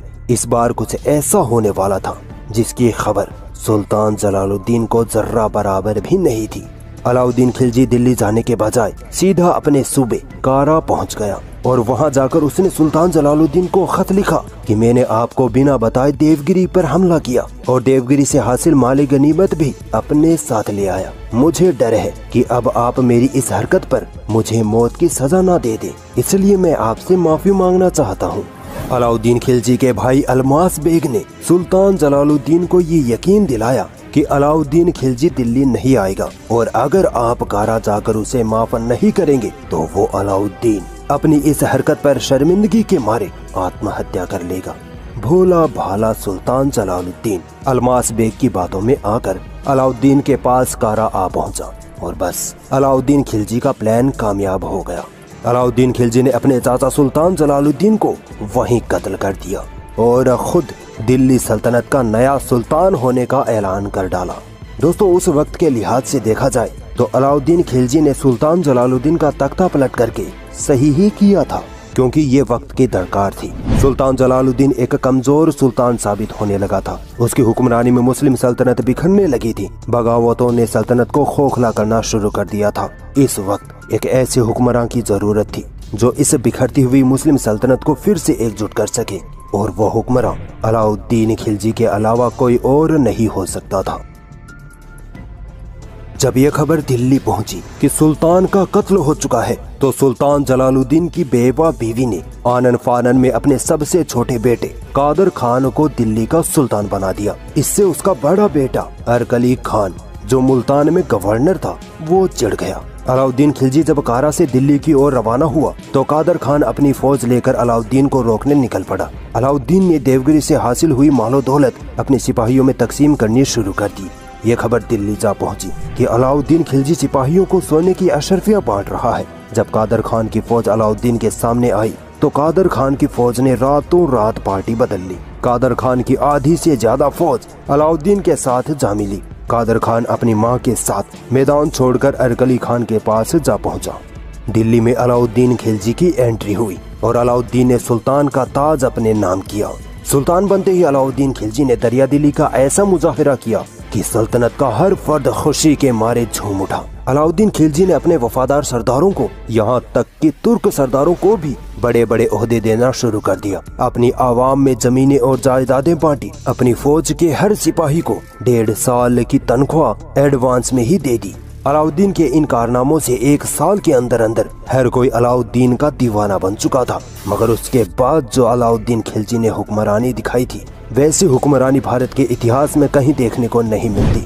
अलाउद्दीन खिलजी जब अपने चाचा जलालुद्दीन खिलजी को कत्ल करने का प्लान बना रहा था, तब बहुत से सुल्तान जलालुद्दीन के वफादार सरदार सुल्तान से गद्दारी करके अलाउद्दीन के साथ जा मिले थे। सुल्तान बनने के एक साल तक तो अलाउद्दीन ने इन सरदारों की खूब खातिरदारी की। मगर जब सल्तनत पूरी तरह अलाउद्दीन खिलजी के कंट्रोल में आ गई, तब अलाउद्दीन खिलजी ने इन सरदारों को ये कहकर मौत की नींद सुलाना शुरू कर दिया कि जब ये सरदार मौका पाकर अपने सुल्तान जलालुद्दीन से गद्दारी कर सकते हैं तो आगे चलकर ये मुझे भी धोखा दे सकते हैं। दोस्तों, इस वक्त मुल्तान पर सुल्तान जलालुद्दीन के बड़े बेटे अरकली खान का कंट्रोल था। सुल्तान बनते ही अलाउद्दीन खिलजी ने अपने भाई अलमास बेग, सेनापति ज़फ़र खान और नुसरत खान के नेतृत्व में सेना भेजकर मुल्तान पर फतेह हासिल कर ली। दोस्तों, मंगोल हमेशा से मुसलमानों के दुश्मन रहे थे। इन खूंखार दरिंदों ने ही बगदाद में मुसलमानों का कत्लेआम किया था और अब हिंदुस्तान पर इनकी नज़रें जमी थी। मगर इस बार मंगोलों को अंदाज़ा भी नहीं था कि उनका सामना अलाउद्दीन नामी मर्द मुजाहिद से होने वाला था। मंगोल जब भी कहीं हमला करते तो उनका इरादा बस लूट मार करके वापस चले जाना होता था। मगर इस बार मंगोल हिंदुस्तान में अपनी सल्तनत कायम करना चाहते थे। और यकीन मानिए, अगर अलाउद्दीन खिलजी ना होता तो आज भारत के चप्पे चप्पे पर मंगोलों की हुकूमत होती। बारह के आखिर में चुगताई खान के इशारे पर मंगोलों ने अलाउद्दीन खिलजी की सल्तनत पर पहला हमला किया। अलाउद्दीन खिलजी ने अपने भाई अलमास बेग की निगरानी में फौज भेजी। 6 फरवरी बारह सौ ईस्वी में मुसलमानों ने मंगोल सेना को इस कदर शिकस्त दी कि इस जंग में मुसलमानों ने बीस हज़ार मंगोलों को मारकर उल्टा लटका दिया था। बारह सौ अठानवे निन्यानवे में फिर से मंगोलों ने हिंदुस्तान पर हमला कर दिया। मगर सेनापति ज़फ़र खान ने मंगोलों को मार पीट कर वापस भेज दिया। बारह सौ निन्यानवे में फिर से मंगोल सेना हमला करने आ पहुँची। मगर इस बार अलाउद्दीन खिलजी ने मंगोलों के छक्के छुड़ा दिए। इस वक्त तक मंगोल भी अलाउद्दीन खिलजी से खौफ खाने लगे थे। इसलिए चार सालों तक मंगोलों ने भारत पर कोई हमला नहीं किया। मगर अचानक अगस्त 1303 ईस्वी में मंगोलों ने हिंदुस्तान पर इतना ज़बरदस्त हमला किया कि मंगोल सेना दिल्ली तक आ पहुँची। इस वक्त अलाउद्दीन खिलजी कहाँ था? अलाउद्दीन खिलजी चित्तौड़ का किला फतेह करने में मशरूफ था। वही राणा रतन सिंह का चित्तौड़ का किला, जिसे पद्मावत फ़िल्म में दिखाया गया था। जब अलाउद्दीन खिलजी को इस मंगोल हमले की खबर लगती है तो वो चित्तौड़ अभियान को बीच में छोड़कर फ़ौरन दिल्ली पहुँच जाता है। सामने ही मंगोल सेना खड़ी होती है। अलाउद्दीन खिलजी की सेना के पास जंग के लिए तैयार होने तक का वक्त नहीं था। फिर भी अलाउद्दीन खिलजी ने अपने घर में घुसे मंगोलों को अपनी बहादुरी और शौर्य के दम पर घुटनों के बल टिका दिया था। मंगोल इस बार भी भाग खड़े हुए। दोस्तों, यकीन मानिए, अगर अलाउद्दीन खिलजी मंगोलों से हार जाता तो भारत में मंगोल जो कहर बर्पा करते, उसका इतिहास ही अलग से लिखा जाता। मंगोल पूरे भारत को जलाकर राख कर चुके होते। हम भारतीयों को तो अलाउद्दीन खिलजी का एहसान मंद होना चाहिए कि उसकी वजह से ही हमारा हिंदुस्तान मंगोलों के जुल्म से बचा रहा। इसके बाद मंगोलों ने 1305 और 1306 ईस्वी में फिर से दिल्ली सल्तनत पर हमले किए, मगर कामयाब नहीं हो सके। इसके बाद मंगोल इतने निराश हो गए कि उन्होंने भारत पर हमले करने ही बंद कर दिए। दोस्तों बारह सौ निन्यानवे ईस्वी में अलाउद्दीन खिलजी ने गुजरात पर हमला करने का इरादा किया। अलाउद्दीन खिलजी ने अपने भाई अलमास बेग और सेनापति नुसरत खान को फौज देकर गुजरात अभियान पर रवाना कर दिया। गुजरात का वाघेला राजा राजा कर्ण। अलाउद्दीन का नाम सुनते ही डर के मारे थर थर कांपने लगता है। और बचने के लिए अपनी बेटी और बीवी को अलाउद्दीन खिलजी को गिफ्ट के तौर पर पेश कर देता है। मगर अलाउद्दीन खिलजी नहीं मानता है। इसके बाद राजा कर्ण अपनी रियासत की अधिकांश धन दौलत अलाउद्दीन खिलजी को सालाना खिराज देने पर राज़ी हो जाता है। तब जाकर अलाउद्दीन खिलजी गुजरात को छोड़ता है। मगर गुजरात अब तक दिल्ली सल्तनत के अंडर में आ चुका था। इसी गुजरात अभियान के दौरान अलाउद्दीन खिलजी को एक गुलाम मिलता है, जिसका नाम मलिक काफूर था। वही मलिक काफूर जिसको पद्मावत फ़िल्म में हिजड़ा बताया गया और अलाउद्दीन खिलजी के साथ उसके गैर फितरी रिश्ते दिखाए गए। गैर फितरी रिश्ते तो दूर की बात, इतिहासकारों में तो इस बात तक का झगड़ा है कि मलिक काफूर हिजड़ा था भी या नहीं, मगर मुसलमानों से नफरत और हिंदू आवाम को खुश करने के लिए पद्मावत फ़िल्म में इतने शानदार और बहादुर सुल्तान अलाउद्दीन खिलजी को जानबूझकर बदनाम किया गया। अलाउद्दीन को वहशी दरिंदा नोच नोच कर कच्चा मांस खाने वाला, गंदा मेला कुचेला रहने वाला दिखाया गया, ताकि हिंदू आवाम के सामने एक मुस्लिम बादशाह की इमेज खराब करके पैसे कमाए जा सके। यकीन मानिए, मुसलमानों के इतिहास के नाम पर कोई भी हिंदुओं को बेवकूफ़ बना सकता है, और ये आज के हिंदू आवाम जानबूझकर बेवकूफ़ बनने के लिए तैयार बैठी है। पद्मावत फ़िल्म में अलाउद्दीन खिलजी और मलिक काफुर को बदनाम करने का एक रीजन ये भी था कि इन दोनों ने, खासकर मलिक काफुर ने, राजपूत राजाओं को दौड़ा दौड़ा कर हराया था। राजपूत राजा अलाउद्दीन के नाम से जितना डरते थे, उतना ही मलिक काफुर के नाम से खौफ खाते थे। मलिक काफुर ने ही दक्षिणी भारत के राजपूत या हिंदू रियासतों को अलाउद्दीन खिलजी के सामने घुटने टेकने पर मजबूर किया था। जिस दिन अलाउद्दीन खिलजी ने दिल्ली सल्तनत का तख्त अपने नाम किया था, उसी दिन से हिंदुस्तान की हिंदू रियासतों के पाँव फूल गए थे। पूरा हिंदुस्तान अलाउद्दीन खिलजी के नाम से डरने लगा था। अलाउद्दीन खिलजी ने मरने से पहले पूरे हिंदुस्तान पर अपना परचम लहरा दिया था और ऐसा कारनामा करने वाला वो भारत का पहला सुल्तान था। पहली बार हमारी वीडियो देखने वाले लोगों से रिक्वेस्ट है कि जितना जल्दी हो सके चैनल को सब्सक्राइब कर लो, ताकि फ्यूचर में ऐसी ही हिस्टोरिकल वीडियोस आपको मिलती रहे। और जिन्होंने पहले से ही सब्सक्राइब कर रखा है, वो मेहरबानी करके बेल आइकन और दबा दे। सिर्फ़ सब्सक्राइब करने से काम नहीं चलता। दोस्तों, पिछले एपिसोड में हमने देखा था कि किस तरह अलाउद्दीन खिलजी ने अपने चाचा, सुल्तान जलालुद्दीन खिलजी को मारकर सल्तनत हासिल की और हिंदुस्तान को मंगोलों के हमलों से भी बचाया। आज के इस एपिसोड में हम देखेंगे कि किस तरह अलाउद्दीन खिलजी ने पूरे हिंदुस्तान को फतेह किया? क्यों अलाउद्दीन खिलजी ने भारत के ही बीस से तीस हज़ार मंगोल मुसलमानों का कत्लेआम करवाया था? क्या वजह थी कि अलाउद्दीन खिलजी इस्लाम को छोड़कर एक नया मज़हब चलाना चाहता था? और सबसे अहम ये कि अलाउद्दीन खिलजी का पद्मावती से क्या रिश्ता था? दोस्तों, जिस दिन अलाउद्दीन खिलजी ने सत्ता संभाली थी, उस दिन तक दिल्ली सल्तनत दिल्ली, पंजाब, सिंध, उत्तर प्रदेश, बिहार, राजस्थान के कुछ हिस्सों और बंगाल तक ही सीमित थी। मगर अलाउद्दीन खिलजी कोई ढेला ढाला सुल्तान न था। उसका सपना था कि वो पूरी दुनिया को फतेह करेगा। और इसी सपने को साकार करने के लिए अलाउद्दीन खिलजी ने तलवार उठाई और निकल पड़ा फतहों पर फतेह हासिल करने। अलाउद्दीन खिलजी ने सबसे पहले दिल्ली सल्तनत के आसपास के राज्यों को फतेह करने का बेड़ा उठाया। जिनमें कई राजपूत रियासतें थी। उस वक्त के राजपूत राजा अपने आप को महान बहादुर और घमंडी समझते थे, मगर अलाउद्दीन के आते ही सारी बहादुरी निकल गई। अलाउद्दीन खिलजी ने 1311 तक उत्तर भारत के कई राज्यों को फतह कर लिया था, जिनमें गुजरात, जैसलमेर, मालवा, सिवाना, जालोर रणथम्भोर और चित्तौड़ अहम रियासतें थी। इनमें भी रणथम्भोर और चित्तौड़ की राजपूत रियासतें सुरक्षा की नज़र से काफ़ी अहम थी। अब आइए सुनिए अलाउद्दीन खिलजी ने उस वक्त की राजपूत रियासतों को कैसे धूल चटाई थी।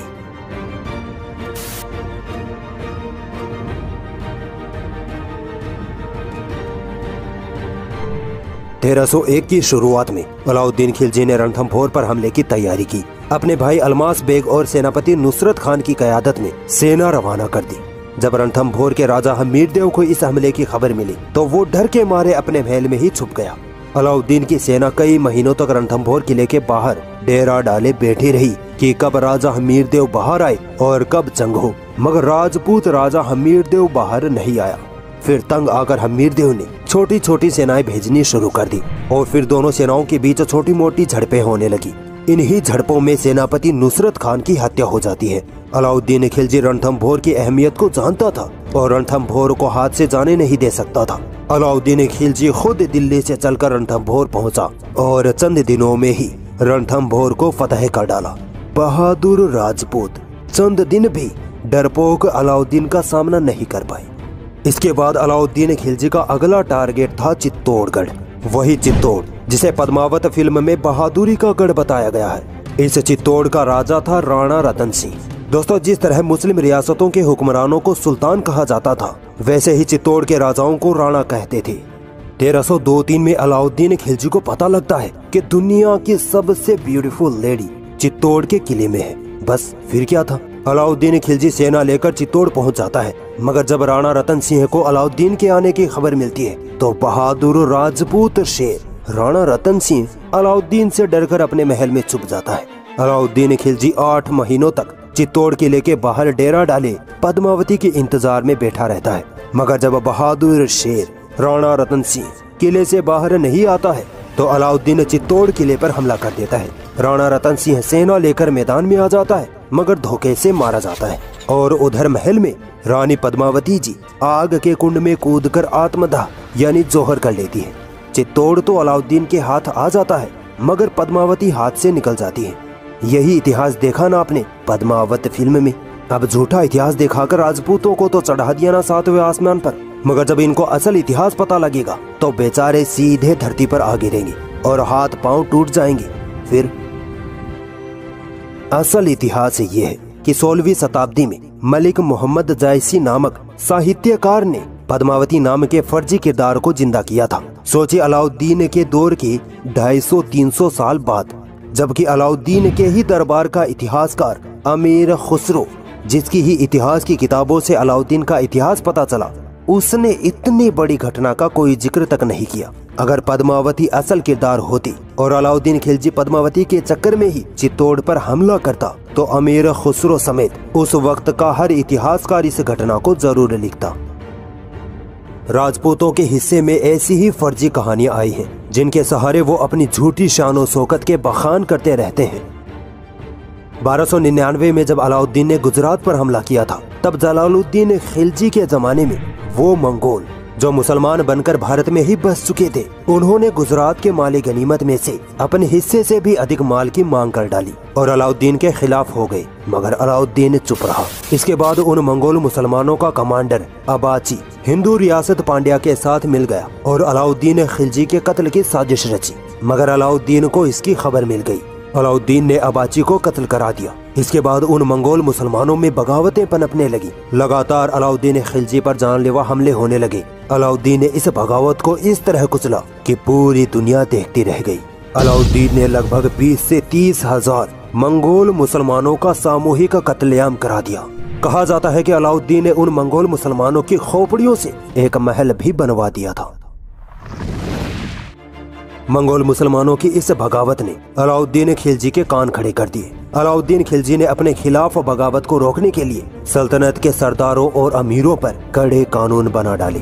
सल्तनत में शराब के साथ हर तरह की नशीली चीज़ बैन कर दी गई। सल्तनत के अमीरों का एक जगह इकट्ठा होना और एक दूसरे से मिलना जुलना बंद कर दिया गया। कोई भी सरदार किसी दूसरे सरदार की शादी या दावत में नहीं जा सकता था। यहाँ तक कि किसी सरदार को अपने परिवार में शादी करनी होती तो पहले अलाउद्दीन खिलजी को बताना पड़ता था। सरदारों की ज़मीन जायदादें जब्त कर ली गई। ताकि कोई सरदार पैसों के दम पर बगावत खड़ी ना कर सके।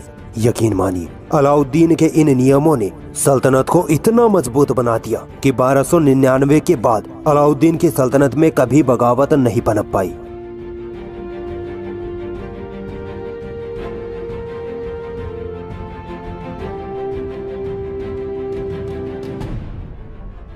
अब तक पूरा उत्तरी भारत अलाउद्दीन की सल्तनत में मिल चुका था। इसीलिए अलाउद्दीन खिलजी ने अब दक्षिण भारत को फतेह करने की ठानी। अलाउद्दीन ने अपने सेनापति मलिक काफूर को इस अभियान के लिए रवाना किया।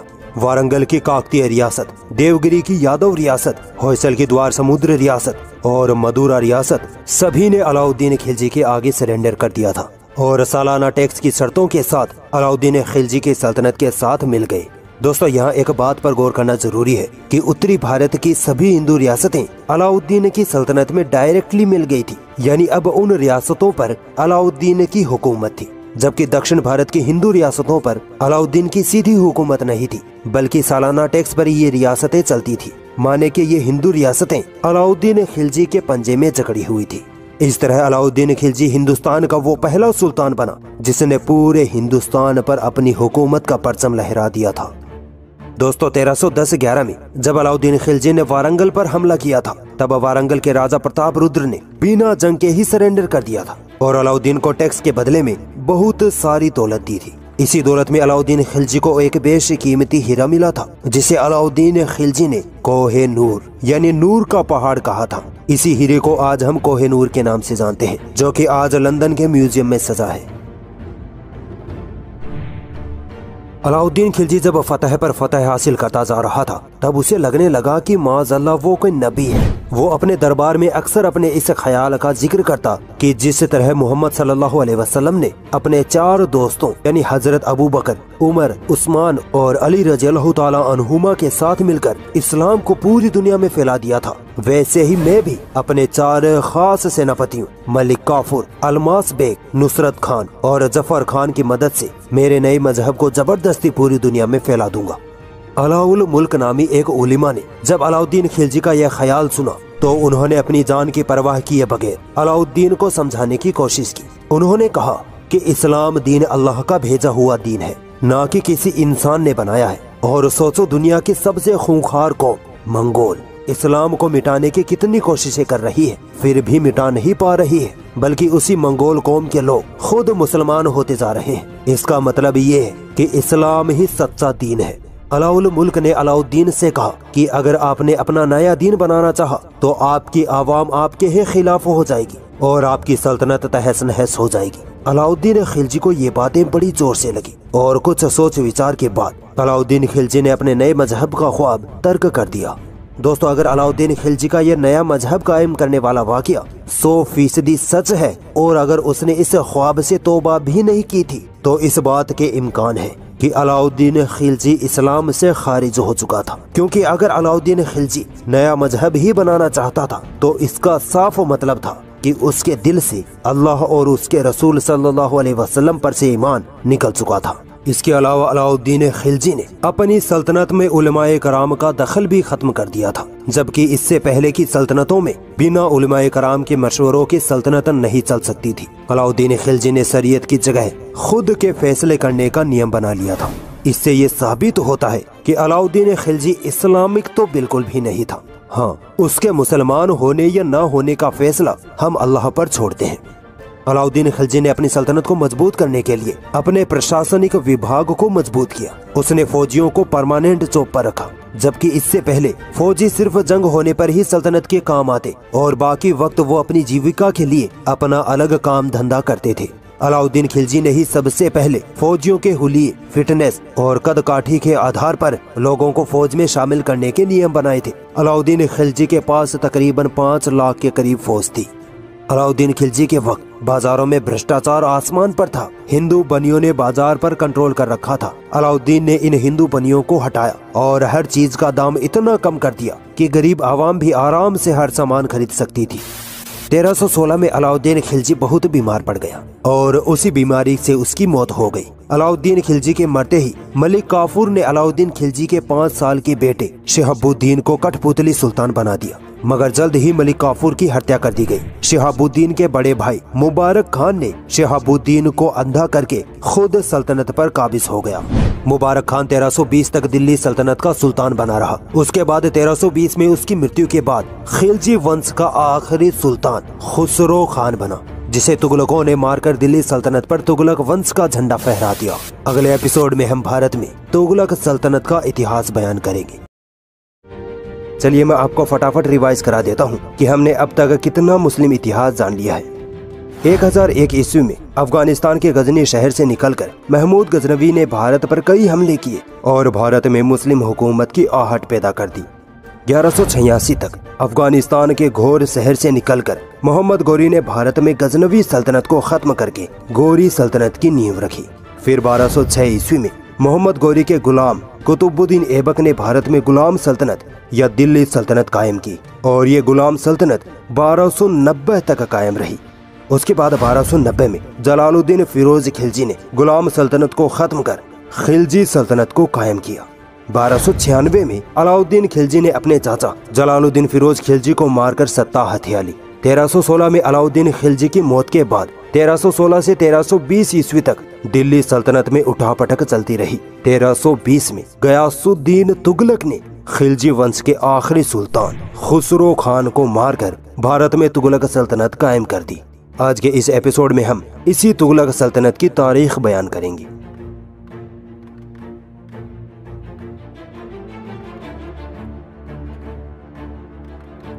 गयासुद्दीन तुगलक का असल नाम गाजी मलिक था। वह अपनी शुरुआती ज़िंदगी में घोड़ों की देखरेख का काम करता था। बचपन से ही उसमें एक जंगजू की सलाहियतें भरी पड़ी थी। इसी वजह से गाजी मलिक खिलजी सल्तनत में एक सिपाही की हैसियत से दाखिल हो गया। अलाउद्दीन खिलजी को जब गाजी मलिक की बहादुरी का पता चला तो उसको फौज का कमांडर बना दिया गया। गयासुद्दीन तुगलक ने अपनी जंगी सलाहियतों के दम पर अलाउद्दीन खिलजी को इतना खुश कर दिया कि अलाउद्दीन खिलजी ने उसे मुल्तान का गवर्नर बना दिया। 1320 में जब खुसरो खान सुल्तान बना तो खिलजी सल्तनत सरमरा रही थी। गयासुद्दीन तुगलक ने सल्तनत को बिखरता हुआ देख, सुल्तान बनने का इरादा कर लिया। गयासुद्दीन तुगलक ने मुल्तान के आसपास के कई गवर्नरों को साथ मिलाया और सुल्तान खुसरो के खिलाफ जंग छेड़ दी। 1320 में गयासुद्दीन तुगलक ने खुसरो खान को हराकर तख्त पर कब्जा कर लिया और दिल्ली में तुगलक सल्तनत कायम हो गई। दोस्तों, गयासुद्दीन तुगलक एक दीनदार सुल्तान था। नमाजों की पाबंदी, कुरान की तिलावत और शरीयत पर चलने वाला पक्का मुसलमान था। अलाउद्दीन खिलजी के मरते ही कई हिंदू रियासतों ने बगावत का ऐलान कर दिया था। मगर गयासुद्दीन तुगलक ने इन बगावतों को खत्म भी किया और दक्षिण भारत के कई इलाकों को भी फतेह कर लिया था। दोस्तों, गयासुद्दीन तुगलक ने किसानी के लिए कई नहरें और कुएँ खुदवाए थे। किसानों पर टैक्स को कम कर दिया था। बाजारों में खरीद फरोख्त की अच्छी व्यवस्था बनाई। गयासुद्दीन एक काबिल सुल्तान था, मगर वो ज़्यादा वक्त तक हुक्मरानी नहीं कर पाया। 1324-25 ईस्वी में बंगाल में बगावतें छिड़ गई। गयासुद्दीन तुगलक खुद बंगाल जाकर इन बगावतों को कुचलने लगा। बगावतों को कुचलने के बाद जब वह वापस दिल्ली लौटने लगा तो उसके बड़े बेटे जोना खान ने दिल्ली से थोड़ी दूर अफगानपुर में अपने पिता के इस्तकबाल के लिए एक महल बनवाया। जब गयासुद्दीन तुगलक अफगानपुर पहुँचा तो उसे बताया गया कि यह महल आपके आराम के लिए है। यहीं से आपको बड़ी शानो शौकत के साथ दिल्ली ले जाया जाएगा। गयासुद्दीन तुगलक उस महल में ठहरने पर राज़ी हो गया। मगर आगे क्या होने वाला था, उसको जरा भी अंदाज़ा नहीं था। आधी रात को वो महल गिर पड़ा और गयासुद्दीन तुगलक उस महल के नीचे दबकर मर गया। इतिहासकारों में इस वाक्य के लिए दो धड़े हैं। एक धड़ा कहता है कि ये जुना खान की साजिश थी। उसने जानबूझकर महल को इस तरह डिज़ाइन किया कि एक ठोकर से ही पूरा महल गिर जाए, जबकि इतिहासकारों का दूसरा धड़ा ये कहता है कि उस रात मौसम बहुत खराब था और बिजलियाँ कड़क रही थी। अचानक बिजली महल पर गिरी और महल तहस नहस हो गया। गयासुद्दीन तुगलक महल के मलबे के नीचे दबकर मर गया। खैर, वजह जो भी हो, चूना खान अब सुल्तान बन चुका था। तुगलक सल्तनत के दूसरे सुल्तान, जूना खान का जन्म 1290 ईस्वी में दिल्ली में हुआ था। जूना खान भारत के इतिहास का सबसे ज़्यादा पढ़ा लिखा सुल्तान माना जाता है। Philosophy, astronomy, math, medical, science, इनमें काफ़ी इल्म रखता था। यहाँ तक कि मोहम्मद बिन तुगलक को अरबी, फारसी, उर्दू के साथ कई भाषाओं का इल्म भी था। ये इतना पढ़ा लिखा था। फिर भी इसे मूर्ख कहें या इसकी किस्मत ही खराब थी। कि इसने पूरी सल्तनत को तबाह बर्बाद कर दिया। मोहम्मद बिन तुगलक ने कुछ ऐसे सन के फैसले लिए, जिनकी वजह से सल्तनत का फ़ायदा कम, नुकसान भर भर के हुआ था। इस सुल्तान की कहानी इतनी इंटरेस्टिंग है कि आपको सुनकर हँसी भी आएगी और इस सुल्तान पर अफसोस भी होगा। दोस्तों, मोहम्मद बिन तुगलक ने सल्तनत संभालते ही कई बगावतों को कुचला और साथ ही भारत के सभी दक्षिणी रियासतों को जीतकर पूरे भारत में मुस्लिम सल्तनत कायम कर दी। मगर फिर उसके कई सन की फैसलों ने पूरी सल्तनत को टुकड़े टुकड़े कर दिया।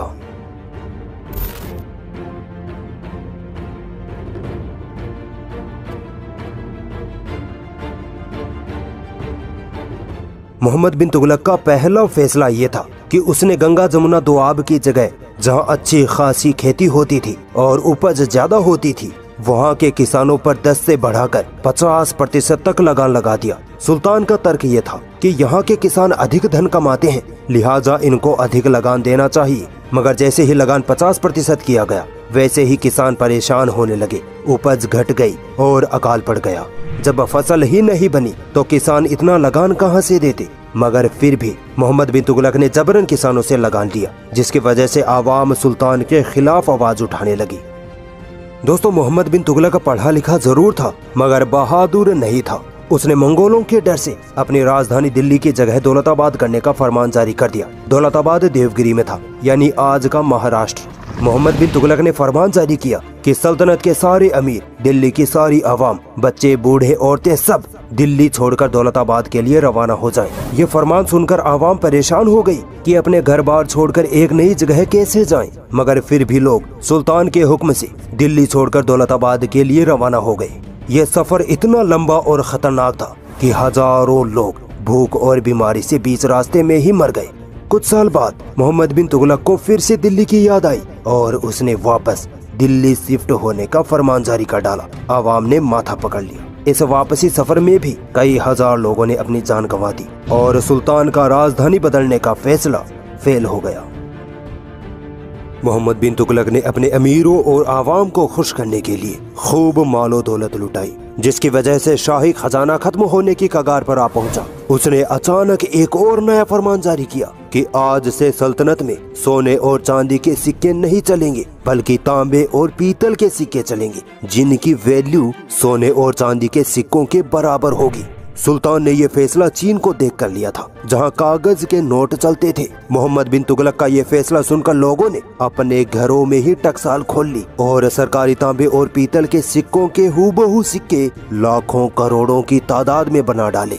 फिर लोग इन नकली सिक्कों से महँगे हथियार और सामान खरीद कर उनको मुल्क के बाहर सोने और चांदी के सिक्कों के एवज में बेच आते। इस बार मोहम्मद बिन तुगलक ने माथा पकड़ लिया। सुल्तान के इस फैसले ने सल्तनत को आर्थिक तौर पर कमज़ोर कर दिया था। मोहम्मद बिन तुगलक को अपना फरमान वापस लेना पड़ा। सारे तांबे और पीतल के सिक्कों को सरकारी खजाने में जमा करके आवाम को उनके बदले में सोने और चांदी के सिक्के दे दिए गए इस फैसले से। सल्तनत का शाही खजाना खाली हो गया और सल्तनत को काफ़ी नुकसान उठाना पड़ा। सरकारी खजाना जब बिल्कुल खाली हो गया और सल्तनत चलने में मुश्किलें आने लगी तो मोहम्मद बिन तुगलक का एक और नया फरमान जारी हुआ। वो ये कि अब खुरासान, यानी ईरान को फतह किया जाए। इसके लिए मोहम्मद बिन तुगलक ने तीन लाख सत्तर हज़ार फौजियों की सेना तैयार की। उनको एडवांस में ही एक साल की तनख्वाह दे दी गई। सेना को हथियार खरीद कर दिए गए। खाने पीने के साजो सामान की व्यवस्था की गई। पानी की तरह पैसा बहाया गया। एक साल तक ये सेना सुल्तान के हुक्म के इंतज़ार में बैठी रही, मगर सुल्तान की तरफ़ से हमले का ऐलान नहीं हुआ। सुल्तान को पता चला कि खुरासान के रास्ते में बहुत ठंड है, वहाँ बर्फ़ जमी है। इसीलिए मोहम्मद बिन तुगलक ने खुरासान को फतह करने का इरादा कैंसिल कर दिया। इस फैसले की वजह से सल्तनत में अफरा तफरी मच गई। लोगों में भूखमरी आने लगी। मगर सन की मोहम्मद बिन सुल्तान कहाँ रुकने वाला था? खुरासान के इरादे को तर्क करके वो चीन को फतह करने का इरादा बनाने लगा। उसने एक लाख की फौज तैयार की और हिमाचल के रास्ते से चीन को फतह करने भेज दिया। मगर मौसम और हिमाचल की हिंदू रियासतों ने मोहम्मद बिन तुगलक की सेना को तबाह कर दिया। एक लाख की फौज में से चंद लोग ही वापस दिल्ली लौट पाए। बाकी सब मारे गए। मोहम्मद बिन तुगलक के इस तरह के फरमानों की वजह से ही तुगलक की फरमान वाला मुहावरा बना था। ये वो इकलौता सुल्तान था, जिसे इतिहासकारों ने पढ़ा लिखा मूर्ख सुल्तान कहा। मोहम्मद बिन तुगलक की ज़िंदगी से हमें एक सबक मिलता है, वो ये कि बिना एक्सपीरियंस के पढ़ाई लिखाई किसी काम की नहीं। मोहम्मद बिन तुगलक के इस तरह के फैसलों से सल्तनत के गवर्नरों को अपनी खुद की रियासतें बनाने का मौका मिल गया। दक्षिण भारत से बगावतें शुरू हुई। दिल्ली सल्तनत के कई टुकड़े हुए। कई अलग अलग हिंदू मुस्लिम रियासतें बनी, मगर मोहम्मद बिन तुगलक कुछ न कर सका। दिल्ली सल्तनत जो पूरे भारत में फैली थी, अब वो सिर्फ़ दिल्ली तक सिमट कर रह गई। मोहम्मद बिन तुगलक की वजह से भारत से मुस्लिम हुकूमत खत्म होते होते बची थी। एक सफ़र के दौरान बीच रास्ते में ही मोहम्मद बिन तुगलक को इतनी तेज बुखार चढ़ी कि वहीं उसकी मौत हो गई। सत्ताईस साल की इस दर्दनाक हुक्मरानी में मोहम्मद बिन तुगलक ने पूरी मुस्लिम सल्तनत को तबाह कर दिया, जिसे अलाउद्दीन खिलजी जैसे बहादुर सुल्तानों ने बड़ी मुश्किल से खड़ा किया था। मोहम्मद बिन तुगलक के बाद फिरोज शाह तुगलक ने गद्दी संभाली और दिल्ली सल्तनत का सुल्तान बना। अगले एपिसोड में हम इसी फिरोज शाह तुगलक की तारीख देखेंगे। हिंदुस्तान के इतिहास में कई ऐसे बहादुर सुल्तान गुजरे हैं, जिन्होंने भारत के खित्ते खित्ते को फतेह किया। किसी ने राजपूतों को धुल चटाई तो किसी ने मंगोलों के सरों को धड़ से अलग किया। हर सुल्तान अपनी सल्तनत को बड़े से बड़ा करने के ख्वाब देखता था, मगर इस ख्वाब के चक्कर में वो अपनी सल्तनत की आवाम को भूल जाता था। आवाम की खुशहाली, गरीबों की देखरेख और सल्तनत की तरक्की पर कम ही सुल्तानों ने ध्यान दिया था। मगर तेरह सौ इक्यावन ईस्वी में आए फिरोज शाह तुगलक ने अपनी आवाम के लिए वो कारनामे कर दिखाए, जिन्हें सुनकर आप भी कहेंगे कि वाह, हुक्मरान हो तो ऐसा। दोस्तों, पिछले एपिसोड में हमने बगलोल सुल्तान मोहम्मद बिन तुगलक का इतिहास देखा था, जिसके तुगलकी फरमानों की वजह से दिल्ली सल्तनत के टुकड़े टुकड़े हो गए थे। तेरह सौ इक्यावन ईस्वी में मोहम्मद बिन तुगलक की मौत के बाद दिल्ली सल्तनत दिल्ली के आसपास के इलाकों तक ही सिमट कर रह चुकी थी और सल्तनत के हालात बेकाबू हो चुके थे। मोहम्मद बिन तुगलक की मौत के बाद भारत के इतिहास में एक ऐसा मोड़ आया जहाँ कोई भी शख्स दिल्ली सल्तनत की बागडोर संभालने के लिए आगे नहीं आया। कोई भी दिल्ली का सुल्तान बनने के लिए तैयार नहीं था। ये सिचुएशन बहुत खतरनाक थी। सल्तनत के सरदारों ने होश संभाला और फिरोज शाह तुगलक के पास हाजिर होकर बोले कि आप ही इस सल्तनत की आखिरी उम्मीद हैं। आप ही वो हस्ती हैं जो मोहम्मद बिन तुगलक को खूब पसंद थे। अगर आप इस सल्तनत को संभाल लो तो ये सल्तनत खत्म होने से बच जाएगी। फिरोज शाह, मोहम्मद बिन तुगलक के चचाजाद भाई थे। वो बहुत नर्म दिल, समझदार, पर दीनदार हस्ती थे। उनको हुक्मरानी या सियासत से ज़्यादा लगाव नहीं था। उन्होंने बहाना बनाया कि मुझे हज पर जाना है, इसलिए तुम मेरी जगह किसी और को सुल्तान सुन लो। मगर सरदारों ने ज़ोर देकर फिरोज शाह तुगलक को समझाया, जिसके बाद फिरोज शाह तुगलक ने सुल्तान बनने पर हामी भर ली। ये वाक्य सिंध के थट्टा नामक जगह पर हुआ था। उधर दिल्ली में भी मोहम्मद बिन तुगलक की मौत से सिचुएशन बिगड़ने की कवार पर आ पहुँची। मगर ख्वाजा जहाँ नाम के एक बुज़ुर्ग ने समझदारी दिखाते हुए मोहम्मद बिन तुगलक के नाबालिग बेटे को सुल्तान बना दिया, जिसे कि सल्तनत के हालात बिगड़ते बिगड़ते रह गए। एक सल्तनत, मगर दो सुल्तान। प्रॉब्लम खड़ी हो चुकी थी। ये खबर जब फिरोज शाह तुगलक को पता चली कि ख्वाजा जहाँ ने दिल्ली में दूसरा सुल्तान बना लिया है तो फिरोज शाह तेज गुस्से में दिल्ली रवाना हुआ, ताकि ख्वाजा जहाँ को सबक सिखा सके, मगर दिल्ली पहुँचते ही एकदम से हालात बदल गए ख्वाजा जहाँ ने सुल्तान फिरोज शाह तुगलक का कोई विरोध नहीं किया और सच्चाई बयान की कि मैंने फतेह खान को सुल्तान इसलिए बनाया ताकि सल्तनत में बगावतें ना खड़ी हो जाएँ। फिरोज शाह तुगलक ने यह सुनकर ख्वाजा जहाँ को माफ़ कर दिया और सल्तनत में बड़े अहदे से नवाजा। दोस्तों, पूरे इतमान से वीडियो को आखिर तक देखते रहना, ताकि फिरोज शाह जैसी महान हस्ती का इतिहास आपसे छूट ना सके।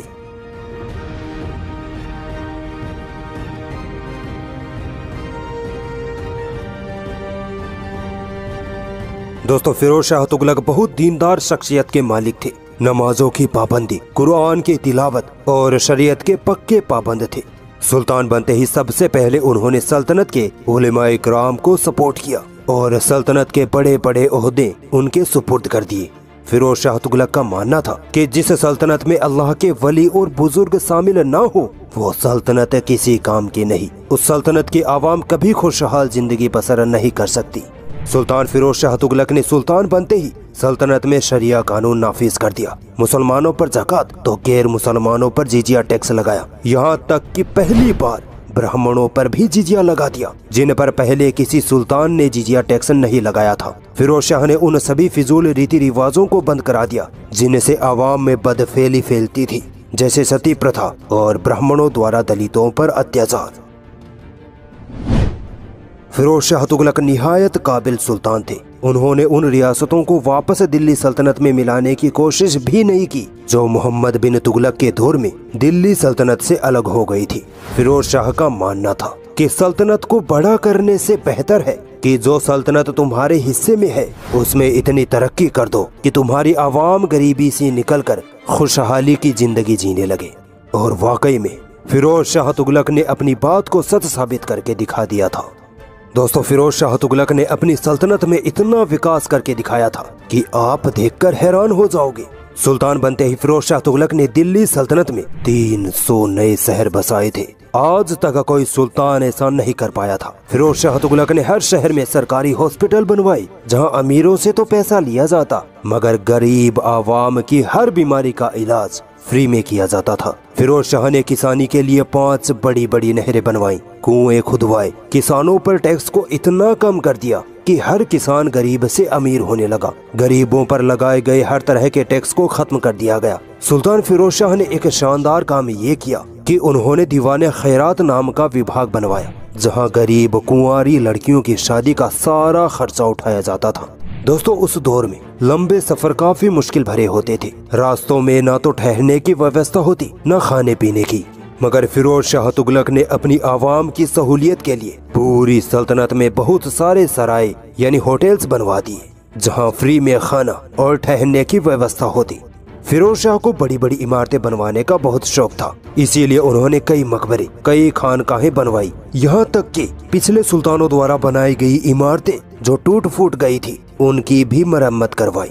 सोचिए, इतने जिम्मेदार और डेवलपमेंट करने वाले सुल्तान थे फिरोज शाह। फिरोज शाह के दौर में इस्लामिक संस्कृति काफ़ी परवान चढ़ी थी क्योंकि फिरोज शाह तुगलक खुद काफ़ी दीनदार थे। इसीलिए उन्होंने मुस्लिम बच्चों के लिए कई मदरसे और स्कूल बनवाए, हर शहर में मस्जिदों का निर्माण करवाया। दोस्तों, आपने कायम खानी कौम का नाम तो ज़रूर सुना होगा। वो कायम खानी कौम, जिसकी बहादुरी के किस्से पूरे भारत में गूंजते हैं। फिरोज शाह ने राजस्थान के चौहान राजपूतों को इस्लाम की दावत दी थी, जिसकी वजह से कई हज़ार राजपूतों ने इस्लाम अपनाया। यहीं से कायम खानी कौम की शुरुआत हुई थी। तेरह और तेरह ईस्वी में बंगाल में बगावतों ने ज़ोर पकड़ लिया था। फिरोज शाह ने बंगाल की इन बगावतों को सफलतापूर्वक खत्म किया। फिरोज शाह ने बहुत कम जंगें लड़ी थी। उनकी हुकूमत में इतनी खुशहाली आ चुकी थी कि कोई भी अपने सुल्तान के खिलाफ बगावत करने की सोचता भी नहीं था। फिरोज शाह ने हर तरह की कठोर सजा को खत्म कर दिया और हल्की फुल्की सजाओं का रिवाज बनाया। फिरोज शाह तुगलक ने एक काम, जो मेरी नज़र में तुगलक सल्तनत के खत्म होने का कारण बना, वो ये था। कि फिरोज शाह ने ये रिवाज बनाया कि फौजी का बेटा अपने बाप की जगह फौजी बनेगा, चाहे उसमें बहादुरी का नामो निशान भी न हो। इस रिवाज की वजह से तुगलक सल्तनत की फौज धीरे धीरे कमज़ोर होने लगी। तेरह सौ अठासी ईस्वी में फिरोज शाह तुगलक का इंतकाल हो गया, जिसके बाद तुगलक सल्तनत धीरे धीरे खत्म होने लगी। तेरह सौ अट्ठानवे में तैमूर लंग ने भारत पर ऐसा हमला किया, जिसने सब कुछ तबाह बर्बाद कर दिया। हर तरफ़ खून की नदियाँ बहा दी गई और इसी तैमूर लंग की वजह से हिंदुस्तान में 1412 ईस्वी में तुगलक सल्तनत खत्म हुई और सैयद सल्तनत का आगाज़ हुआ। क्यों किया था तैमूर लंग ने भारत पर हमला? और कैसे सैयद सल्तनत का भारत में राज आया? तेरह सौ अट्ठासी में फिरोज शाह तुगलक के मरते ही मानो दिल्ली सल्तनत खत्म होने लगी। भारत पर मुसलमानों की पकड़ ढीली पड़ने लगी। हालाँकि अभी भी भारत के कई इलाकों पर मुस्लिम रियासतें कायम थी, मगर वो भी हिंदू रियासतों की तरह आपस में लड़ मरकर खत्म होने की कगार पर पहुँच गई थी। तुगलक सल्तनत का आखिरी सुल्तान था, नासिरुद्दीन महमूद शाह, जो बेचारा किसी तरह दिल्ली सल्तनत को बचाने की जद्दोजहद कर रहा था, मगर किस्मत उसके साथ न थी। और फिर तेरह में आया भारत के इतिहास का सबसे खतरनाक वक्त, जब आबाद दिल्ली को तबाह बर्बाद कर दिया गया। किसने किया? समरकंद के हुक्मरान तैमूर लंग ने जिसके नाम से हिंदुस्तान की आवाम आज भी खौफ खाती है। दोस्तों, मुस्लिम हुक्मरानों ने दिल्ली सल्तनत को इतना खुशहाल, आबाद और दौलतमंद बना दिया था कि दिल्ली की गूंज दुनिया भर में गूंजती थी। इसी गूंज को तेरह में तैमूर लंग ने सुन लिया। और फिर वो हुआ जिसकी खौफनाक दास्ता आपको हिलाकर रख देगी।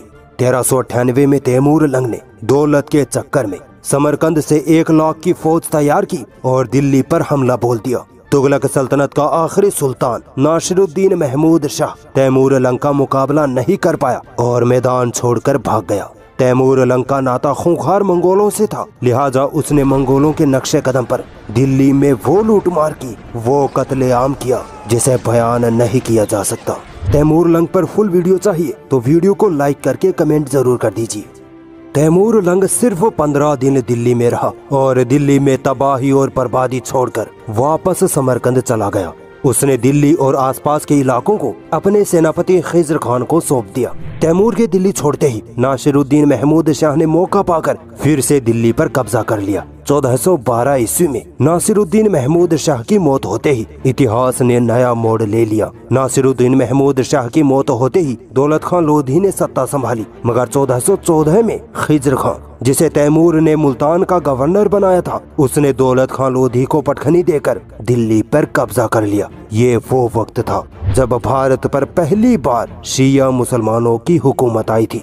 खिजर खान तैमूर लंग का वफादार सरदार था। इसी वजह से उसने कभी भी अपने आप को सुल्तान घोषित नहीं किया, बल्कि रियायत आला बनकर रहा। खिजर खान की हुकूमत में दिल्ली सल्तनत का दायरा फिर से बढ़ने लगा था कि सन 1421 में खिजर खान की मौत हो जाती है। और उसका बड़ा बेटा मुबारक शाह सुल्तान बनकर गद्दी पर बैठता है। मुबारक शाह एक काबिल और गजब पर्सनैलिटी का सुल्तान था। उसने दिल्ली सल्तनत की बागडोर अपने हाथ में ली और अपने आप को दिल्ली की सैयद सल्तनत का पहला सुल्तान घोषित कर तैमूर की अधीनता से आज़ाद हो गया। मुबारक शाह ने मुबारकाबाद नाम से एक शहर बसाया था, चौदह सौ चौतीस ईस्वी में, एक दिन।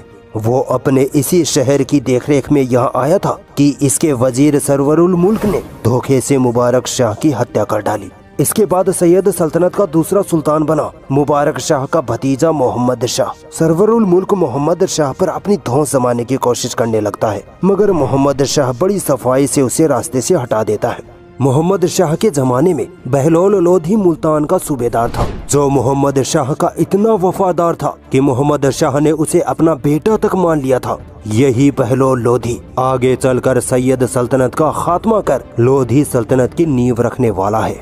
1445 ईस्वी में मोहम्मद शाह की मौत के बाद सैयद सल्तनत बिखरने लगती है और मोहम्मद शाह का बेटा अलाउद्दीन आलम शाह सैयद सल्तनत का तीसरा और आखिरी सुल्तान बनता है। आलम शाह बहुत अयास किस्म का सुल्तान था और ऐसे ही लोग सल्तनतों को डुबाने का काम करते हैं। आलम शाह की अपने वज़ीर हमीद खान से किसी बात पर अनबन हो जाती है। आलम शाह हमीद खान को मरवाने की कोशिश करता है, मगर हमीद खान मुल्तान के सूबेदार बहलोल लोधी के पास जाकर मिल जाता है और उसे दिल्ली पर हमला करने का इनविटेशन देता है। बहलोल लोधी बड़ा खुश होता है।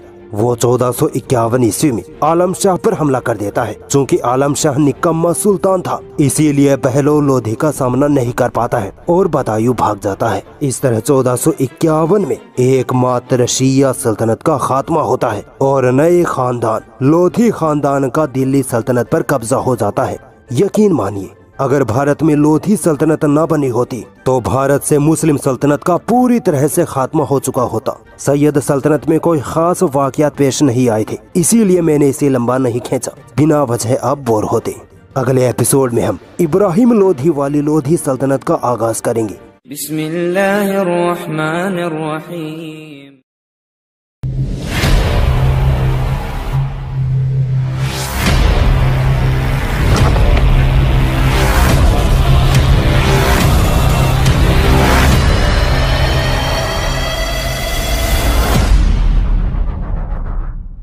असलकुम दोस्तों, मेरा नाम आसिफ खान और आप देख रहे हैं इंडियन मुस्लिम।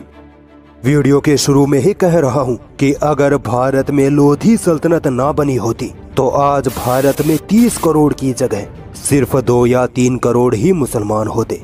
वजह आगे खुद समझ जाओगे।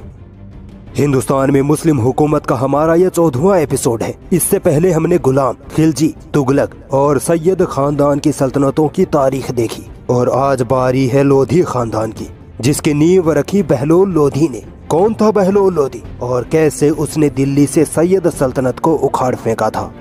दोस्तों, आज की वीडियो में बहलोल लोधी फिर उसके बेटे सिकंदर लोधी फिर उसके बेटे इब्राहिम लोधी जिसे 1526 ईस्वी में बाबर ने हराकर लोधी सल्तनत का खात्मा कर दिया था। तीनों का इतिहास एक साथ समेटेंगे।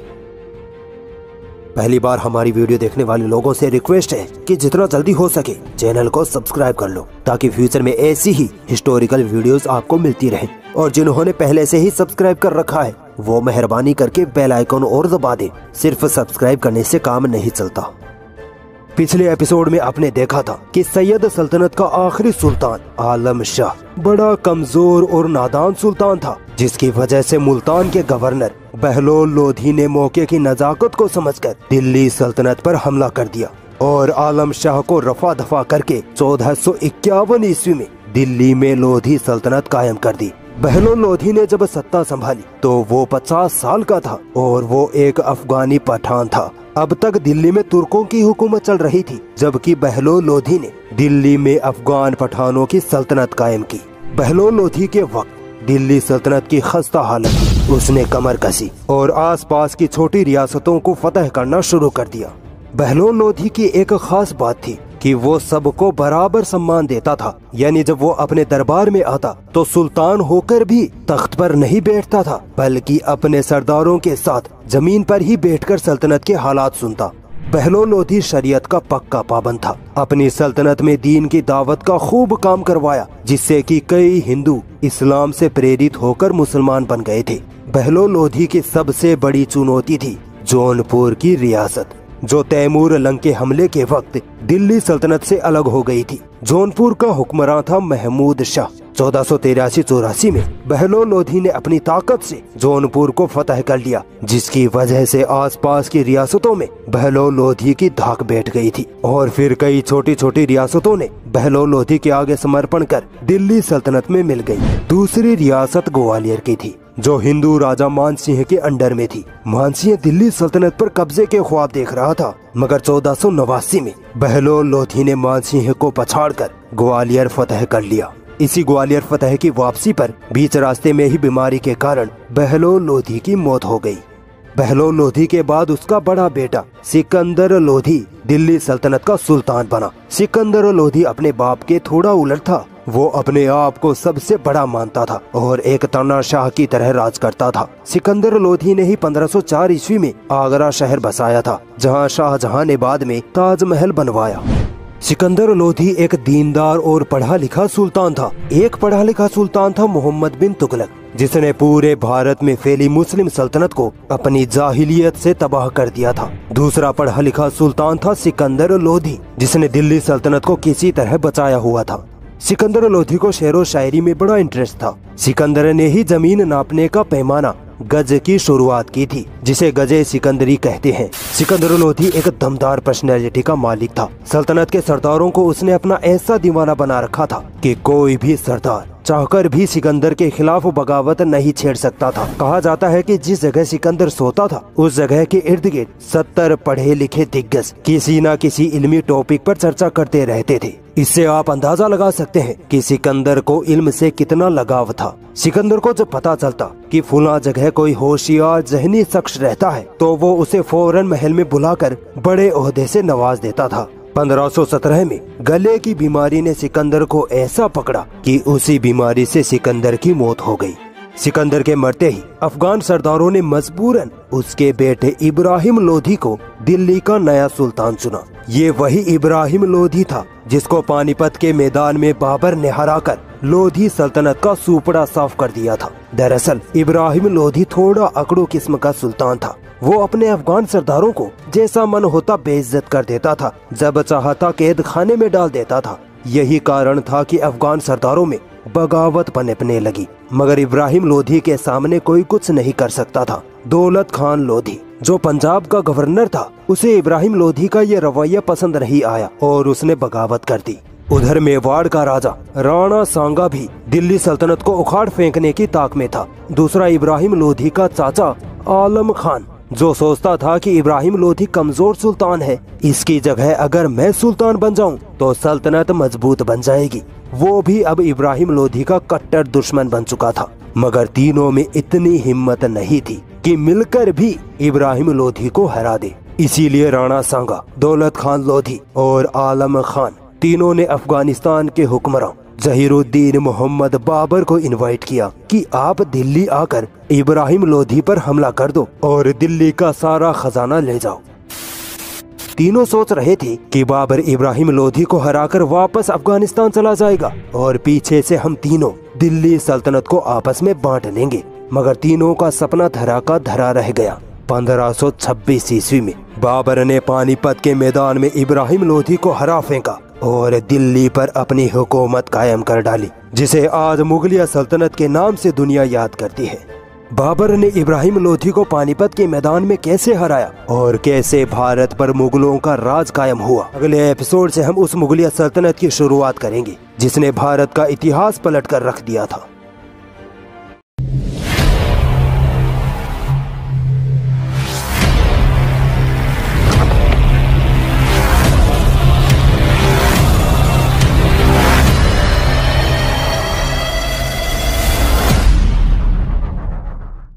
बादशाह बाबर का नाम सुनते ही अक्सर हिंदूवादी लोगों के सीने में आग सी लग जाती है, क्योंकि बाबर वो बादशाह था जिसने भारत पर राज करके मुगल सल्तनत की नींव रखी थी। इनके पूर्वज, जिनकी ये तारीफ़ करते नहीं थकते हैं, वो सर पटक के मर गए मगर बाबर का मुकाबला नहीं कर पाए। आज हम इसी बाबर के बारे में बात करेंगे। कहाँ से आया था बाबर? और कैसे अपनी मुगल सल्तनत को पूरे भारत में फैला दिया? हिंदुओं के साथ बाबर का क्या रवैया था?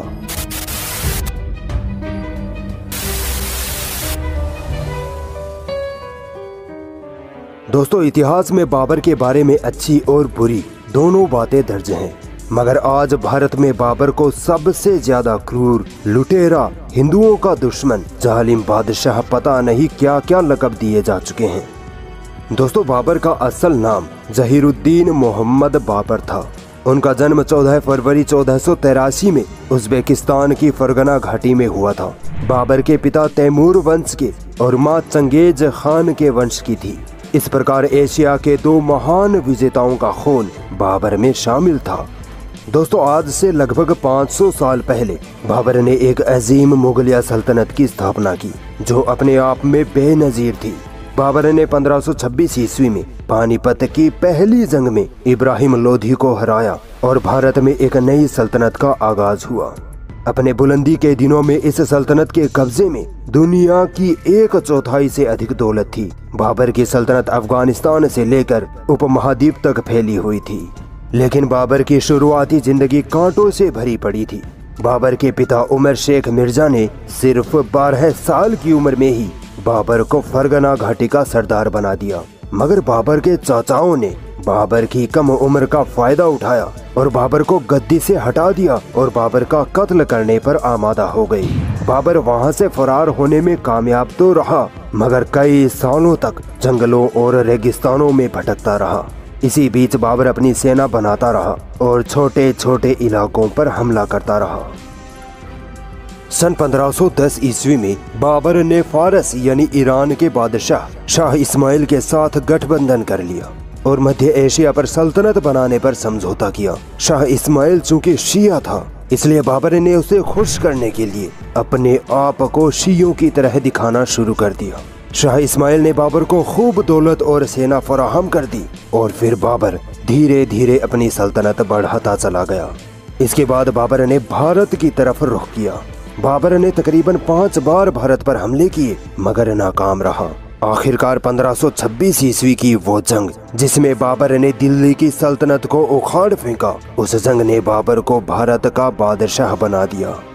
दोस्तों, बाबर कभी भारत न आता। अगर दौलत खान और हिंदू राजा राणा सांगा बाबर को इब्राहिम लोधी की सल्तनत पर हमला करने न बुलाते। इन्हीं के आमंत्रण पर बाबर ने इब्राहिम लोधी, जो उस वक्त भारत का बादशाह था, उससे टक्कर लेने की ठानी थी।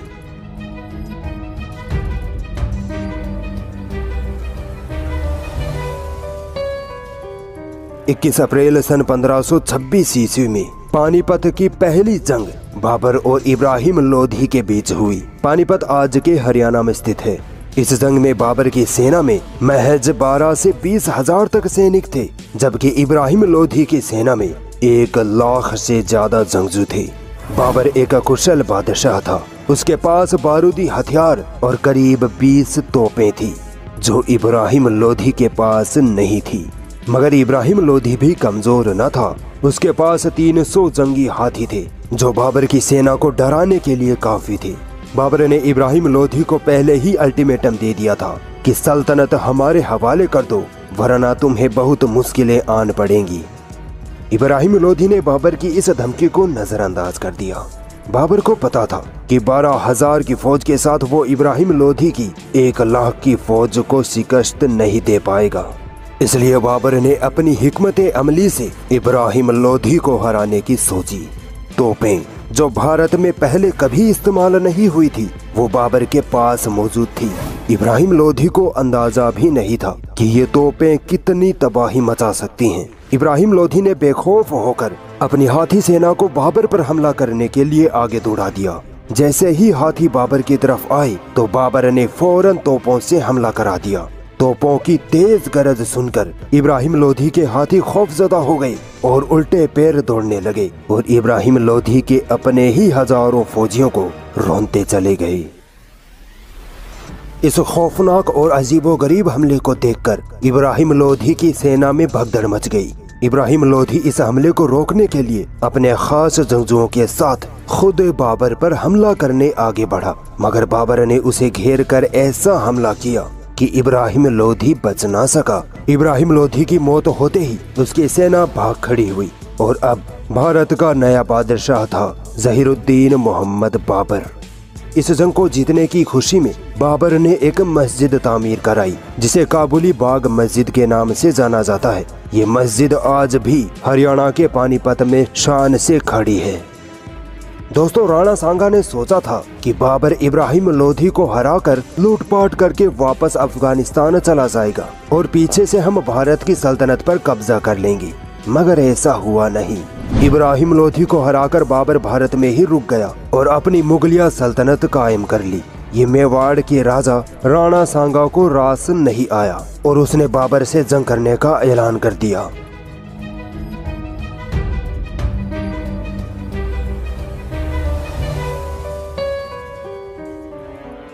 बाबर की सेना राजपूत राजा, राणा सांगा की सेना की आधी भी नहीं थी, मगर बाबर खूब दिलेर बादशाह था। वो अपनी दो लाख की फौज लेकर खानवा के मैदान में राणा सांगा के सामने आकर खड़ा हो गया।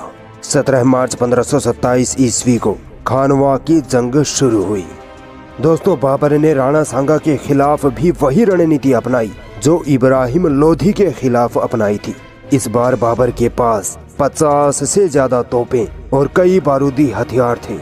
जंग शुरू हुई और चंद घंटों में ही राणा सांगा घायल हो गया और उसकी लाखों की फौज डर के मारे भाग खड़ी हुई। इस तरह राजपूत आसानी से जीती हुई जंग को भी हार गए और अब बाबर के सामने राजपूतों का डर खत्म हो गया। कहा जाता है कि खानवा की जंग में किसी मुस्लिम ज्योतिषी ने बाबर को बताया कि राणा सांगा के खिलाफ जंग में बाबर की हार होगी।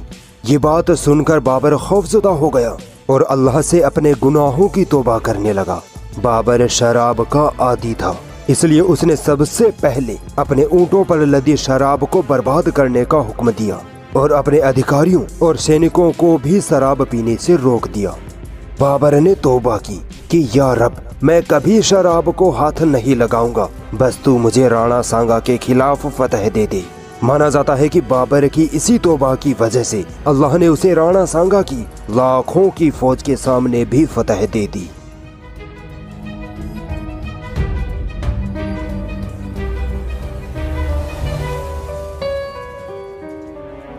अक्सर हमें सुनने को मिलता है कि बाबर क्रूर, अत्याचारी और हिंदुओं का दुश्मन था। मगर जब हम बाबर की लिखी किताब, बाबर नामा पढ़ते हैं तो हमें पता चलता है कि बाबर ने अपने बेटे हुमायूं को ये वसीयत की थी कि मेरे बेटे, सबसे पहले तो ये कि मज़हब के नाम पर तुम सियासत ना करना। आप अपने दिल में मजहबी नफरत को बिल्कुल जगह ना देना। लोगों की धार्मिक भावनाओं को और उनकी इबादत गाहों का ख्याल रखना, उनको नुकसान ना पहुंचाना। और सब लोगों के साथ इंसाफ से काम लेना। गैर मुसलमानों के प्रति ये सोच थी बाबर की। मगर हम देखते हैं कि भारत को हिंदू राष्ट्र और भारत पर सत्ता जमाने के लिए हिंदुत्ववादियों ने बाबर की बनाई हुई बाबरी मस्जिद को झूठ के दम पर शहीद कर दिया और हज़ारों मुसलमानों की लाशों पर चढ़कर अब मंदिर बनाने की तैयारी में जुटे हैं। अगर बाबर अत्याचारी होता, मंदिरों को तोड़कर मस्जिदें बनाने वाला होता तो आज ना हिंदू होते, ना ही उनके मंदिर। बाबर की मुगलिया सल्तनत ने 300 सालों से भी ज़्यादा वक्त तक भारत पर राज किया है, मगर ना हिंदू खत्म हुए, ना उनके मंदिर। दोस्तों, कहा जाता है कि एक बार बाबर का बेटा हुमायूं सदीद बीमार हो गया। बाबर अपने बेटे हुमायूं से खूब मोहब्बत करता था, इसलिए बाबर ने अल्लाह से ये दुआ की। कि, या मेरे रब, तू मेरी उम्र मेरे शहजादे हुमायूं को लगा दे और इसकी बीमारी मुझे दे दे। अजीब बात थी कि कुछ ही वक्त में हुमायूं तो ठीक होने लगा और उसी वक्त बाबर बीमार पड़ने लगा। और आखिरकार 1530 ईस्वी में 48 साल की उम्र में, बाबर का इंतकाल हो गया। दोस्तों, बाबर भारत पर सिर्फ़ चार साल हुकूमत कर पाया था। मगर इन्हीं चार सालों में उसने ऐसी सल्तनत कायम कर दी कि उसकी नस्लों ने फिर 300 सालों तक भारत पर राज किया। इतने लंबे वक्त तक कभी किसी मुस्लिम खानदान ने भारत पर हुकूमत नहीं की थी। हिंदुस्तान के इतिहास की वो सल्तनत जिसने भारत के चप्पे चप्पे पर इस्लामी हुकूमत के झंडे गाड़े, वो सल्तनत जिसके नाम से ही दुश्मन काँप उठते थे। वो सल्तनत, जिसके मकबरों और इमारतों की वजह से हिंदुस्तान को दुनिया में जगह मिली। उस महान मुस्लिम सल्तनत को मुगल सल्तनत के नाम से दुनिया याद करती है। आज हिंदुस्तान में मुस्लिम हुकूमत की सीरीज़ के इस एपिसोड में इसी मुगलिया सल्तनत का आगाज़ किया जाएगा।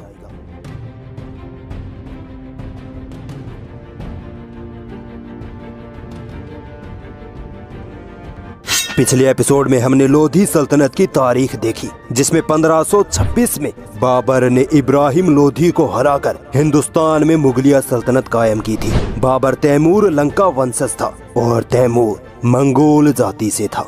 बाबर का जन्म अफ़गानिस्तान की फरगना घाटी में हुआ था। कम उम्र में ही बाबर ने धीरे धीरे अफ़गानिस्तान को फतह कर लिया था और फिर भारत पर हमला करके लोधी सल्तनत को खत्म कर मुगल सल्तनत की नींव रखी। सिर्फ़ चार साल में ही बाबर ने आधे से ज़्यादा हिंदुस्तान पर अपनी हुकूमत कायम कर ली थी। और फिर सन 1530 ईस्वी में बाबर की मौत के बाद उसका बेटा हुमायूं गद्दी पर बैठा। मुगल सल्तनत के दूसरे बादशाह, नासिरुद्दीन मोहम्मद हुमायूं का जन्म 6 मार्च 1508 ईस्वी में काबुल, अफ़गानिस्तान में हुआ था। अपने पिता बाबर की तरह हुमायूं को भी दुनिया फतेह करने का इतना जज्बा था कि अपने पिता बाबर के साथ हर जंग में शामिल होता और बहादुरी के जौहर दिखाता। बाबर खुद एक बहुत बड़ा बहादुर और जाबाज जंगजू था। इसीलिए उन्होंने बचपन से ही अपने बेटे हुमायूं की फौजी तालीम तरबियत शुरू कर दी थी। हुमायूं को सिर्फ़ 12 साल की उम्र में बदख्शां का सूबेदार बना दिया जाता है। कहते हैं कि दूसरों के मुकाबले अपने ही ज़्यादा गद्दार होते हैं। हुमायूं के साथ भी ऐसा ही था। बाबर के चार बेटे थे। सबसे बड़ा हुमायूं, फिर कामरान, फिर अस्करी और सबसे छोटा हिंदाल। तीनों भाइयों ने किस तरह अकेले हुमायूं की हुकूमत में रोड़ा डाले रखा और कैसे हुमायूं को बार बार सताया? कैसे शेर शाह सूरी ने हुमायूं को पूरी तरह हराकर भारत से निकाल दिया था? और कैसे हुमायूं वापस आया और शेर शाह सूरी से बदला लेकर मुगल सल्तनत का झंडा हिंदुस्तान में गाड़ दिया। आज के इस एपिसोड में यही सब जानेंगे।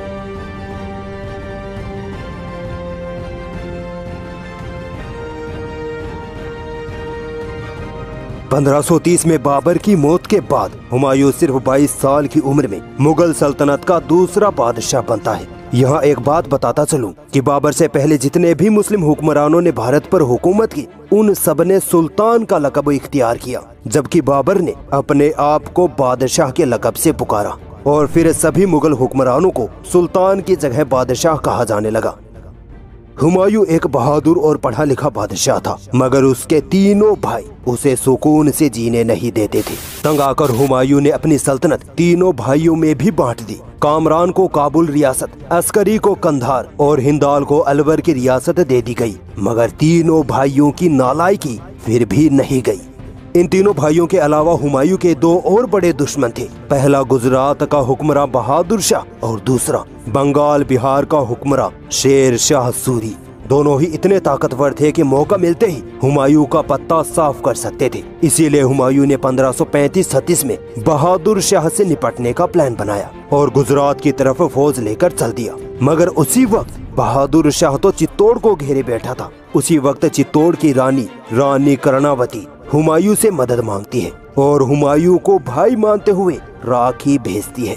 हुमायूं इस मदद से पीछे नहीं हटा और बहादुर शाह को मंदसौर में घेर कर बुरी तरह से हरा दिया और गुजरात पर कब्जा कर लिया। दोस्तों, एक बार बाबर ने अपने बेटे हुमायूं से कहा था कि मेरे मरने के बाद तुम अपने भाइयों से झगड़ना नहीं, सबसे मिलजुल कर रहना। हुमायूं ने अपने पिता की इस बात को कुछ ज़्यादा ही सीरियसली ले लिया था। बताता हूँ कैसे। 1532 में हुमायूं का भाई कामरान, जिसको हुमायूं ने काबुल का इलाका दिया था, उसने बगावत कर दी और हुमायूं से मांग कर डाली कि पंजाब का इलाका भी मुझे दो, नहीं तो जंग के लिए तैयार हो जाओ। हुमायूं इतना दरिया दिल निकला कि बिना चू चपाट के पंजाब का सारा इलाका कामरान को दे दिया। इससे एक बात समझ में आती है कि शरीफ लोगों को चालाक लोग आसानी से अपनी चालाकी का शिकार बना लेते हैं। खैर अब आता है हुमायूं की ज़िंदगी का सबसे कठिन वक्त, जब उसका सामना शेर शाह सूरी से होता है। वही शेर शाह सूरी, जिसने रुपया नामी करेंसी की शुरुआत की थी, जो आज तक भारत में चलती है।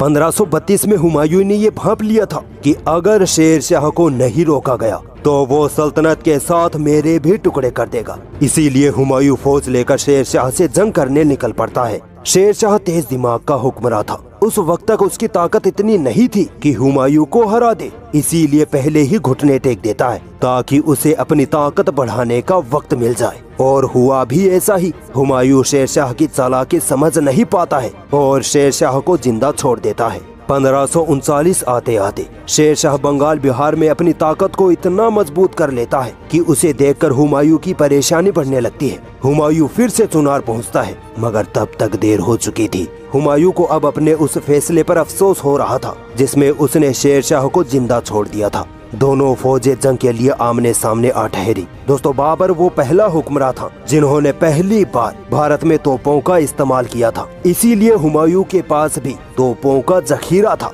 मुमकिन था कि हुमायूं इन तोपों से शेर शाह के चिंथड़े उड़ा देता। मगर उस वक्त इतनी तेज बारिश हुई कि हुमायूं की फौज कीचड़ में फंस गई और तोपों ने भी काम करना बंद कर दिया। बस, फिर क्या था? शेर शाह ने हुमायूं की फौज पर इतना ज़बरदस्त हमला किया कि मुगल सेना मैदान छोड़कर भाग गई। हुमायूं वहाँ से निकलकर आगरा पहुँच जाता है और अपने तीनों भाइयों से मदद माँगता है। मगर अफसोस, तीनों भाई हुमायूं को धुतकार देते हैं। हुमायूं किसी तरह संभलता है और फौज तैयार करके फिर से शेर शाह सूरी से जंग करने के लिए रवाना हो जाता है। इस बार भी वही मुसीबत। बारिश ने सब कुछ बर्बाद कर दिया और शेर शाह फिर से जंग जीत गया। इस बार हुमायूं अपने परिवार सहित भारत छोड़कर चला जाता है। ये वो वक्त था जब मुगल सल्तनत शुरू होते ही खत्म हो गई थी और हुकूमत सूर ने भारत पर अपना परचम लहरा दिया। मगर सूर सल्तनत ज़्यादा वक्त तक भी नहीं टिक पाई थी। शेर शाह की 1545 में मौत हो जाती है और उसकी औलादों में कोई ढंग का हुक्मरान नहीं पनप पाता है। इसीलिए हुमायूं अपना हिसाब चुकता करने के लिए वापस पलट के आता है। कैसे हुमायूं फिर से अपनी मुगल सल्तनत हासिल करता है, ये इंटरेस्टिंग कहानी है। दोस्तों 1540 में हुमायूं शेर शाह से हारकर सीधे ईरान पहुँच जाता है और वहाँ के शिया बादशाह शाह तहमासुब से मदद माँगता है। शाह तहमासुब हुमायूं की मदद के लिए तैयार तो हो जाता है, मगर दो ऐसी शर्तें हुमायूं के सामने रखता है कि जिससे हुमायूं कश्मकश में पड़ जाता है। पहली शर्त तो ये कि जो भी पहला इलाका तुम जीतोगे, वो मुझे दोगे। और दूसरी शर्त ये कि तुम्हें सुन्नी से शिया बनना पड़ेगा। हुमायूं ये शर्तें सुनकर चकरा जाता है, मगर उसके पास दूसरा रास्ता भी नहीं था। वो शाह तहमासुब की दोनों शर्तें दिखावे के लिए मान लेता है। शाह तहमासुब हुमायूं को बारह हज़ार की फौज दे देता है, जिसे लेकर हुमायूं सीधे अपने भाई अस्करी पर हमला कर देता है और कंधार फतह कर लेता है। शर्त के मुताबिक हुमायूं कंधार को शाह तहमासुब के हवाले कर देता है और भारत फतह करने का प्लान बनाने लगता है। मगर एक बार फिर हुमायूं का भाई कामरान शरकसी पर उतर आता है और हुमायूं से जंग करने पर आमादा हो जाता है। हुमायूं उसके इलाके काबुल को फतह करके भी उसे माफ़ कर देता है, मगर कामरान फिर भी नहीं मानता और फिर आखिर में हुमायूं इतना तंग आ जाता है कि कामरान को पकड़कर अंधा कर देता है और मक्का भेज देता है। शेर शाह सूरी के मौत के बाद सूर सल्तनत लड़खड़ाती हुई चल रही थी। 1555 तक सूरी वंश के तीन भाइयों, आदिल शाह, इब्राहिम शाह और सिकंदर शाह में सत्ता की जद्दोजहद चल रही थी। हुमायूं इसी वक्त के इंतज़ार में था और सन 1555 में हुमायूं अचानक सूरी सल्तनत पर इतना खतरनाक हमला करता है कि हिंदुस्तान से सूरी सल्तनत का नामो निशान मिट जाता है। एक बार फिर मुगल बादशाह हुमायूं पूरी शान शौकत के साथ अपनी सल्तनत वापस हासिल करता है और भारत में फिर से मुगल सल्तनत कायम हो जाती है। दोस्तों, हुमायूं वो मुगल बादशाह था जिसके दौरे हुकूमत में ही भारत में बड़ी बड़ी इमारतों, मकबरों और बगीचों के बनने की शुरुआत हुई थी। हुमायूं बहुत दीनदार बादशाह था। सल्तनत वापस तो मिली, मगर ज़्यादा दिन तक हुमायूं सल्तनत का सुख पा न सका। एक बार वह अपनी ही बनाई हुई लाइब्रेरी में किताबें पढ़ रहा था कि अजान हुई। हुमायूं अजान सुनने छत पर जाने लगा कि सीढ़ियों पर से फिसल गया और उसका सर ऐसी नुकीली जगह पर जाकर टकराया कि हुमायूं दो दिन बाद दुनिया छोड़ गया। दिल्ली के हुमायूं के मकबरे में हुमायूं को दफनाया गया। हुमायूं के बाद उसका बेटा अकबर मुगल सल्तनत का तीसरा बादशाह बना। अकबर ने ऐसा क्या किया था कि उसे अकबर महान कहा जाने लगा? अकबर और महाराणा प्रताप में से कौन ज़्यादा ताकतवर था? क्या वजह थी कि अकबर ने इस्लाम धर्म छोड़कर नया धर्म, दीन इलाही बनाया था? राजपूतों से अकबर ने दोस्ती क्यों कर ली थी? सब जानेंगे। हिंदुस्तान में मुस्लिम हुकूमत के अगले एपिसोड में आज उस अकबर बादशाह के बारे में बात करेंगे, जिसने मुगल सल्तनत को पूरे भारत में इस तरह फैला दिया था कि उसकी कई पुस्तों ने फिर भारत पर कई सदियों तक हुकूमत की। कैसे अकबर मुसलमान होकर भी दूसरा मज़हब बना बैठा था? कौन था हल्दी घाटी के युद्ध का असली विजेता? कैसे भारत के राजपूत राजाओं ने अकबर के आगे घुटने टेक दिए थे? सब जानेंगे। बस वीडियो के आखिर तक बने रहिएगा।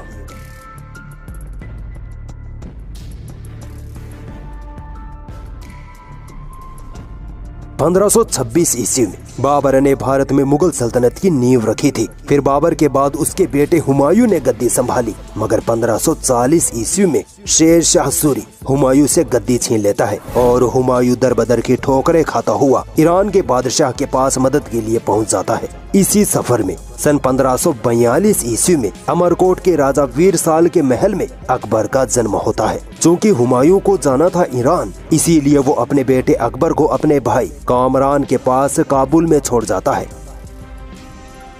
इतिहासकार बताते हैं कि अकबर जर्रा बराबर भी पढ़ा लिखा नहीं था, मगर उसकी बुद्धि इतनी तेज थी कि चोटी के पढ़े लिखे विद्वान भी उसके सामने सर झुकाते थे। अकबर समझदार और होशियार तो था ही, साथ ही उसकी सियासी समझ आला दर्जे की थी, और इसी के चलते उसने पूरे भारत पर 50 सालों तक राज किया। 1555 में हुमायूं वापस भारत लौटता है और सूरी सल्तनत को खत्म कर वापस मुगल सल्तनत कायम करने में कामयाब हो जाता है। मगर एक साल बाद ही 1556 में सीढ़ियों से गिरकर हुमायूं की मौत हो जाती है। फिर हुमायूं का बेटा अकबर मुगल सल्तनत का तीसरा और सबसे महान बादशाह बनता है। हुमायूं का एक खास दोस्त और वज़ीर था, बेरम खां। जब अकबर बादशाह बनता है तो अकबर सिर्फ़ 12 या 13 साल का बच्चा होता है। बेरम खां इतना वफादार वज़ीर था कि उसने बगावतों को रोकने के लिए अकबर को अपने पालन पोषण में लिया और खुद सल्तनत चलाने लगा। अगर बेरम खां ऐसा ना करता तो सूरी सल्तनत फिर से कायम हो जाती। यहाँ एक मज़ेदार बात बताता हूँ। सूरी सल्तनत में एक हिंदू प्रधानमंत्री था, हेमचंद, जो हेमू नाम से प्रसिद्ध था। हेमू बड़ा साहसी और मंझा हुआ योद्धा था। जब हुमायूं की मौत हुई, तब हेमू ने मौके का फ़ायदा उठाकर दिल्ली पर हमला कर दिया और दिल्ली पर काबिज होकर राजा बन गया। इस वक्त अकबर और बेरम खां पंजाब में थे। अकबर तो बस नाम का बादशाह था। असल में हुकूमत बेरम खां ही संभाल रहा था। बेरम खां सेना लेकर पानीपत पहुँचता है और हेमू से जंग करता है। हेमू मुगल सेना पर इतना भारी पड़ता है कि मुगल सेना पीछे हटने लगती है, मगर अचानक से कहीं से एक तीर आता है और हेमू की आँख में जा लगता है। हेमू वही हाथी पर से गिर पड़ता है और मुगल ये जंग जीत जाते हैं। अगर इस जंग में हेमू जीत जाता तो न अकबर महान बनता और न ही भारत में मुगलों का नामो निशान ही मिलता। देखा जाए तो अकबर के महान बनने की नींव बेरम खान ने ही रखी थी। मगर जब अकबर 18-20 साल का हुआ तो उसे ये एहसास हुआ कि मैं अब अपनी सल्तनत खुद संभाल सकता हूँ। मैं खुद सारे फैसले कर सकता हूँ। इसीलिए अकबर ने बेरम खान को रास्ते से हटा दिया और खूब मालो दौलत देकर मक्का भेज दिया। मगर बीच रास्ते में ही लुटेरों ने बेरम खान की हत्या कर दी। दोस्तों, अकबर एक ऐसा बादशाह था जो अपने दुश्मनों को मैदान जंग से ज़्यादा दिमागी तौर पर हराने में महारत रखता था। भारत में मुगलों के बाद सबसे बड़ी ताकत थी राजपूतों की। अकबर तेज दिमाग का तो था ही। उसने राजपूतों को बिना जंग के ही अपने कंट्रोल में करने की मुहिम चलाई। अकबर ने सभी राजपूत रियासतों को पैगाम भेजा कि देखो हम कई दशकों से लड़ते आ रहे हैं। ना तुम हमें हरा पाए और ना ही हम तुमको मिटा पाए। तो बेहतर यही है कि हम दोस्ती कर लेते हैं। राजपूत भी इस बात पर खुश हो गई। अकबर ने राजपूतों से कहा कि आप हमारे अंडर में रहो और अपनी रियासत में हुकूमत करते रहो। अब राजपूत डरपोक थे या मूर्ख थे, कहा नहीं जा सकता। मगर राजपूतों ने बिना शर्त के अकबर की अधीनता कबूल कर ली। मगर कुछ राजपूत राजा ऐसे थे जिन्होंने अकबर की अधीनता कबूल नहीं की, जैसे महाराणा प्रताप, जिसने अकबर के आगे घुटने नहीं टेके और अकबर से जंग करने के लिए तैयार खड़ा हो गया। इस जंग के बारे में आगे बात करेंगे। अकबर ने राजपूतों को अपने कंट्रोल में करने के लिए राजपूत रानियों से निकाह करना शुरू कर दिया। अब जब सगे संबंधी हो गए तो जंग किस बात की? मगर जो राजपूत राजा ऐसा नहीं करते तो फिर अकबर उनका मैदान जंग में बुरा हाल करता। दोस्तों, अब थोड़ा गौर लगा के वीडियो देखना, क्योंकि अब बात करेंगे कि अकबर ने इस्लाम को छोड़कर नया धर्म किस वजह से चलाया था।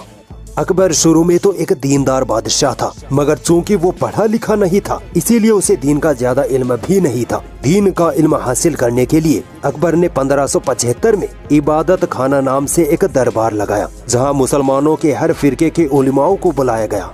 बस, यहीं से अकबर में बिगाड़ आना शुरू हो गया था। इबादत खाने में हर फिरका अकबर के सामने अपने आप को बुलंद और सही साबित करने की दलीलें रखता। मामला यहाँ तक पहुँच जाता कि मौलवी आपस में लड़ भिड़ पड़ते। यहाँ तक कि अकबर के सामने ही एक दूसरे को काफिर ठहरा देते। इबादत खाने के इस फिरका परस्ती ने इतना तूल पकड़ा कि उलमाए हक अकबर से दूर हो गए और दरबारी लालची मौलवियों ने अकबर से करीबी बढ़ा ली। बस, उन्हीं दरबारी मौलवियों की आपसी फिरका परस्ती के चक्कर से अकबर इतना कंफ्यूज हुआ कि उसने पंद्रह में बाकी धर्मों के गुरुओं को भी अपने इबादत खाने में इनवाइट कर दिया, जिसमें हिंदू, पारसी, ईसाई, जैन, बौद्ध और सिख शामिल थे। अब हर धर्म का गुरु अकबर को अपनी साइड में करने के लिए अकबर को वर्गलाता। नौबत यहाँ तक पहुँच गई कि अकबर ने वाजे लफ्जों में कलमे का इनकार कर कुफ्र का ऐलान कर दिया। इबादत खाने की इस धार्मिक इल्मी जंग से अकबर इतना समझ गया था कि खुदा तो एक ही है, मगर धर्म कौन सा सही है, इसमें वो कंफ्यूज था। अकबर आधा तीतर, आधा बटेर वाली सिचुएशन में आ पहुँचा। बस इसी वजह से अकबर ने अपना खुद का नया मज़हब, दीन इलाही बनाया, जिसको सबसे पहले अकबर के खास वज़ीर बीरबल ने अपनाया। अकबर ने इस्लाम के कानूनों, इबादतों और उलमाए हक को अपनी सल्तनत से बेदखल करना शुरू कर दिया। उलमाए हक ने अकबर के खिलाफ काफिर होने का फतवा जारी कर डाला जिसे कि अकबर और बिफर गया। जनता ने अकबर के नए धर्म, दीन इलाही को अपनाने से साफ़ इनकार कर दिया था। मगर अकबर अब इस्लाम से खारिज हो चुका था। अकबर लिबरल पने की हद तक पहुँच चुका था। अकबर के काफिर होने की वजह वो दरबारी मौलवी थे, जिन्होंने अपनी फिरका परस्ती से अकबर को इतना कंफ्यूज किया कि अकबर ने कलमे का ही इनकार कर डाला। बाद में अकबर की इस हरकत की वजह से भारत में दीन इस्लाम को बहुत नुकसान हुआ। उलमाओं को दीन की दावत देने से रोका गया। मुसलमानों पर तरह तरह की पाबंदियाँ लगा दी गई। यहाँ तक कि अकबर ने खतने पर भी पाबंदियाँ लगा दी थी। अब बात करते हैं अकबर और महाराणा प्रताप के बीच लड़े गए हल्दी घाटी के युद्ध की।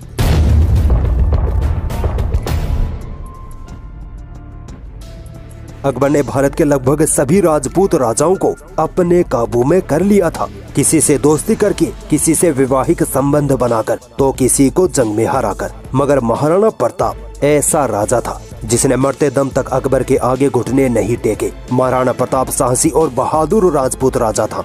अकबर ने चार मरतबा महाराणा प्रताप से दोस्ती करने का पैगाम भेजा, मगर महाराणा प्रताप ने हर बार अकबर की दोस्ती ठुकरा दी। अकबर ने कहा, चलो दोस्ती नहीं तो जंग ही सही। महाराणा प्रताप उस वक्त मेवाड़ का राजा था और चित्तौड़ उसकी राजधानी थी। अकबर ने अपने हिंदू राजपूत सेनापति मान सिंह को सेना देकर रवाना किया। उधर महाराणा प्रताप अपने मुस्लिम सेनापति हकीम खान सूरी के साथ हल्दी घाटी के मैदान में आ पहुँचा। महाराणा प्रताप को ये मालूम था कि आमने सामने की लड़ाई में वो किसी तरह मुगलों को हरा नहीं सकता। लिहाजा महाराणा प्रताप ने अरावली पर्वत की हल्दी घाटी के संकरे दर्रे पर अपनी सेना को छिपाकर बैठा दिया। जब मुगल सेना वहाँ से गुजरी तो राजपूत सेना ने पहाड़ों के ऊपर से पत्थरों की बारिश कर दी, जिससे कि मुगल सेना उसी संकरे दर्रे में फंस कर रह गई। ऐसा लगने लगा था कि मुगल यही हार जाएँगे। मगर किसी तरह मुगल सेना पीछे हटकर वहाँ से निकली और खुले मैदान में आकर दुरुस्त हुई महाराणा प्रताप भी अपनी सेना को लेकर मैदान में आ गया। महाराणा प्रताप इस आमने सामने की लड़ाई में मुगलों का सामना नहीं कर पाया और किसी तरह जान बचाकर अपनी सेना को मैदान में ही छोड़कर वहाँ से फरार हो गया और फिर बड़ी आसानी से मुगलों ने ये जंग जीत ली। इस जंग के बाद चित्तौड़ पर भी अकबर का कब्जा हो गया था।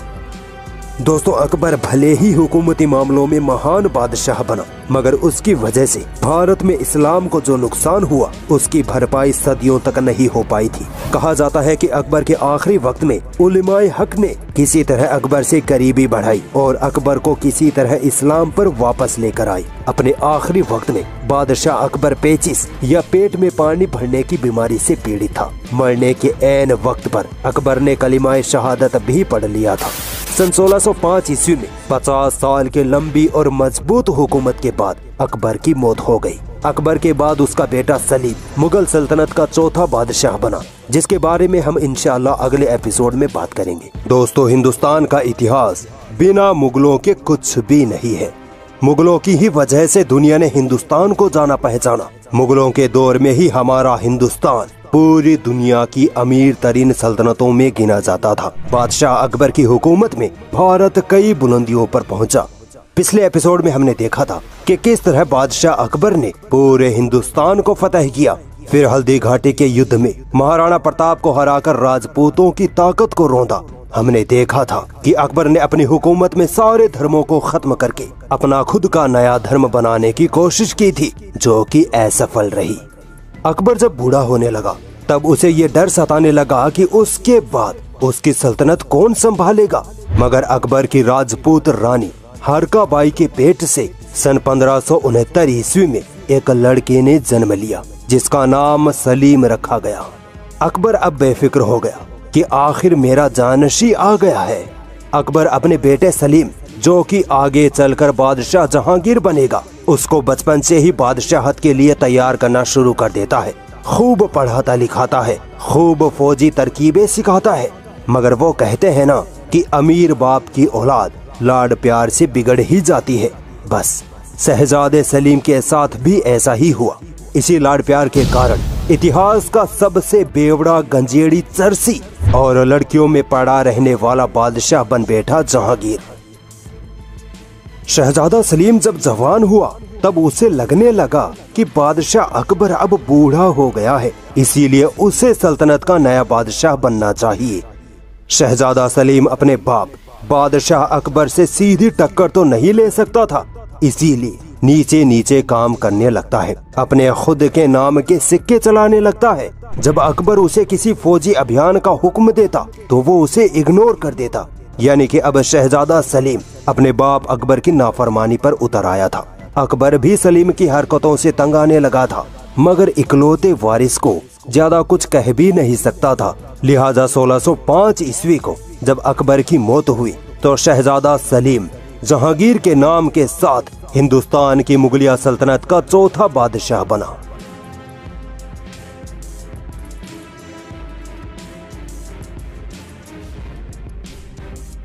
बादशाह जहांगीर नशे का आदि ज़रूर था, मगर काबिलियत में अपने बाप अकबर के बराबर ही था। मगर एक औरत के चक्कर में अपनी काबिलियत दुनिया के सामने ज़ाहिर नहीं कर सका। दोस्तों, मेवाड़ एक ऐसी राजपूत रियासत थी, जो कभी भी परमानेंट मुगलों के हाथ में नहीं आई थी। मुगल जब भी राजपूतों से मेवाड़ जीतते, राजपूत किसी तरह वापस मेवाड़ को मुगलों से छीन लेते। मगर जहांगीर वो बादशाह था जिसने बिना जंग के ही मेवाड़ को परमानेंट ही मुगल सल्तनत में मिला लिया था। जहांगीर ने इतनी राजपूत रानियों से निकाह किया कि सारे राजपूत जहांगीर के साले संबंधी बन गए और राजपूतों ने अपनी रियासतें मुगलों को सौंप दी। मेवाड़ भी उन्हीं रियासतों में से एक रियासत थी। दोस्तों, अब बात करते हैं उस औरत की, जो एक सामान्य परिवार से उठकर पहले बादशाह जहांगीर की बीवी बनती है। और फिर मुगलिया सल्तनत की सत्ता को अपनी मुट्ठी में करती है। बादशाह जहांगीर की सल्तनत में गयास बेग नाम का एक अधिकारी था, जिसकी एक बेटी थी, मेहरून निशा। काफ़ी पढ़ी लिखी समझदार और खूबसूरत। गयास बेग मेहरून निशा की शादी एक मुगल सेना अधिकारी अली कुली के साथ कर देता है। अली कुली अकबर की हुकूमत में जहांगीर के साथ फौजी लड़ाइयों में साथ रहता था। कहा जाता है कि एक बार अली कुली ने अपने हाथों से एक शेर को मार गिराया था। इसीलिए जहांगीर ने उसे शेर अफगान का लकब दिया। बादशाह जहांगीर 1607 ईस्वी में अली कुली और मेहरून निशा को बंगाल भेज देता है और वहीं अफगानों से लड़ते हुए अली कुली मारा जाता है। बेवा मेहरून निशा को महल लाया जाता है और बादशाह जहांगीर की माँ की खिदमत में लगा दिया जाता है। चूँकि दोस्तों, मेहरून निशा काफ़ी पढ़ी लिखी समझदार औरत थी, इसीलिए जल्द ही महल में अपनी धाक बैठा लेती है। एक बार बादशाह जहांगीर मीना बाज़ार में घूमने गया था। वहीं मेहरू निशा, यानी नूर जहाँ भी थी, बादशाह की नज़र जैसे ही मेहरू निशा पर पड़ी। बादशाह जहांगीर उसकी खूबसूरती का दीवाना हो गया। यहीं से जहांगीर और नूरजहां की मोहब्बत की दास्ता शुरू होती है। और इसी नूरजहां के लिए जहांगीर ने अपनी बादशाह तक कुर्बान कर डाली थी। 1611 में जहांगीर मेहरू निशा से निकाह कर लेता है और मेहरू निशा को नूर जहाँ, यानी दुनिया का नूर का लकब देता है। दोस्तों, नूर जहाँ मुगल इतिहास में पहली ऐसी औरत थी, जो इतनी ताकतवर बनकर उभरी थी। इससे पहले कोई और औरत मुगल राजनीति में इतनी प्रभावशाली नहीं थी। यही वजह थी कि बादशाह जहांगीर धीरे धीरे अपनी बादशाहत, अपनी बीवी नूर नूरजहां को सौंपता चला गया। नूरजहां इतनी ताकतवर हो गई थी कि वो धीरे धीरे मुगल अधिकारियों को फरमान सुनाने लगी। बादशाह जहांगीर के नाम के साथ अपने नाम के भी सिक्के चलाने लगी। सल्तनत में ये आम हो गया था कि अब नूरजहां ही बादशाह है। मगर इसका मतलब ये नहीं था कि जहांगीर को कुछ भी पता नहीं था। हाँ बस वो नशे में डूबा रहता था। 1622 तक नूरजहां और जहांगीर साथ मिलकर सल्तनत संभालते रहे। मगर इसके बाद नशे की बुरी लत की वजह से बादशाह जहांगीर की तबीयत इतनी बिगड़ी कि वो बेड रेस्ट पर आ पहुँचा। इसके बाद 1622 से 1627 तक नूरजहां ने अकेले अपने दम पर पूरी सल्तनत संभाले रखी और फिर 1627 में जहांगीर की मौत हो गई। जहांगीर के मरते ही उसका बेटा खुर्रम, यानी शाहजहां, मुगल सल्तनत का पांचवा बादशाह बनकर गद्दी पर बैठा। अगले एपिसोड में देखेंगे कि शाहजहां ने किस तरह अपनी सल्तनत का सारा खजाना अपनी मोहब्बत पर लुटा दिया था। ताजमहल के क्या थे वो अनदेखे रहस्य? और नूर जहाँ का आगे क्या हुआ? महमूद गजनबी से लेकर बहादुर शाह ज़फ़र तक 800 सालों तक मुसलमानों ने हिंदुस्तान पर हुकूमत की और हिंदुस्तान को बड़ी बड़ी इमारतों से, बगातों से और व्यापार से इस कदर सजाया कि भारत सोने की चिड़िया कहलाने लगा। मुगल सल्तनत भारत की सबसे ताकतवर और लंबे समय तक हुकूमत करने वाली सल्तनत थी। पिछले एपिसोड में हमने बादशाह जहांगीर की तारीख खबर की थी और आज जहांगीर के बेटे शाहजहां की तारीख देखेंगे, जिसने भारत को ताजमहल, लाल किला मोती महल आगरे का किला न जाने कितनी खूबसूरत इमारतें दी। शाहजहां वो मुस्लिम बादशाह था, जिसकी हुकूमत में दुनिया के इतिहास की सबसे बड़ी अर्थव्यवस्था, यानी जीडीपी भारत की थी। 24 प्रतिशत जीडीपी शाहजहां के बनाए ताजमहल की वजह से आज पूरी दुनिया में भारत का नाम चमकता है। कौन था शाहजहां? कैसे बादशाह बना? कैसे उसने ताजमहल बनवाया? क्या है ताजमहल के शिव मंदिर और ताजमहल के 22 कमरों का रहस्य? सब जानेंगे। बने रहिए इस वीडियो के साथ।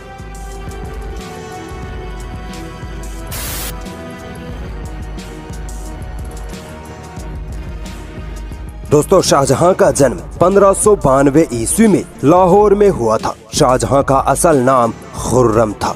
शहजादा खुर्रम बचपन से ही काफ़ी बहादुर, पढ़ाई में होशियार, तीरंदाजी, घुड़सवारी आदि में माहिर था। जहांगीर की एक राजपूत बीवी, जगत गोसाई की कोख से शहजादे खुर्रम का जन्म हुआ था। शहजादा खुर्रम जब पंद्रह साल का हुआ तो जहांगीर ने उसे आठ हज़ार सैनिकों का सेनापति बना दिया। शाहजहां पढ़ा लिखा विद्वान ज़रूर था, मगर उसे पढ़ाई लिखाई से ज़्यादा जंगों में दिलचस्पी थी। अपनी काबिलियत की नुमाइश के लिए शहजादे खुर्रम ने 1614-15 में मेवाड़ अहमदनगर और कांगड़ा को फतह कर लिया था, जो कि जानी मानी ताकतवर रियासतें थी। शहजादा खुर्रम जब फतेह पर फतेह हासिल करता चला गया, तब उसे अपनी ताकत का अंदाज़ा हुआ और वह बादशाह बनने के ख्वाब देखने लगा।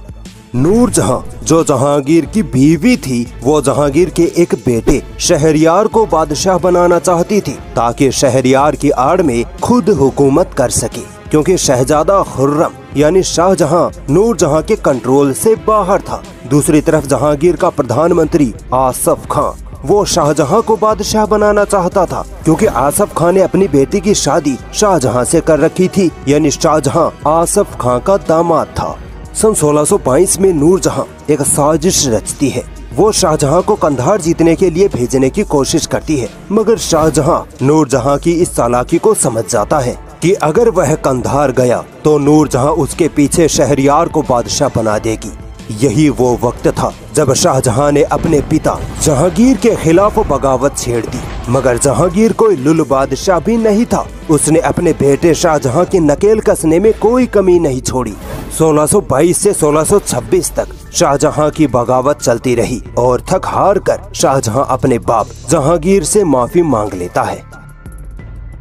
1627 में जैसे ही बादशाह जहांगीर की मौत होती है, तब नूर जहाँ लाहौर में शहरियार को बादशाह घोषित कर देती है। इधर शहजादा खुर्रम, यानी शाहजहां, दक्षिण में था। आसफ खां अपनी सेना तैयार कर शहरियार पर चढ़ दौड़ता है और शहरियार को कत्ल करके रास्ते से हटा देता है। नूरजहां को महल में नजरबंद कर दिया जाता है। इस तरह शहजादा खुर्रम मुगल सल्तनत का पांचवा बादशाह बनकर बादशाह जहांगीर के नाम से मशहूर होता है। शाहजहां एक बहादुर, समझदार पढ़ा लिखा जंगजू और दीन का पाबंद बादशाह था। मुगलों के भारत आने से कुछ सालों पहले ही पुर्तगालियों का भारत में आगमन शुरू हो चुका था। ये धर्म के ईसाई थे और व्यापार में तेज। पुर्तगाली हिंदू और मुसलमानों को जबरन ईसाई बना रहे थे और व्यापार में मोनोपली यानी एकाधिकार कर रहे थे। जब यह खबर बादशाह शाहजहां को लगी तो शाहजहां ने फ़ौरन पुर्तगालियों को रगड़ देने की योजना बनाई। ये पुर्तगाली उस समय के बंगाल के ढाका की हुगली नामक जगह पर डेरा डाले हुए थे। शाहजहां ने ढाका के मुगल सूबेदार को पुर्तगालियों पर हमला करने का फरमान जारी किया। जैसे ही मुगल सेना ने पुर्तगालियों पर हमला किया, तब पता चला कि पुर्तगालियों ने हज़ारों भारतीयों को जबरन कैद करके रखा है और उनको गुलाम बना के रखा है। मुगल सेना ने पुर्तगालियों की ईंट से ईंट बजा डाली और भारतीय कैदियों को उनके चंगुल से छुड़ा लिया। दोस्तों, आसफ खान ने अपनी जिस बेटी का निकाह शाहजहां से किया था, उसका नाम था अर्जुमंद बानो बेगम। और यही थी शाहजहां की सबसे चहेती बीवी, मुमताज़ महल, जिसकी मोहब्बत में शाहजहां ने दुनिया की सबसे खूबसूरत इमारत ताजमहल बनवाई। मुमताज़ महल बहुत ही खूबसूरत और पढ़ी लिखी अक्लमंद औरत थी। कहा जाता है कि मुमताज़ महल ने चौदह बच्चों को जन्म दिया था, जिनमें से सात बच्चों की किसी तरह बचपन में ही मौत हो गई और सात बच्चे बच गए। दारा सिकोह, मुराद और औरंगज़ेब इसी बीवी की औलाद थे। बाद में इन्हीं चारों भाइयों के बीच सत्ता के लिए जंग होती है। 1631 में अपनी चौदहवीं संतान को जन्म देते वक्त असहनीय दर्द और खून बहने की वजह से मुमताज़ महल की मौत हो जाती है। मुमताज़ महल की जब आखिरी साँसें चल रही होती है, तब वो अपने पति शाहजहां से कहती है कि मैंने सपने में एक ऐसा मकबरा देखा है, जिसके जैसा मकबरा पूरी दुनिया में कहीं नहीं है। मैं चाहती हूँ कि मेरे मरने के बाद तुम मेरे लिए वैसा ही मकबरा बनवाओ। बस, फिर क्या था? शाहजहां ने अपनी सल्तनत का सारा खजाना ताजमहल बनवाने में झोंक दिया। 1632 में बनना शुरू हुआ और सोलह में बनकर खत्म हुआ। सच में, शाहजहां ने अपनी मोहब्बत का हक अदा कर दिया था। दोस्तों, आए दिन ताजमहल पर कंट्रोवर्सीज खड़ी होती रहती है। झूठ प्रोपेगंडा बचकानी बातें हर दिन सुननी पड़ती हैं। आपको पता है ताजमहल शिव मंदिर है। ये कंट्रोवर्सी कब खड़ी हुई? सन 1989 में एक कट्टर हिंदुत्ववादी अनपढ़ इतिहासकार, पी एन ओक ने अपनी किताब में सबसे पहले ताजमहल को शिव मंदिर कहा था। बिना एविडेंस के, बिना सबूतों के। यहीं से ये तेजो महालय का कॉन्सेप्ट हिंदुत्ववादी लोगों ने पकड़ा हुआ है। इलाहाबाद हाईकोर्ट और एएसआई ने इस दावे को सिरे से खारिज कर रखा है, मगर ये लोग फिर भी नहीं मानते। अब पिछले दिनों ताजमहल के 22 कमरों का विवाद उठा दिया कि इन कमरों में हिंदू देवी देवताओं की मूर्तियाँ रखी हैं। एएसआई ने सारे कमरे खोल के सामने रख दिए कि लो, ढूंढ लो मूर्तियाँ। यकीन मानिए, ये लोग फिर भी नहीं मान रहे। इतने भयंकर तरीके से इन्होंने झूठ को पकड़ा हुआ है। पता नहीं कब सुधरेंगे ये लोग। आप लोग बताइए, आखिर क्या वजह है कि इन लोगों को मुसलमानों की हर मस्जिद, मकबरे और इमारतों के नीचे मंदिर नज़र आता है? इसका जवाब मुझे आपसे चाहिए। दोस्तों, अपने राजनीतिक स्वार्थ और नफरत के लिए हिंदुत्ववादी लोग मुगलों को लुटेरा कहते हैं। मगर आप कभी इनसे ये पूछिए कि मुगलों ने भारत को लूटा तो लूट कर ले कहाँ गए भाई? अंग्रेज़ों ने लूटा तो इंग्लैंड ले गए। दिखता है, समझ में आता है। मगर मुगलों ने भारत को लूटा तो लूट का माल क्या सऊदी अरब भेज दिया उन्होंने? क्या ईरान, इराक, अफ़गानिस्तान भेज दिया? मोदी अगर तीन हज़ार करोड़ की मूर्ति बनाए तो कहते हैं कि मोदी ने देश का नाम रोशन कर दिया। जब मुगल बादशाह कुतुब मीनार ताजमहल लाल किला बनवाए तो कहते हैं मुगल लुटेरे थे। इस लेवल का दोगलापन लाते कहाँ से हो? इतिहास इस बात का गवाह है कि मुगलों के दौर में ही भारत दुनिया का सबसे अमीर तरीन देश था। इसका प्रमाण देता हूँ, आज दुनिया का सबसे पावरफुल देश अमेरिका है। अमेरिका दुनिया की टोटल जीडीपी का 24 प्रतिशत कवर करता है। इसी तरह शाहजहां के दौर में भारत भी दुनिया की जीडीपी का 24 प्रतिशत कवर करता था। सोचिए भारत कितना ताकतवर और अमीर देश था। पूरी दुनिया से लोग व्यापार करने भारत आते थे। यही वजह थी कि मुगलों के रहते न मंगोल भारत पर कब्जा कर पाए, न कोई बाहरी आक्रमण हुआ। मुगलों को कोसने के बजाय हमें मुगलों का एहसान मंद होना चाहिए। दोस्तों, शाहजहां को महलों, इमारतों बड़े बड़े मकबरों आदि का बड़ा शौक था। दिल्ली का लाल किला, दिल्ली की जामा मस्जिद, आगरे का लाल किला, ताजमहल, मोती मस्जिद, शीश महल, रंग महल, न जाने कितनी ऐसी इमारतें बनवाई जो आज भी शान से खड़ी हैं और भारत को विश्व पटल पर सम्मान दिलाती हैं। शाहजहां मुगल सल्तनत का बहुत ही काबिल, बहादुर और ऐशो इसरत को पसंद करने वाला बादशाह था। सन सोलह में शाहजहां इतना बीमार पड़ा कि उसे अपनी मौत नज़र आने लगी। आपाधापी में शाहजहां ने अपने बड़े बेटे दारा सिकोह को अपने नाम पर बादशाह बना दिया। मगर ये बात बाकी तीनों भाइयों, शाहसुजा, मुराद और औरंगज़ेब को पसंद नहीं आई। बस, फिर क्या था? चारों भाइयों में सत्ता हासिल करने की जंग छिड़ गई, जिसमें औरंगज़ेब ने बाजी मार ली।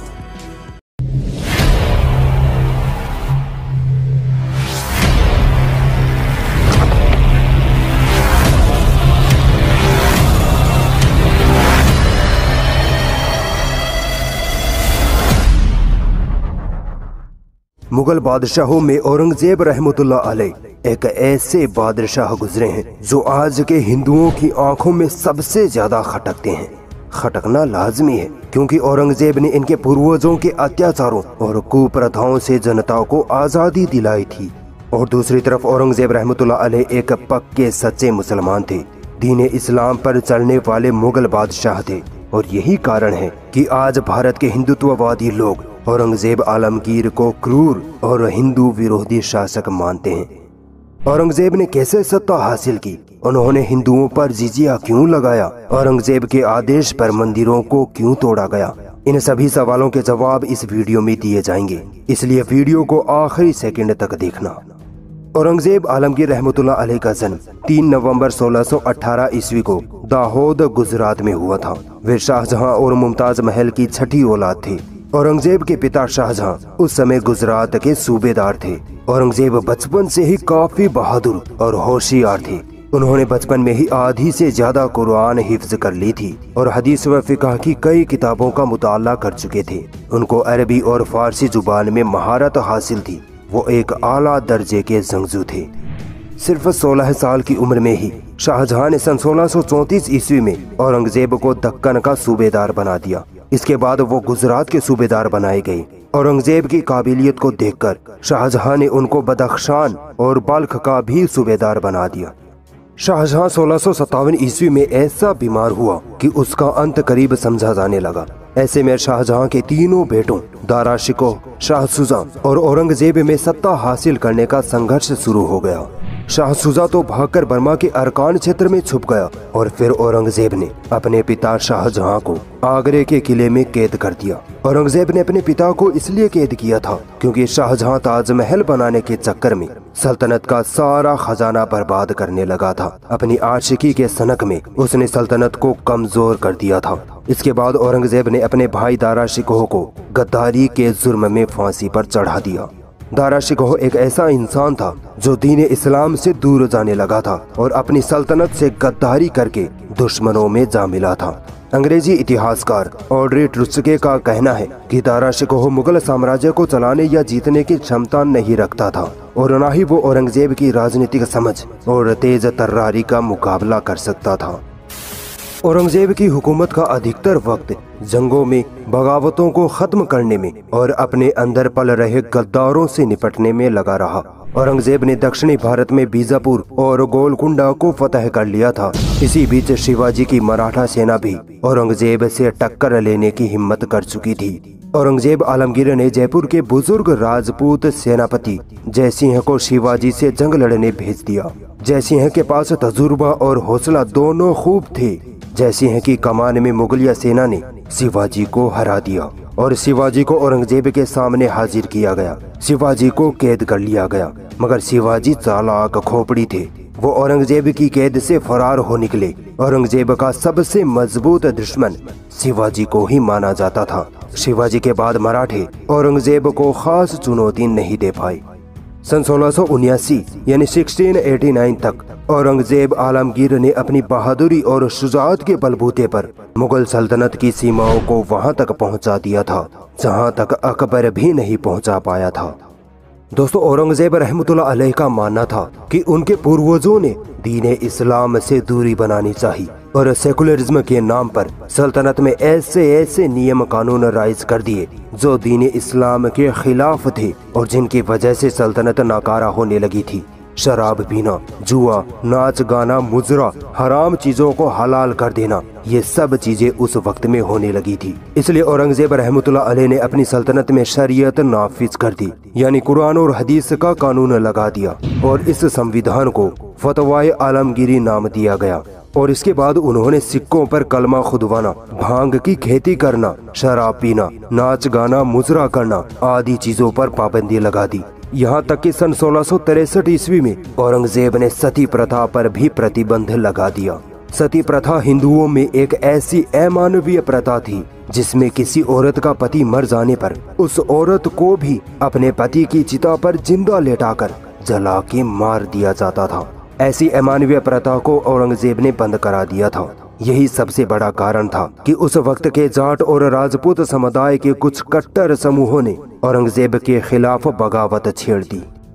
दोस्तों, हर देश अपनी अर्थव्यवस्था को बढ़ाने और देश को चलाने के लिए अपनी जनता से टैक्स वसूलता है और औरंगज़ेब रहमतुल्लाह ने भी अपनी सल्तनत को बढ़ाने के लिए ऐसा किया था।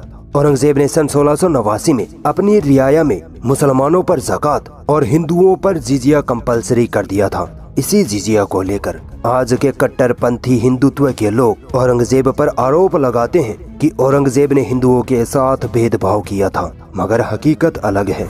औरंगज़ेब ने हिंदुओं पर जो जिजिया यानी टैक्स लगाया था, उसमें यह था कि वो हिंदू जो अमीर है, वो सालाना बीस या तीस रुपए सल्तनत को जिजिया यानी टैक्स देगा, जबकि औरंगज़ेब ने गरीब हिंदू, मजदूर और शारीरिक रूप से अशक्त हिंदुओं को इस जिजिया से बाहर रखा था। यहाँ तक कि आज जो ब्राह्मण औरंगज़ेब को क्रूर बताते हैं, औरंगज़ेब ने उस वक्त के ब्राह्मणों पर भी जिजिया माफ़ किया हुआ था। इसके उलट औरंगज़ेब ने हर उस मुसलमान पर जक़ात यानी इस्लामिक टैक्स फ़र्ज़ करार दिया था, जो अमीर था। इतिहासकार बताते हैं कि औरंगज़ेब हिंदुओं से ज़्यादा मुसलमानों से टैक्स वसूलते थे। अब अगर हिंदू ये कहते हैं कि औरंगज़ेब का हिंदुओं से टैक्स लेना गलत था तो उनको बताना चाहूँगा कि जब मराठों ने दक्षिण के बड़े हिस्से को मुगलों से जीत लिया था, तब वहाँ हिंदू मराठों ने मुसलमानों से तो मोटा टैक्स लिया, जबकि हिंदुओं से बिल्कुल भी टैक्स नहीं लिया। ये असली पक्षपात था, जो हिंदुओं ने मुसलमानों के साथ किया था। मगर हिंदू भाई कभी इस भेदभाव के बारे में मुँह नहीं खोलते। औरंगज़ेब से पहले के राजाओं ने भारत की आवाम पर बहुत सारे अलग अलग प्रकार के टैक्स लगा रखे थे, जिनको औरंगज़ेब ने शरीयत यानी इस्लाम के खिलाफ बताकर बंद कर दिया था। औरंगज़ेब ने तकरीबन 80 प्रकार के टैक्स को जनता पर माफ़ करके उनको सहूलियत दी थी। अक्सर हिंदुत्ववादी सोच वाले हिंदू कहते हैं कि औरंगज़ेब ने हिंदुओं पर जानबूझकर अत्याचार किए। औरंगज़ेब हिंदुओं को नीचा समझता था, मगर जब हम इतिहास, सही इतिहास पढ़ते हैं, तब पता चलता है कि औरंगज़ेब ने दूसरे मुगल बादशाहों से ज़्यादा हिंदुओं को अपने प्रशासन में शामिल किया हुआ था। औरंगज़ेब के पिता शाहजहां की हुकूमत में सेना के विभिन्न पदों, दरबार के दूसरे अहम पदों और बाकी सभी पदों में हिंदुओं की तादाद चौबीस फ़ीसद थी, जबकि औरंगज़ेब की हुकूमत में ये तादाद बढ़कर तैतीस फ़ीसद हो गई थी। औरंगज़ेब की सेना में बड़े बड़े पदों पर बड़ी संख्या में हिंदू राजपूत नियुक्त थे। मराठों और सिखों के खिलाफ जंग में औरंगज़ेब की मुगलिया सेना की कमान अक्सर हिंदू राजपूत सेनापति के हाथ में होती थी। इतिहासकार यदुनाथ सरकार तो यहाँ तक लिखते हैं कि एक समय खुद शिवाजी भी औरंगज़ेब की सेना में मनसबदार थे।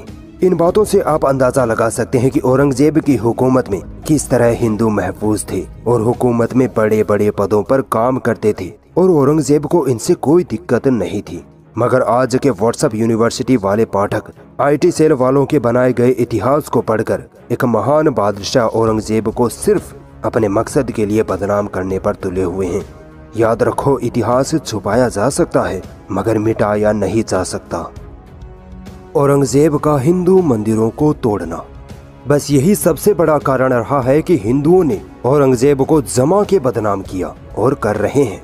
औरंगज़ेब ने हिंदू मंदिर क्यों तोड़े, कब तोड़े, किसके हाथों तोड़वाए, इन सवालों से हिंदुत्ववादी लोगों को कोई लेना देना नहीं। बस इस धुन में लगे रहते हैं कि औरंगज़ेब ने हमारे हज़ारों हज़ारों मंदिरों को तुड़वाया था। दोस्तों, औरंगज़ेब आलमगीर ने जितने मंदिर तुड़वाए थे, उससे ज़्यादा तो बनवाए थे। मंदिरों के लिए ज़मीन दान दी थी, पैसे दान दिए थे।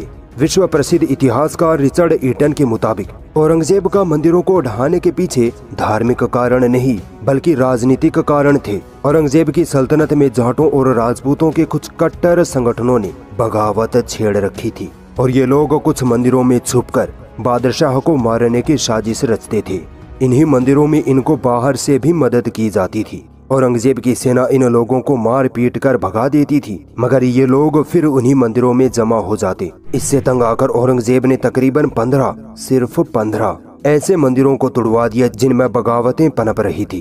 ठीक इसके उलट। औरंगज़ेब रहमतुल्लाह अलैह ने कई मंदिरों का निर्माण भी करवाया था।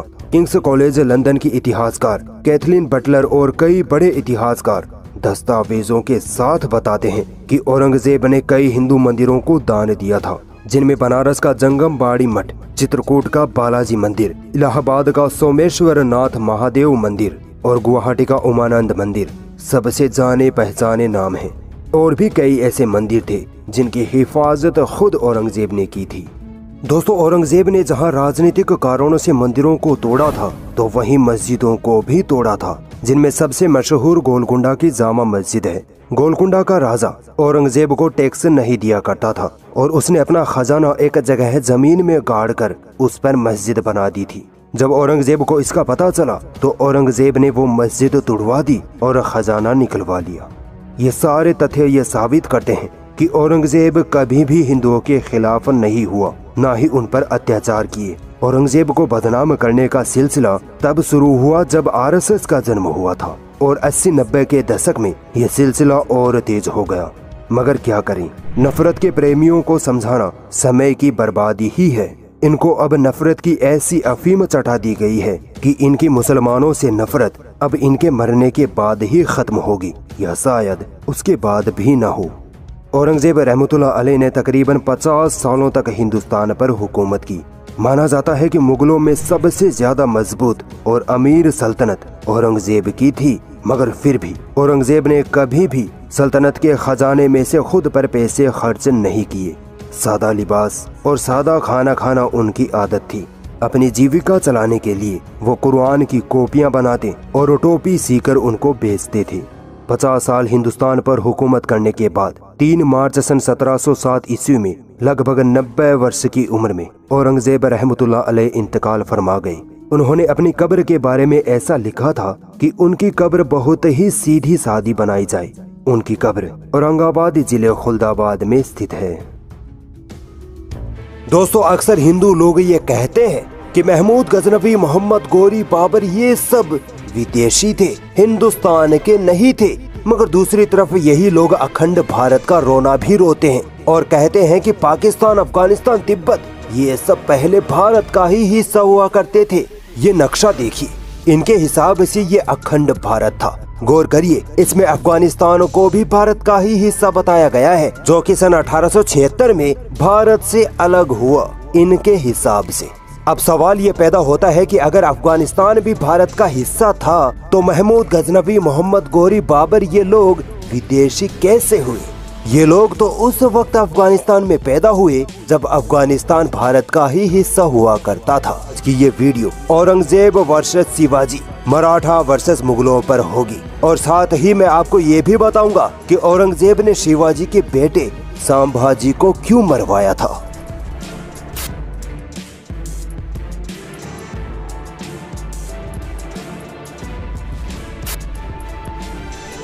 दोस्तों, मराठों का उदय सोलहवीं शताब्दी के शुरू में हुआ था।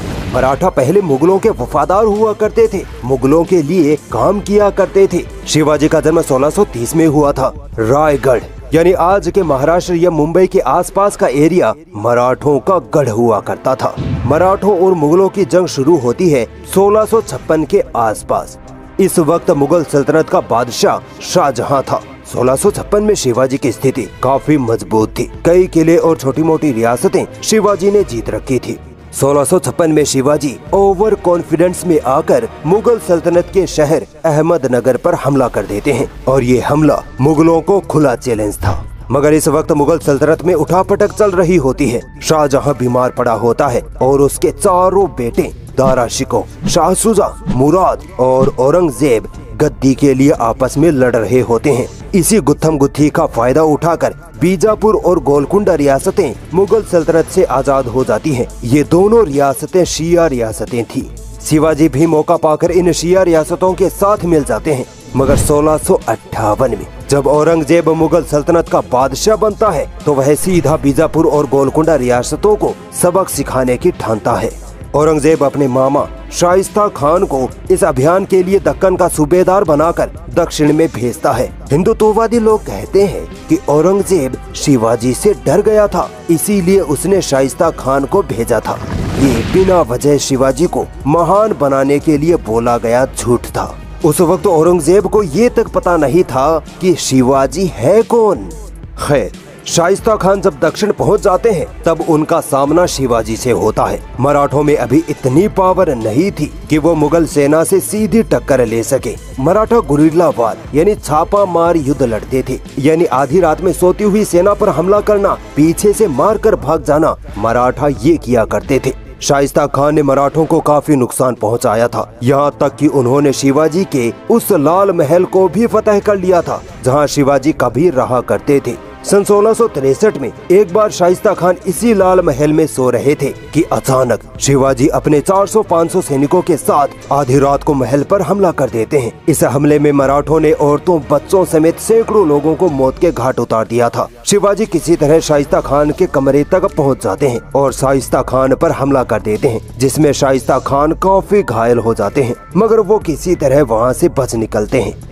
दोस्तों, अगर इसी तरह का हमला कोई मुगल बादशाह करे तो ये लोग कहते हैं कि मुगल कायर होते हैं, डरपोक होते हैं। जो रात को निहत्ते लोगों पर हमला किया। मुगलों में सामने से लड़ने की हिम्मत नहीं होती। मगर अब देखिए, शिवाजी ने भी आधी रात को निहत्ते लोगों पर हमला किया। क्या शिवाजी को भी कायर, डरपोक और धोखे से हमला करने वाला कहना चाहिए?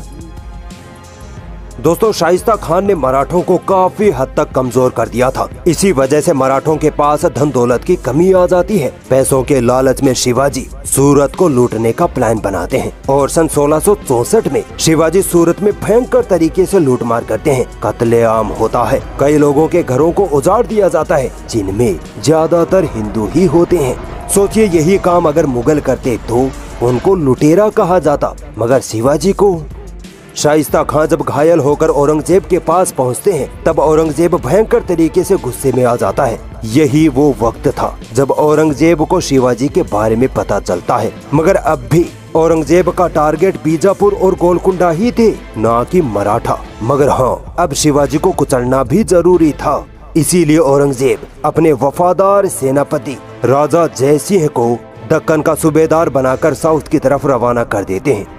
राजा जय सिंह आते ही मराठों पर इस कदर टूट पड़ते हैं कि मराठों को भागने तक का मौका नहीं मिलता। मराठों और शिवाजी को हद से ज़्यादा ग्लोरीफाई किया जाता है। उनको बढ़ा चढ़ाकर इतना ताकतवर बताया जाता है कि जैसे मराठों ने मुगलों के आगे कभी घुटने नहीं टेके थे। मगर इतिहास इसके बिल्कुल उलट है। 1665 में मुगल सेनापति राजा जयसिंह मराठों पर डायरेक्ट हमला कर देते हैं। शिवाजी उनको जर्रा बराबर भी टक्कर नहीं दे पाते। राजा जयसिंह शिवाजी के पुरंदर के किले को फतह कर लेते हैं और इसी फतह पर शिवाजी मुगलों के आगे घुटने टेक देते हैं। शिवाजी राजा जयसिंह के साथ बिना शर्त के संधि कर लेते हैं। इसे पुरंदर की संधि कहते हैं। इस संधि में तय पाया जाता है कि शिवाजी अपने तेईस किले मुगलों को सौंप देंगे। बीजापुर और गोलकुंडा के खिलाफ शिवाजी मुगलों का साथ देंगे। और सबसे बड़ी शर्त ये कि शिवाजी अपने बेटे संभाजी को औरंगज़ेब के पास भेजेंगे। इसके अलावा एक शर्त ये भी रखी गई कि शिवाजी को बादशाह औरंगज़ेब के दरबार में हाजिरी देनी होगी। शिवाजी को मुगलों की सारी शर्तें माननी पड़ती हैं। कितनी अजीब बात है ना कि जिसको इतना बहादुर बताया जाता है, वो मुगलों के सामने इतनी आसानी से घुटने टेक देता है। यहाँ तक कि अपने बेटे को भी औरंगज़ेब के हवाले करने पर तैयार हो जाता है। पुरंदर की संधि के बाद मराठों के पास कुछ नहीं बचता, न धन दौलत, न रियासत। शिवाजी अब मुगलों के सामने सरेंडर कर चुके थे। शर्त के मुताबिक शिवाजी को औरंगज़ेब के दरबार में हाजिरी देनी थी और अपने बेटे संभाजी को औरंगज़ेब के हवाले करना था। मुगल सेनापति राजा जयसिंह शिवाजी को लेकर आगरा की तरफ़ रवाना हो जाते हैं। दोस्तों, औरंगज़ेब की दरिया दिली देखिए। शिवाजी के दक्कन से आगरा तक के सफ़र के लिए बादशाह औरंगज़ेब शिवाजी को एक लाख रुपया खर्चा तक भेजता है। शिवाजी औरंगज़ेब के दरबार में पहुँच जाते हैं। अब नज़ारा देखिए। खूब भीड़ लगी है। कई दूसरी रियासतों के राजा महाराजा भी बादशाह औरंगज़ेब के सामने हाजिरी देने के लिए खड़े हैं। दस्तूर के मुताबिक शिवाजी औरंगज़ेब के सामने झुककर तीन बार सलाम करते हैं। क्योंकि बादशाह औरंगज़ेब के सामने शिवाजी एक छोटी सी रियासत का हारा हुआ राजा था। इसीलिए बादशाह औरंगज़ेब शिवाजी पर ज़्यादा तवज्जो नहीं देते और शिवाजी को बाकी राजाओं के साथ बिल्कुल पीछे खड़ा कर देते हैं। औरंगज़ेब का ये बर्ताव शिवाजी को गुस्सा दिला देता है और शिवाजी वहीं दरबार में चिल्लाने लगते हैं कि मेरे साथ ऐसा बर्ताव क्यों? मैं एक राजा हूँ, न कि कोई मनसबदार। शिवाजी की इस गुस्ताखी की वजह से उनको गिरफ़्तार कर लिया जाता है। मगर दोस्तों, कुछ ही महीनों में शिवाजी मुगलों को चकमा देकर फरार हो जाते हैं और सीधा दक्कन पहुँच जाते हैं।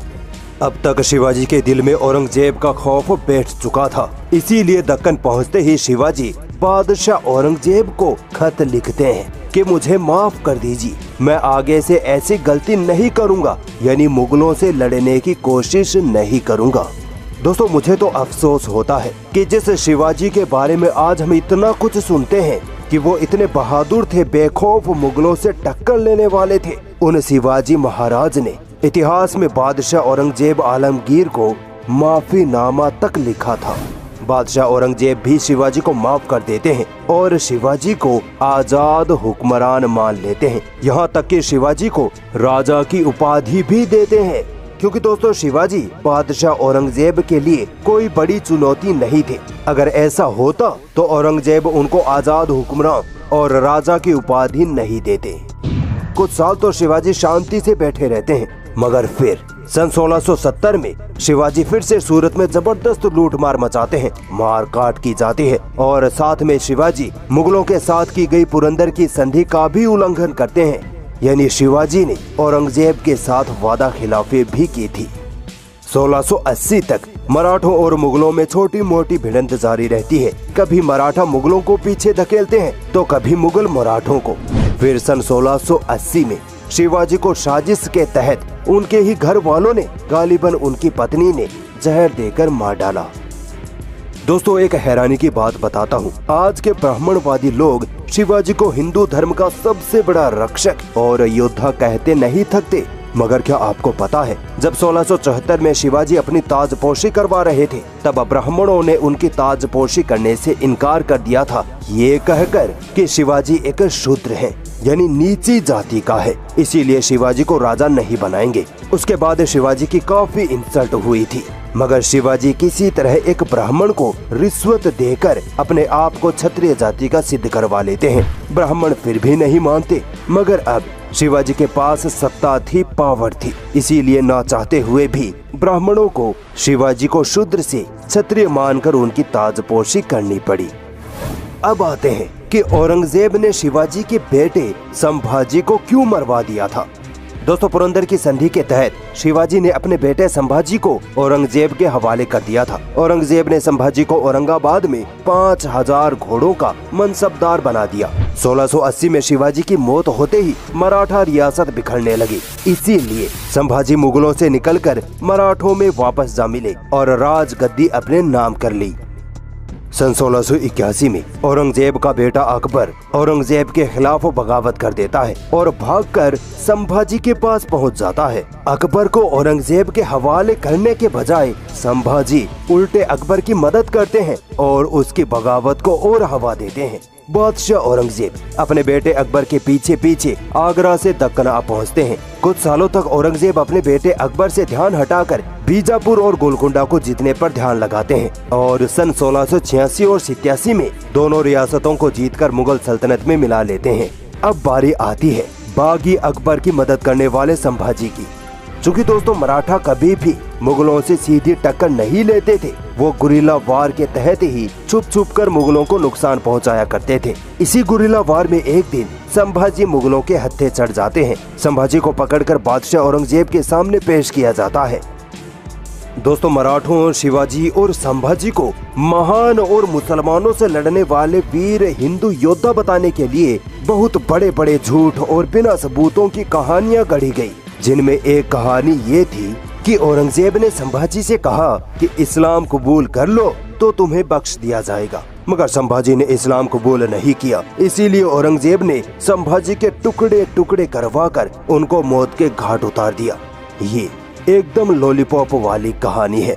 अगर औरंगज़ेब को संभाजी को ज़बरदस्ती इस्लाम ही कबूल करवाना होता तो जब शिवाजी अपने बेटे संभाजी को औरंगज़ेब के पास छोड़कर गए थे, तब संभाजी महज नौ साल के बच्चे थे। औरंगज़ेब चाहते तो संभाजी को ज़बरदस्ती मुसलमान बना सकते थे, मगर उन्होंने ऐसा नहीं किया। यहाँ तक कि संभाजी कई सालों तक मुगलों के अंडर काम करते रहे, फिर भी उनको इस्लाम कबूल करने के लिए नहीं कहा गया।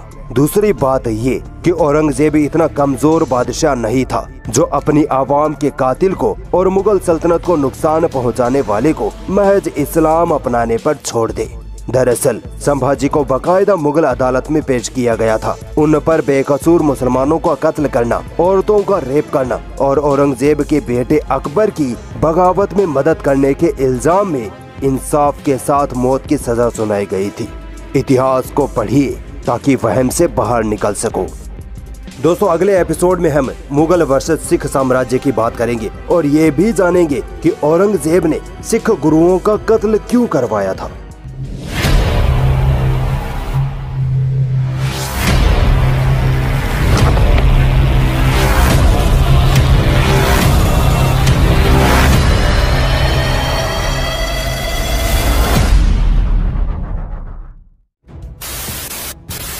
औरंगज़ेब आलमगीर अलैह वो बादशाह थे, जिन्होंने 50 सालों तक हिंदुस्तान पर राज किया। अपनी काबिलियत के दम पर औरंगज़ेब ने हिंदुस्तान को उन ऊंचाइयों तक पहुँचाया, जहाँ तक कोई और बादशाह नहीं पहुँचा पाया था। मगर फिर भी, आज का बहुसंख्यक समाज औरंगज़ेब आलमगीर को अपना सबसे बड़ा दुश्मन मानता है, और इसी दुश्मनी को, इसी जलन को बरकरार रखने के लिए बहुसंख्यक समाज ने इतिहास को तोड़ा मरोड़ा जलाया।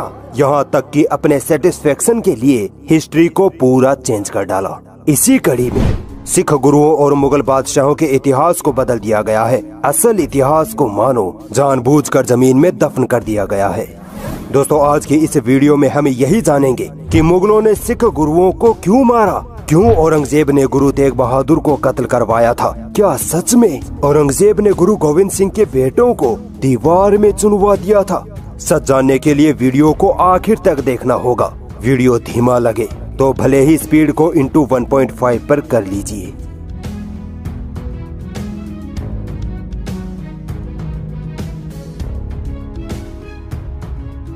दोस्तों, सिख धर्म की शुरुआत सन सोलह ईस्वी में गुरु नानक जी ने की थी। सिखों के चार गुरुओं तक तो सिख मुगल रिश्ते बड़े अच्छे थे। मगर बात बिगड़ती है पांचवे गुरु गुरु अर्जुन देव के वक्त से।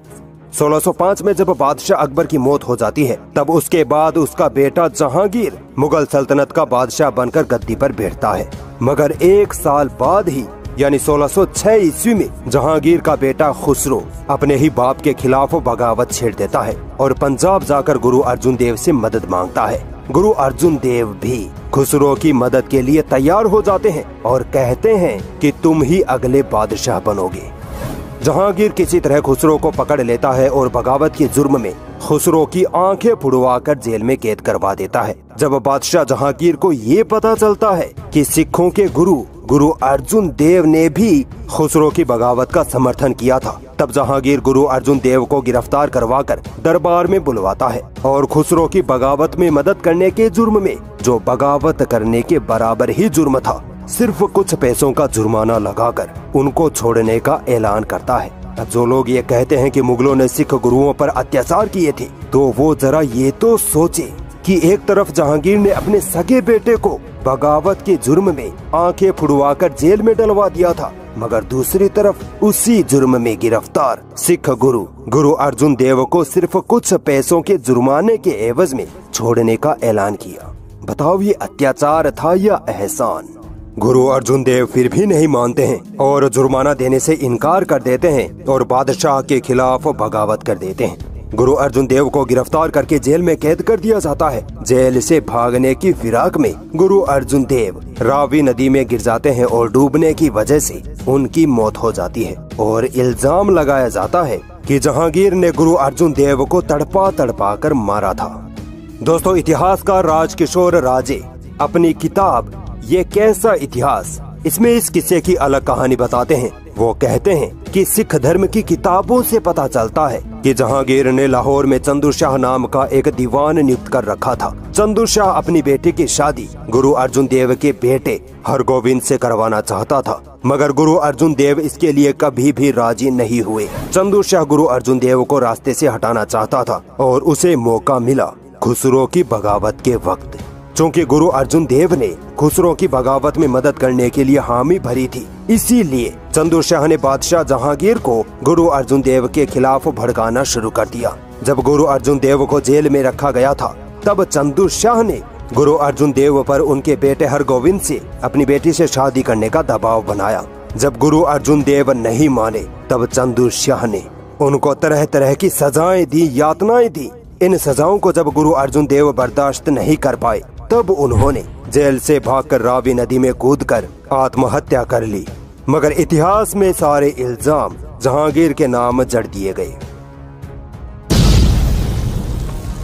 दोस्तों, अब बात करते हैं कि औरंगज़ेब ने गुरु तेग बहादुर को क्यों मारा था? सोलह में औरंगज़ेब जैसे ही बादशाह बनता है वह धीरे धीरे समाज में और पूरी सल्तनत में फैली बुराइयों को, गलत रीति रिवाजों को, अंधविश्वासों को और कुप्रथाओं को बंद करना चालू कर देता है। जैसे सती प्रथा, विधवा औरतों का दोबारा विवाह न करना, जातिवाद की वजह से ब्राह्मणों का, दलितों पर अत्याचार करना, दलित औरतों को छाती ढकने का अधिकार न होना, औरतों को विरासत में हिस्सेदारी न देना, उन मंदिरों को तुड़वाना, जहाँ ब्राह्मण दलित आदिवासी औरतों का नाजायज इस्तेमाल करते थे। इसी वजह से ब्राह्मण औरंगज़ेब से नफरत करने लगे और ब्राह्मणों ने पूरी सल्तनत में ये बात फैला दी कि औरंगज़ेब हिंदुओं को खत्म कर रहा है। औरंगज़ेब हिंदू धर्म को खत्म करना चाहता है। जब ब्राह्मणों की बगावत का कुछ असर नहीं हुआ तो ब्राह्मणों ने सिख गुरु गुरु तेग बहादुर से मदद मांगी। धर्म के नाम पर औरंगज़ेब के खिलाफ उनके कान भरने शुरू कर दिए। गुरु तेग बहादुर भी ब्राह्मणों की बातों में फंस गए और सीधे औरंगज़ेब के दरबार में जा पहुँचे। गुरु तेग बहादुर ने औरंगज़ेब के सामने ही उनको बुरा भला कहना शुरू कर दिया। उनके बनाए कानूनों को मानने से साफ़ इनकार कर दिया और खुली बगावत पर उतर गए। दोस्तों, यहाँ आपको एक नाम याद रखना होगा, राम राय। ये सिखों के सातवें गुरु गुरु हर राय के बेटे थे। राम राय बहुत लंबे वक्त से औरंगज़ेब के दरबार में काम करते आ रहे थे, जब इनके पिता, यानी सिखों के सातवें गुरु गुरु हर राय की 1661 में मृत्यु हो जाती है। तब राम राय सिखों के अगले गुरु बनना चाहते थे। मगर इनकी जगह गुरु हरकिशन को सिखों का आठवां गुरु बना दिया जाता है। राम राय गुस्सा हो जाता है। मगर तीन साल बाद ही सोलह में गुरु हरकिशन की भी मौत हो जाती है। राम राय फिर गुरु बनने की कोशिश करता है। मगर गुरु तेग बहादुर सिखों के नौवे गुरु बन जाते हैं। चूँकि दोस्तों गुरु तेग बहादुर औरंगज़ेब के खिलाफ थे और राम राय के औरंगज़ेब के साथ अच्छे ताल्लुकात थे। इसी वजह से राम राय ने औरंगज़ेब को गुरु तेग बहादुर के खिलाफ पूरी ताकत के साथ भड़काना शुरू कर दिया। अब वापस आते हैं औरंगज़ेब के दरबार में, जहाँ गुरु तेग बहादुर औरंगज़ेब को भला बुरा कहकर उनके कानूनों को मानने से इनकार कर रहे थे। औरंगज़ेब गुरु तेग बहादुर की इस गुस्ताखी के कारण उनको नॉर्मली तौर पर गिरफ़्तार करवा देते हैं। ये सोचकर कि ये एक धार्मिक गुरु है, इनकी इज़्ज़त करनी चाहिए। मगर गुरु तेग बहादुर जल्द ही वहाँ से फरार हो जाते हैं और पंजाब पहुंचकर सिखों और हिंदुओं को बगावत के लिए एकजुट करने लगते हैं। जब औरंगज़ेब को ये खबर लगती है तो वो गुरु तेग बहादुर को वापस दरबार में बुलाते हैं। गुरु तेग बहादुर बादशाह औरंगज़ेब के आदेश के खिलाफ वर्जी करते हैं और आने से इनकार कर देते हैं। औरंगज़ेब को गुस्सा आ जाता है और वो गुरु तेग बहादुर को गिरफ़्तार करवा कर दरबार में पेश करवाते हैं। राम राय। जो सिखों का गुरु बनना चाहता था, उसने औरंगज़ेब से पहले ही ये कह रखा था कि गुरु तेग बहादुर इस्लाम के खिलाफ बोलते हैं और चमत्कार दिखाने का भी दावा करते हैं। औरंगज़ेब गुरु तेग बहादुर से चमत्कार दिखाने को कहते हैं कि अगर तुम सच्चे गुरु हो तो कोई चमत्कार करके दिखाओ। गुरु तेग बहादुर एक कागज़ लेते हैं, उस पर कुछ लिखते हैं और धागे की मदद से उस कागज़ को अपनी गर्दन पर बाँध लेते हैं। फिर कहते हैं कि मेरी गर्दन पर तलवार चलाओ, मुझे कुछ नहीं होगा, मेरी गर्दन नहीं कटेगी। मगर जब मुगल सिपाही उनकी गर्दन पर तलवार चलाता है, तब गुरु तेग बहादुर की गर्दन कटकर नीचे गिर जाती है। अब दोस्तों, गुरु तेग बहादुर की इस मौत का इल्ज़ाम औरंगज़ेब पर मर दिया जाता है, जबकि ये एक दुर्घटना थी। जो चमत्कार के नाम पर घटी थी। दोस्तों, गुरु तेग बहादुर की मौत पर हिंदुत्ववादी लोग ये इल्ज़ाम लगाते हैं कि औरंगज़ेब ने गुरु तेग बहादुर से कहा था कि इस्लाम कबूल कर लो, वरना मार दिए जाओगे। गुरु तेग बहादुर ने कहा कि सर कटा लूँगा, मगर अपना धर्म नहीं बदलूँगा। ये वो झूठ था जिसे इतनी बार बोला गया, इतनी बार बोला गया कि आज ये झूठ सच होने की कगार पर खड़ा है। फिर भी अगर आप इस झूठ को ढीठ बनकर सच ही मानोगे तो चलो इस झूठ का एक लॉजिकल जवाब आपको दे देता हूँ। बगावत, यानी देशद्रोह ये ना तो राजा महाराजाओं के दौर में बर्दाश्त की जाती थी, ना ही आज के आधुनिक युग में की जाती है। आप अपने देश के खिलाफ बोल के दिखाइए। देश के खिलाफ तो छोड़िए। आप देश के प्रधानमंत्री, नरेंद्र मोदी को बुरा भला, उनको गाली या उनको मारने की धमकी ही दे दो। तो आपको कानून के तहत देशद्रोही घोषित करके जेल में डाल दिया जाएगा।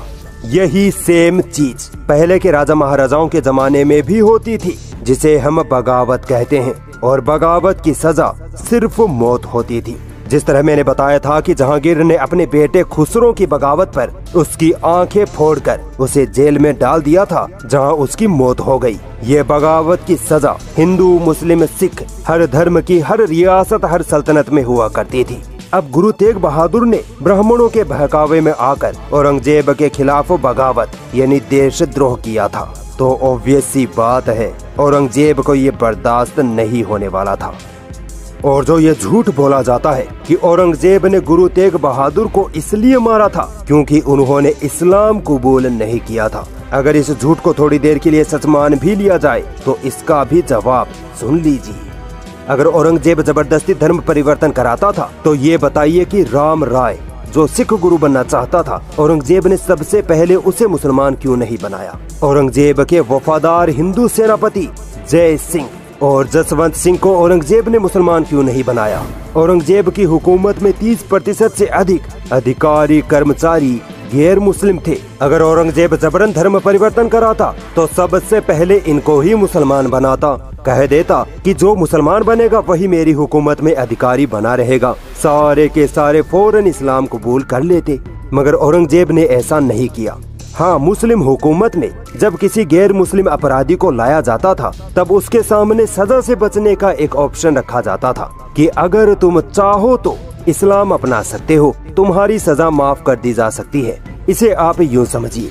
आज के वक्त में अगर कोई अपराधी कोर्ट में पेश किया जाता है, तब उसके सामने कोर्ट ये ऑप्शन रखती है कि इतने पैसों का जुर्माना दे दो तो तुम्हें जेल नहीं जाना पड़ेगा। अगर वह व्यक्ति पैसों का जुर्माना नहीं देता है तो ऑब्वियस सी बात है उसे जेल में जाना पड़ेगा। मगर अब हम ये नहीं कहेंगे कि चूँकि उसने कोर्ट को पैसे नहीं दिए थे, इसीलिए वह जेल में गया। नहीं। जुर्माना तो सजा से बचने का एक ऑप्शन था, जबकि उसे सजा उसके जुर्म की वजह से हुई। ठीक इसी तरह, औरंगज़ेब ने अगर गुरु तेग बहादुर को इस्लाम अपनाने के लिए कहा भी था तो गुरु तेग बहादुर को इस्लाम न अपनाने की वजह से नहीं मारा गया, बल्कि उनको उनकी बगावत और सल्तनत के बादशाह के खिलाफ जाने के आरोप की वजह से मारा गया था। दोस्तों, औरंगज़ेब आलमगीर पर सिख गुरु गुरु गोविंद सिंह के दो बेटों को दीवार में चिनवाकर मार देने का भी इल्ज़ाम लगाया जाता है। आइए, इसकी भी हकीकत आपके सामने खोल देता हूँ। 1704 में गुरु गोविंद सिंह और सरहिंद के मुगल गवर्नर वज़ीर खान की आनंदपुर में झड़प हो जाती है। सिख मुगलों का सामना नहीं कर पाते हैं और गुरु गोविंद सिंह को अपने परिवार के साथ वहाँ से निकलना पड़ता है। मगर गुरु गोविंद सिंह अपनी माँ माता गुजरी और चार बेटों में से दो बेटों, जोरावर सिंह और फतेह सिंह से बिछड़ जाते हैं। माता गुजरी और दोनों साहबजादों की रास्ते में गुरु गोविंद सिंह के एक पुराने रसोइये गंगू, जो ब्राह्मण था, उससे मुलाकात हो जाती है। गंगू उनको हिफाजत की गारंटी देकर अपने घर ले आता है। वज़ीर खान ने माता गुजरी और दोनों साहबजादों पर इनाम का ऐलान कर रखा था। गंगू लालच में आकर माता गुजरी और दोनों साहबजादों को मुगल फौज के हवाले कर देता है। यहाँ एक बात ध्यान में रखिए। माता गुजरी और दोनों साहबजादे ना तो सिख होने की वजह से और ना ही आम इंसान होने की वजह से मुगलों की कैद में आए थे, बल्कि जंग में पकड़े गए कैदियों की हैसियत से वज़ीर खान के सामने पेश हुए थे।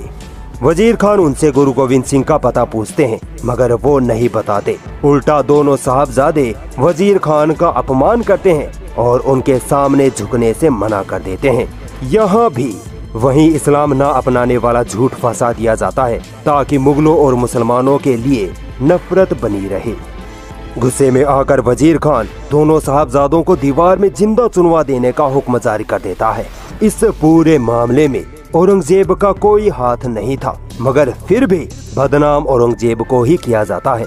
जब ये खबर औरंगज़ेब को मिलती है कि वज़ीर खान गुरु गोविंद सिंह के दो बेटों को ज़िंदा दीवार में चुनवा रहा है। तब औरंगज़ेब वज़ीर खान को ऐसा ना करने का हुक्म जारी करता है। मगर जब तक औरंगज़ेब का हुक्म वज़ीर खान तक पहुँचता, तब तक देर हो चुकी थी। दोनों साहबजादों को दीवार में चुनवा दिया गया, जहाँ उनकी मौत हो गई। दोस्तों, आपको अपना दिमाग खुला रखना होगा। तभी आप इतिहास को समझ पाएँगे। मुगलों और सिखों के बीच जो कुछ भी हुआ था, वो कोई धार्मिक टकराव नहीं था, बल्कि राजनीतिक टकराव था। कोई भी बादशाह हो, राजा महाराजा हो, वो अपनी सल्तनत और अपने खिलाफ जाने वाले हर इंसान पर एक्शन लेता है। चाहे वो बादशाह का बाप हो, बेटा हो, या कोई धार्मिक गुरु ही क्यों ना हो। सिख कौम बहुत दिलदार और बहादुर कौम है। सिखों और मुसलमानों का भाईचारा कल भी कायम था और आज भी कायम है। हिंदुत्ववादी लोग झूठे इतिहास को इस्तेमाल कर सिखों और मुसलमानों के भाईचारे को खत्म करने की पूरी कोशिश में लगे हैं। मगर हम इनके ये गंदे गलीज इरादे कभी कामयाब नहीं होने देंगे।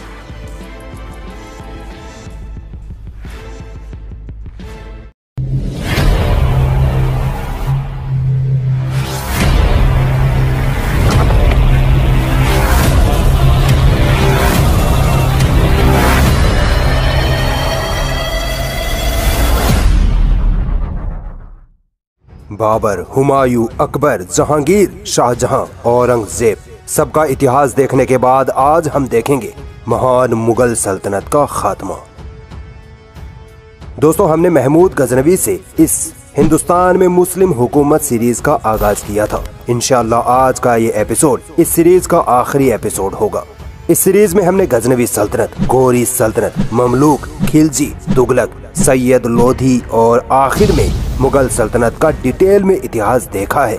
भारत में मुसलमानों की हुकूमत कब और कैसे आई? कौन कौन से मुस्लिम सुल्तान और बादशाह आए? कैसे फिर भारत से मुस्लिम हुकूमत का एंड हुआ? तकरीबन 24 से 25 वीडियो की इस सीरीज़ में मैंने आपको सब कुछ बयान कर दिया है।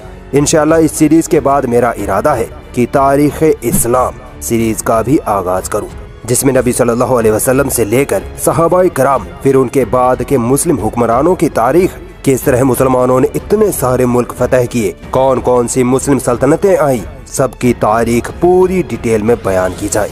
इस बारे में आपका क्या ख्याल है, कमेंट करके ज़रूर बताइएगा।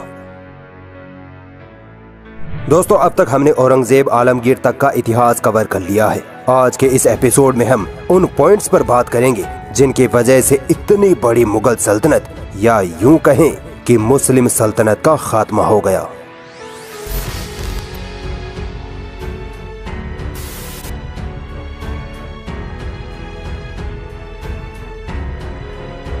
दोस्तों, अगर आपको इस्लाम का पूरा इतिहास डिटेल में जानना है तो ये किताब तारीख इस्लाम ज़रूर खरीद कर पढ़ें। मैं भी इसी किताब से अक्सर इस्लाम के इतिहास पर वीडियोस बनाता हूँ। किताब का लिंक मैंने डिस्क्रिप्शन में दे दिया है।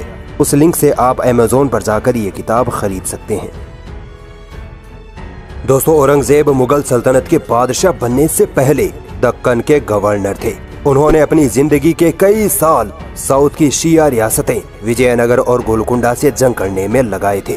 मुगल सल्तनत का बादशाह बनने के बाद भी औरंगज़ेब की यही ख्वाहिश रही कि इन दोनों रियासतों को मुकम्मल तौर पर मुगल सल्तनत का हिस्सा बनाया जाए। इसी ख्वाहिश के चक्कर में औरंगज़ेब आलमगीर ने अपनी हुकूमत के आखिरी 20 साल दिल्ली को छोड़कर दक्कन यानी साउथ में बिताए थे। मुगल सल्तनत की राजधानी मुगल सल्तनत का गढ़ दिल्ली।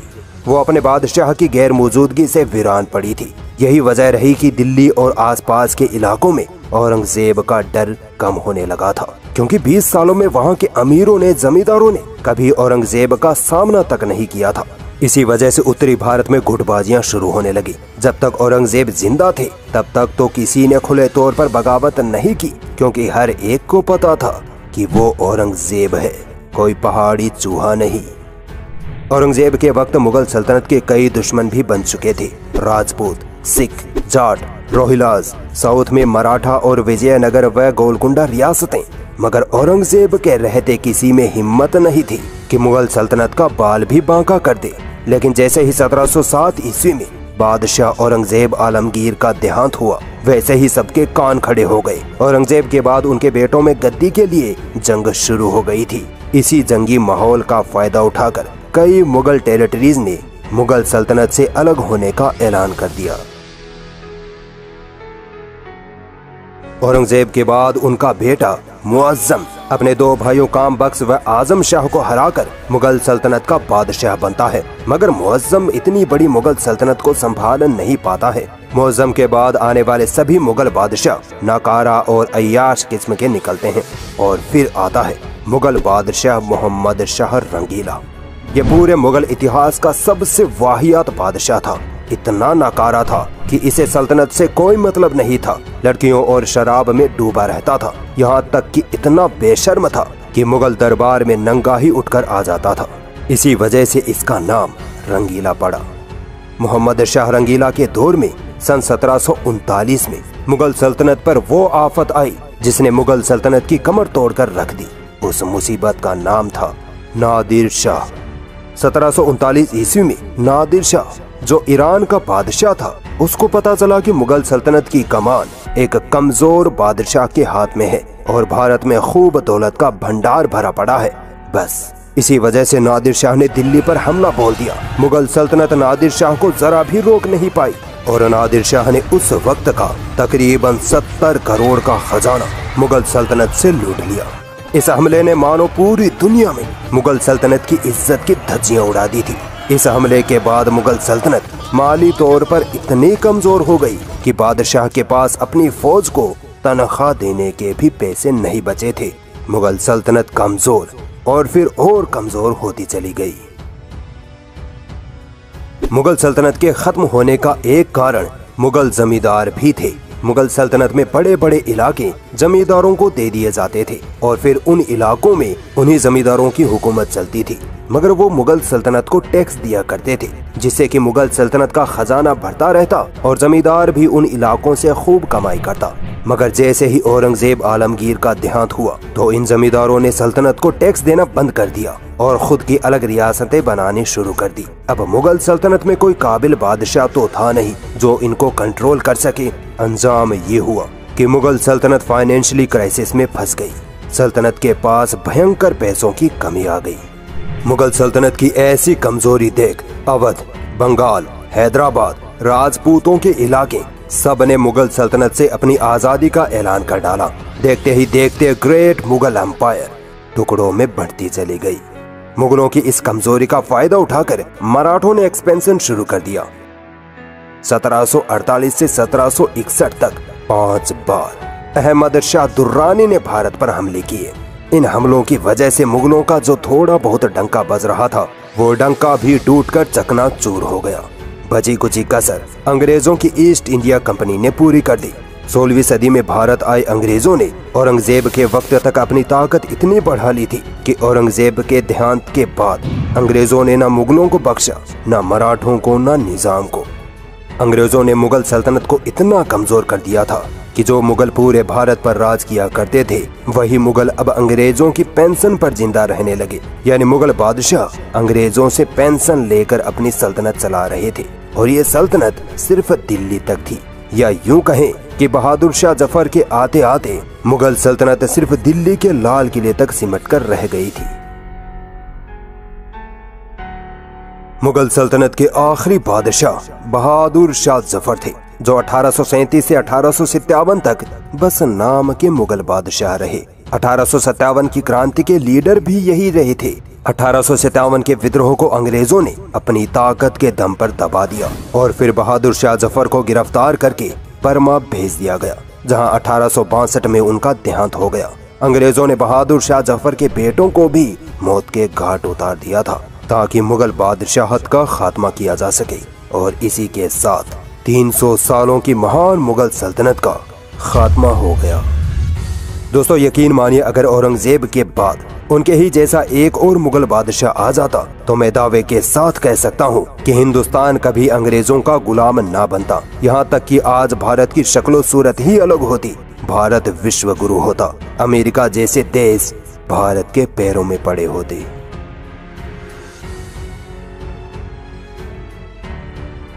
दोस्तों, अगर आपको इस्लाम का पूरा इतिहास डिटेल में जानना है तो ये किताब तारीख इस्लाम ज़रूर खरीद कर पढ़े।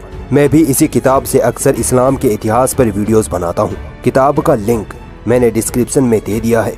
उस लिंक से आप अमेजोन पर जाकर ये किताब खरीद सकते हैं।